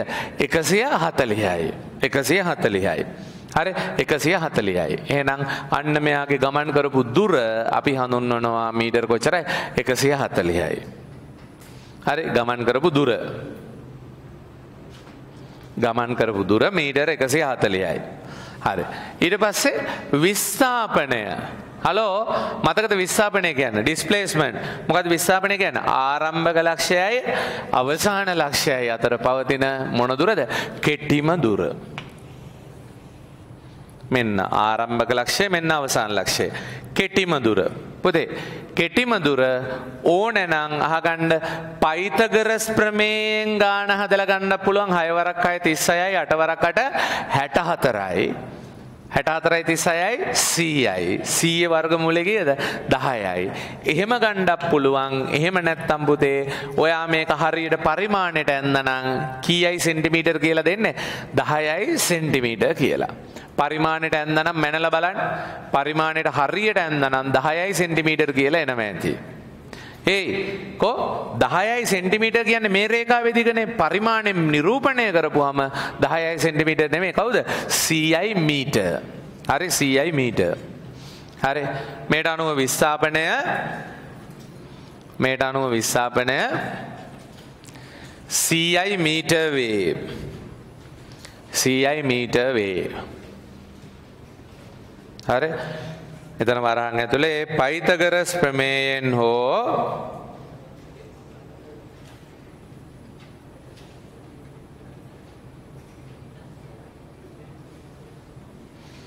පයිතගරස් ප්‍රමේයෙන් හෝ හරි නිරූපණ සටහනෙන්. හරි? හටහන මේ දැන් විස්ථාපනය සීයයි මීටර් කියල විතරල් ලියලා හරියන්න නෑපුතේ මෙතනින් එහාට අපි විස්ථාපනය කිව්වම දෛශිකයක්නේ විස්ථාපනය දිශාවත් හොයන්න ඕනේ. බේන් මං කියනවා ටීට කියලා. මේ මේ ටීටට මේ සම්මුඛ පාදය මේ දෙකනේ දීලා තිබ්බේ. මේක සම්මුඛ පාදය මෙයා බද්ධ පාදය. එහෙනම් අපිට ලියා ගන්න පුළුවන් tan තීටා සමානයි 8 බෙදීම 6යි 8 බෙදීම 6යි කියන්නේ 4 බෙදීම 3යි ඒ කියන්නේ තීට සමානයි. tan inverse tan inverse එකයි දශම තුනයි තුනයි හරි දිශාව සෙවීම කියලා දාලා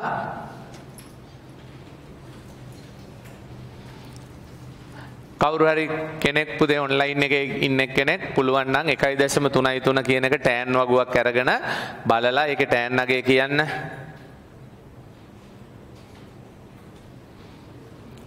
ටෑන් ටීට සමානයි 8 බෙදීම 6යි. ඒ කියන්නේ 4 බෙදීම 3යි.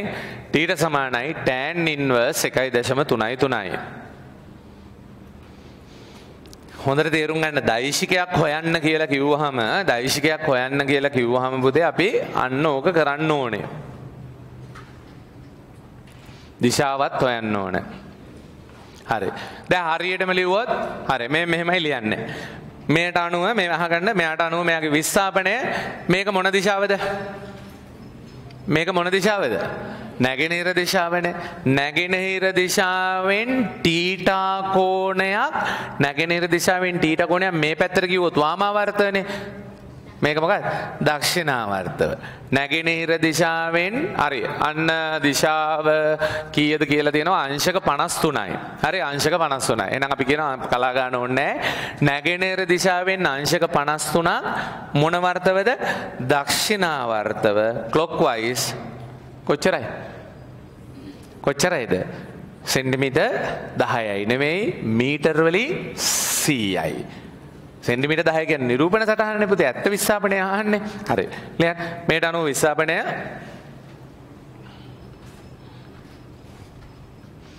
නැගෙනහිර දිශාවෙන්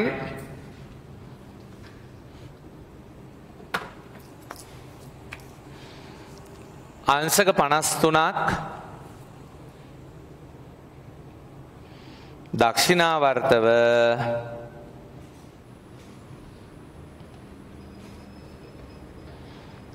පනස් තුනක් දක්ෂිනාවර්තව මීට සීයකි.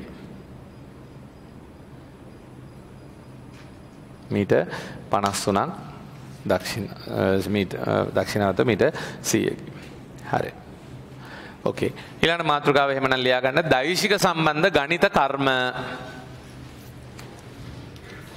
දෛශික සම්බන්ධ ගණිත කර්ම හරි දෛශික සම්බන්ධ ගණිත කර්ම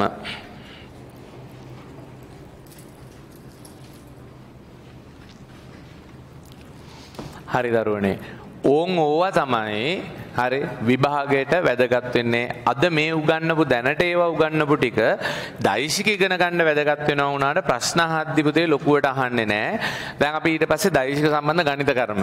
ඒයි නිකම් පහකට පහක් එකතු කරපුහම පහයි පහයි දහයයිනේ නමුත් දෛශික නිකම් අපි එකතු කරන්නේ නැහැ. දැන් මෙතනත් ඔයාලට තේරුණා මේ හයකුයි අටකුයි එකතු කරද්දි දාහතර වුණා හයයි අටයි ගියාපුහම පස්සේ විස්ථාපනය හොයද්දී කීයද වුණේ පුතේ දහය. හැටක් ගිහිල්ල අසුවක් ගියාපුහම ගමන්කරපු දුරකොච්චර දුනේ හැටයි අසුවයි එකසිය හතලිහයි. එක අදිශයක්නේ දුර කියන්නේ විස්සාපනය ඩිස්පලේස්මන්ට් කියන්නේ දෛශිකයක්නේ. ලස්සන කතාවක් වුණා. හැටකට අසුවක් එකතු වුණාම ඇහුනේ නෑ. කීයට කීයද එකතු වුනේ හැටකට අසුවක් එකතු වුණාම කීයද උනේ? කීයද උනේ? හැටකට අසුවක් එකතු වුණා. කියදුනේ එකසිය හතලියයි ඇහුනේ නෑ. කීයට කීයද එකතු වුනේ හැටකට අසුවක් එකතු වුණාම උනා කොච්චරයි? එකසිය හතලිහයි නෙමේ දුර එකසිය හතලිය වුණා. නමුත් විස්සාපනය වුණේ කියද? සීයයි. හරි. අන්න ඕවට අපි කියනවා දෛශික ආකලනය කරනවා කියලා. මොනවද දෛශික මොකද කරන්නේ? අදිශ එකතු කරාට දෛශික කරන්නේ මොකක්ද ආකලනය. Addition addition of vectors. හරි. නැවත. හලෝ හැටයි අසුවයි නිකම් එකතු කරානම් කියදුනේ එකසිය අහතලියයි දෛශික විදිහට අරගෙන විස්ථාපනය හොයද්දී ආව 140 නෙමෙයි කිය කියලා 100යි කියලා. අන්න ඕක තමයි දැන් පුතේ අපි ඊළඟ සතියේ ඉගෙන ගන්න යන්නේ. හරි. එහෙනම් මේ වැඩ කටයුත්තේ ඊළඟ දේ වෙන්නේ කොහොමද කියලා පුතේ අපි කියලා දෙන්නේ කවද දවසේද හෙට දවසේ. එතකොට අද ඔන්න 7:00මාරට පටන් ගත්තා. 7:00මාර ඉඳන් 10:00මාර වෙනකන් අපි පැය තුනක් එක දිගට ඉගෙන ගත්තා. හෙට දවසේ අහගන්න අය නුවර පන්ති තියෙන්නේ හෙට දවසේ. එතකොට නුවර හෙට තියෙනවා 7:00මාරේ ඉඳන් 12 වෙනකම් පැය 4:00මාරක්. හරි ඒකට වෙන පොතක් අරන් එන්න ඔන්ලයින් අයටත් එතකොට හෙට උදේට ඔන්න වෙබ්සයිට් එකේ අපේ events.lk වෙබ්සයිට් එකේ link එක දාලා තියෙයි. ඒකට සම්බන්ධ වෙන්න පුළුවන්. එහෙම නැත්තං හරි එහෙම නැත්තං ඉරිදටත් පුළුවන් සනුද හවසටත් පුළුවන් බ්‍රහස්පතින්ද හවසටත් පුළුවන් ඔය ක්ලාස් එකකට සම්බන්ධ වෙන්න හැකියාව තියෙනවා. සියලුම විස්තර ටෙලිග්‍රෑම් channel එකේ දානවා. මේ අහන්න පන්තියන හැමෝම පුතේ දවසකට එක වතාවක්වත් ටෙලිග්‍රෑම් එක බලන්න මොනවද දාලා තියෙන පණිවුඩ කියන එක. හලෝ කොහොමද කියලා පණිවිඩ දාන්නේ? හරි. දාන්නේ කෑවද බීවද කියලා දාන්නේ නැහැ. වැදගත් පණිවිඩයක් තමයි පුතේ දාන්නේ. එහෙනම් මම හිතනවා අද දවසේ දෛශික පාඩ එක ගොඩ. ඒක සිම්පල් දෙයක්. හරි. අපි හොඳ රිසල්ට් එකකට යන්න මුලින් ඉඳන්ම වැඩ කරමු පුතේ. හරි. හිතන්න 2028 29 පන්තියක් පටන් ගනිද්දී අපිට කියන්න පුළුවන් වෙන්න ඕනේ. මෙන්න මෙහෙමයි. අන්න එක අයියා කෙනෙක් හිටියා එක අක්කා කෙනෙක් හිටියා. රිසල්ට් වලින් පස්සේ තමයි ක්ලාස් ආවේ. අන්න අහවල් රෑන්ක් එක. හරි. එහෙම අහවල් රෑන්ක් රෑන්ක් එක අරගෙන කියලා කියනවා මිසක් එක අක්කා කෙනෙක් ආවා අයියා අයියා කෙනෙක් හිටියා අන්න සබ්ජෙක්ට් තුනම කියන එක නෙවෙයි වෙන්න ඕනේ. මොකද්ද? හරි හොඳ රෑන්ක් එකක් දැම්මා කියලා පොඩි උන්ට කියන මට්ටමට පුතේ වෙන්න ඕනේ. හරි එහෙනම් අපි අද දවසේ වැඩ කටයුතු අවසන් කරමු. ඔන්ලයින් ෆිසිකල් දෙගොල්ලන්ටම එහෙමනම් නැගිටින්නකෝ හරි. ඕකේ එමනම් අයිබෝවන් හරි පරිස්සම් ගිල්ලෙන්නේ නා.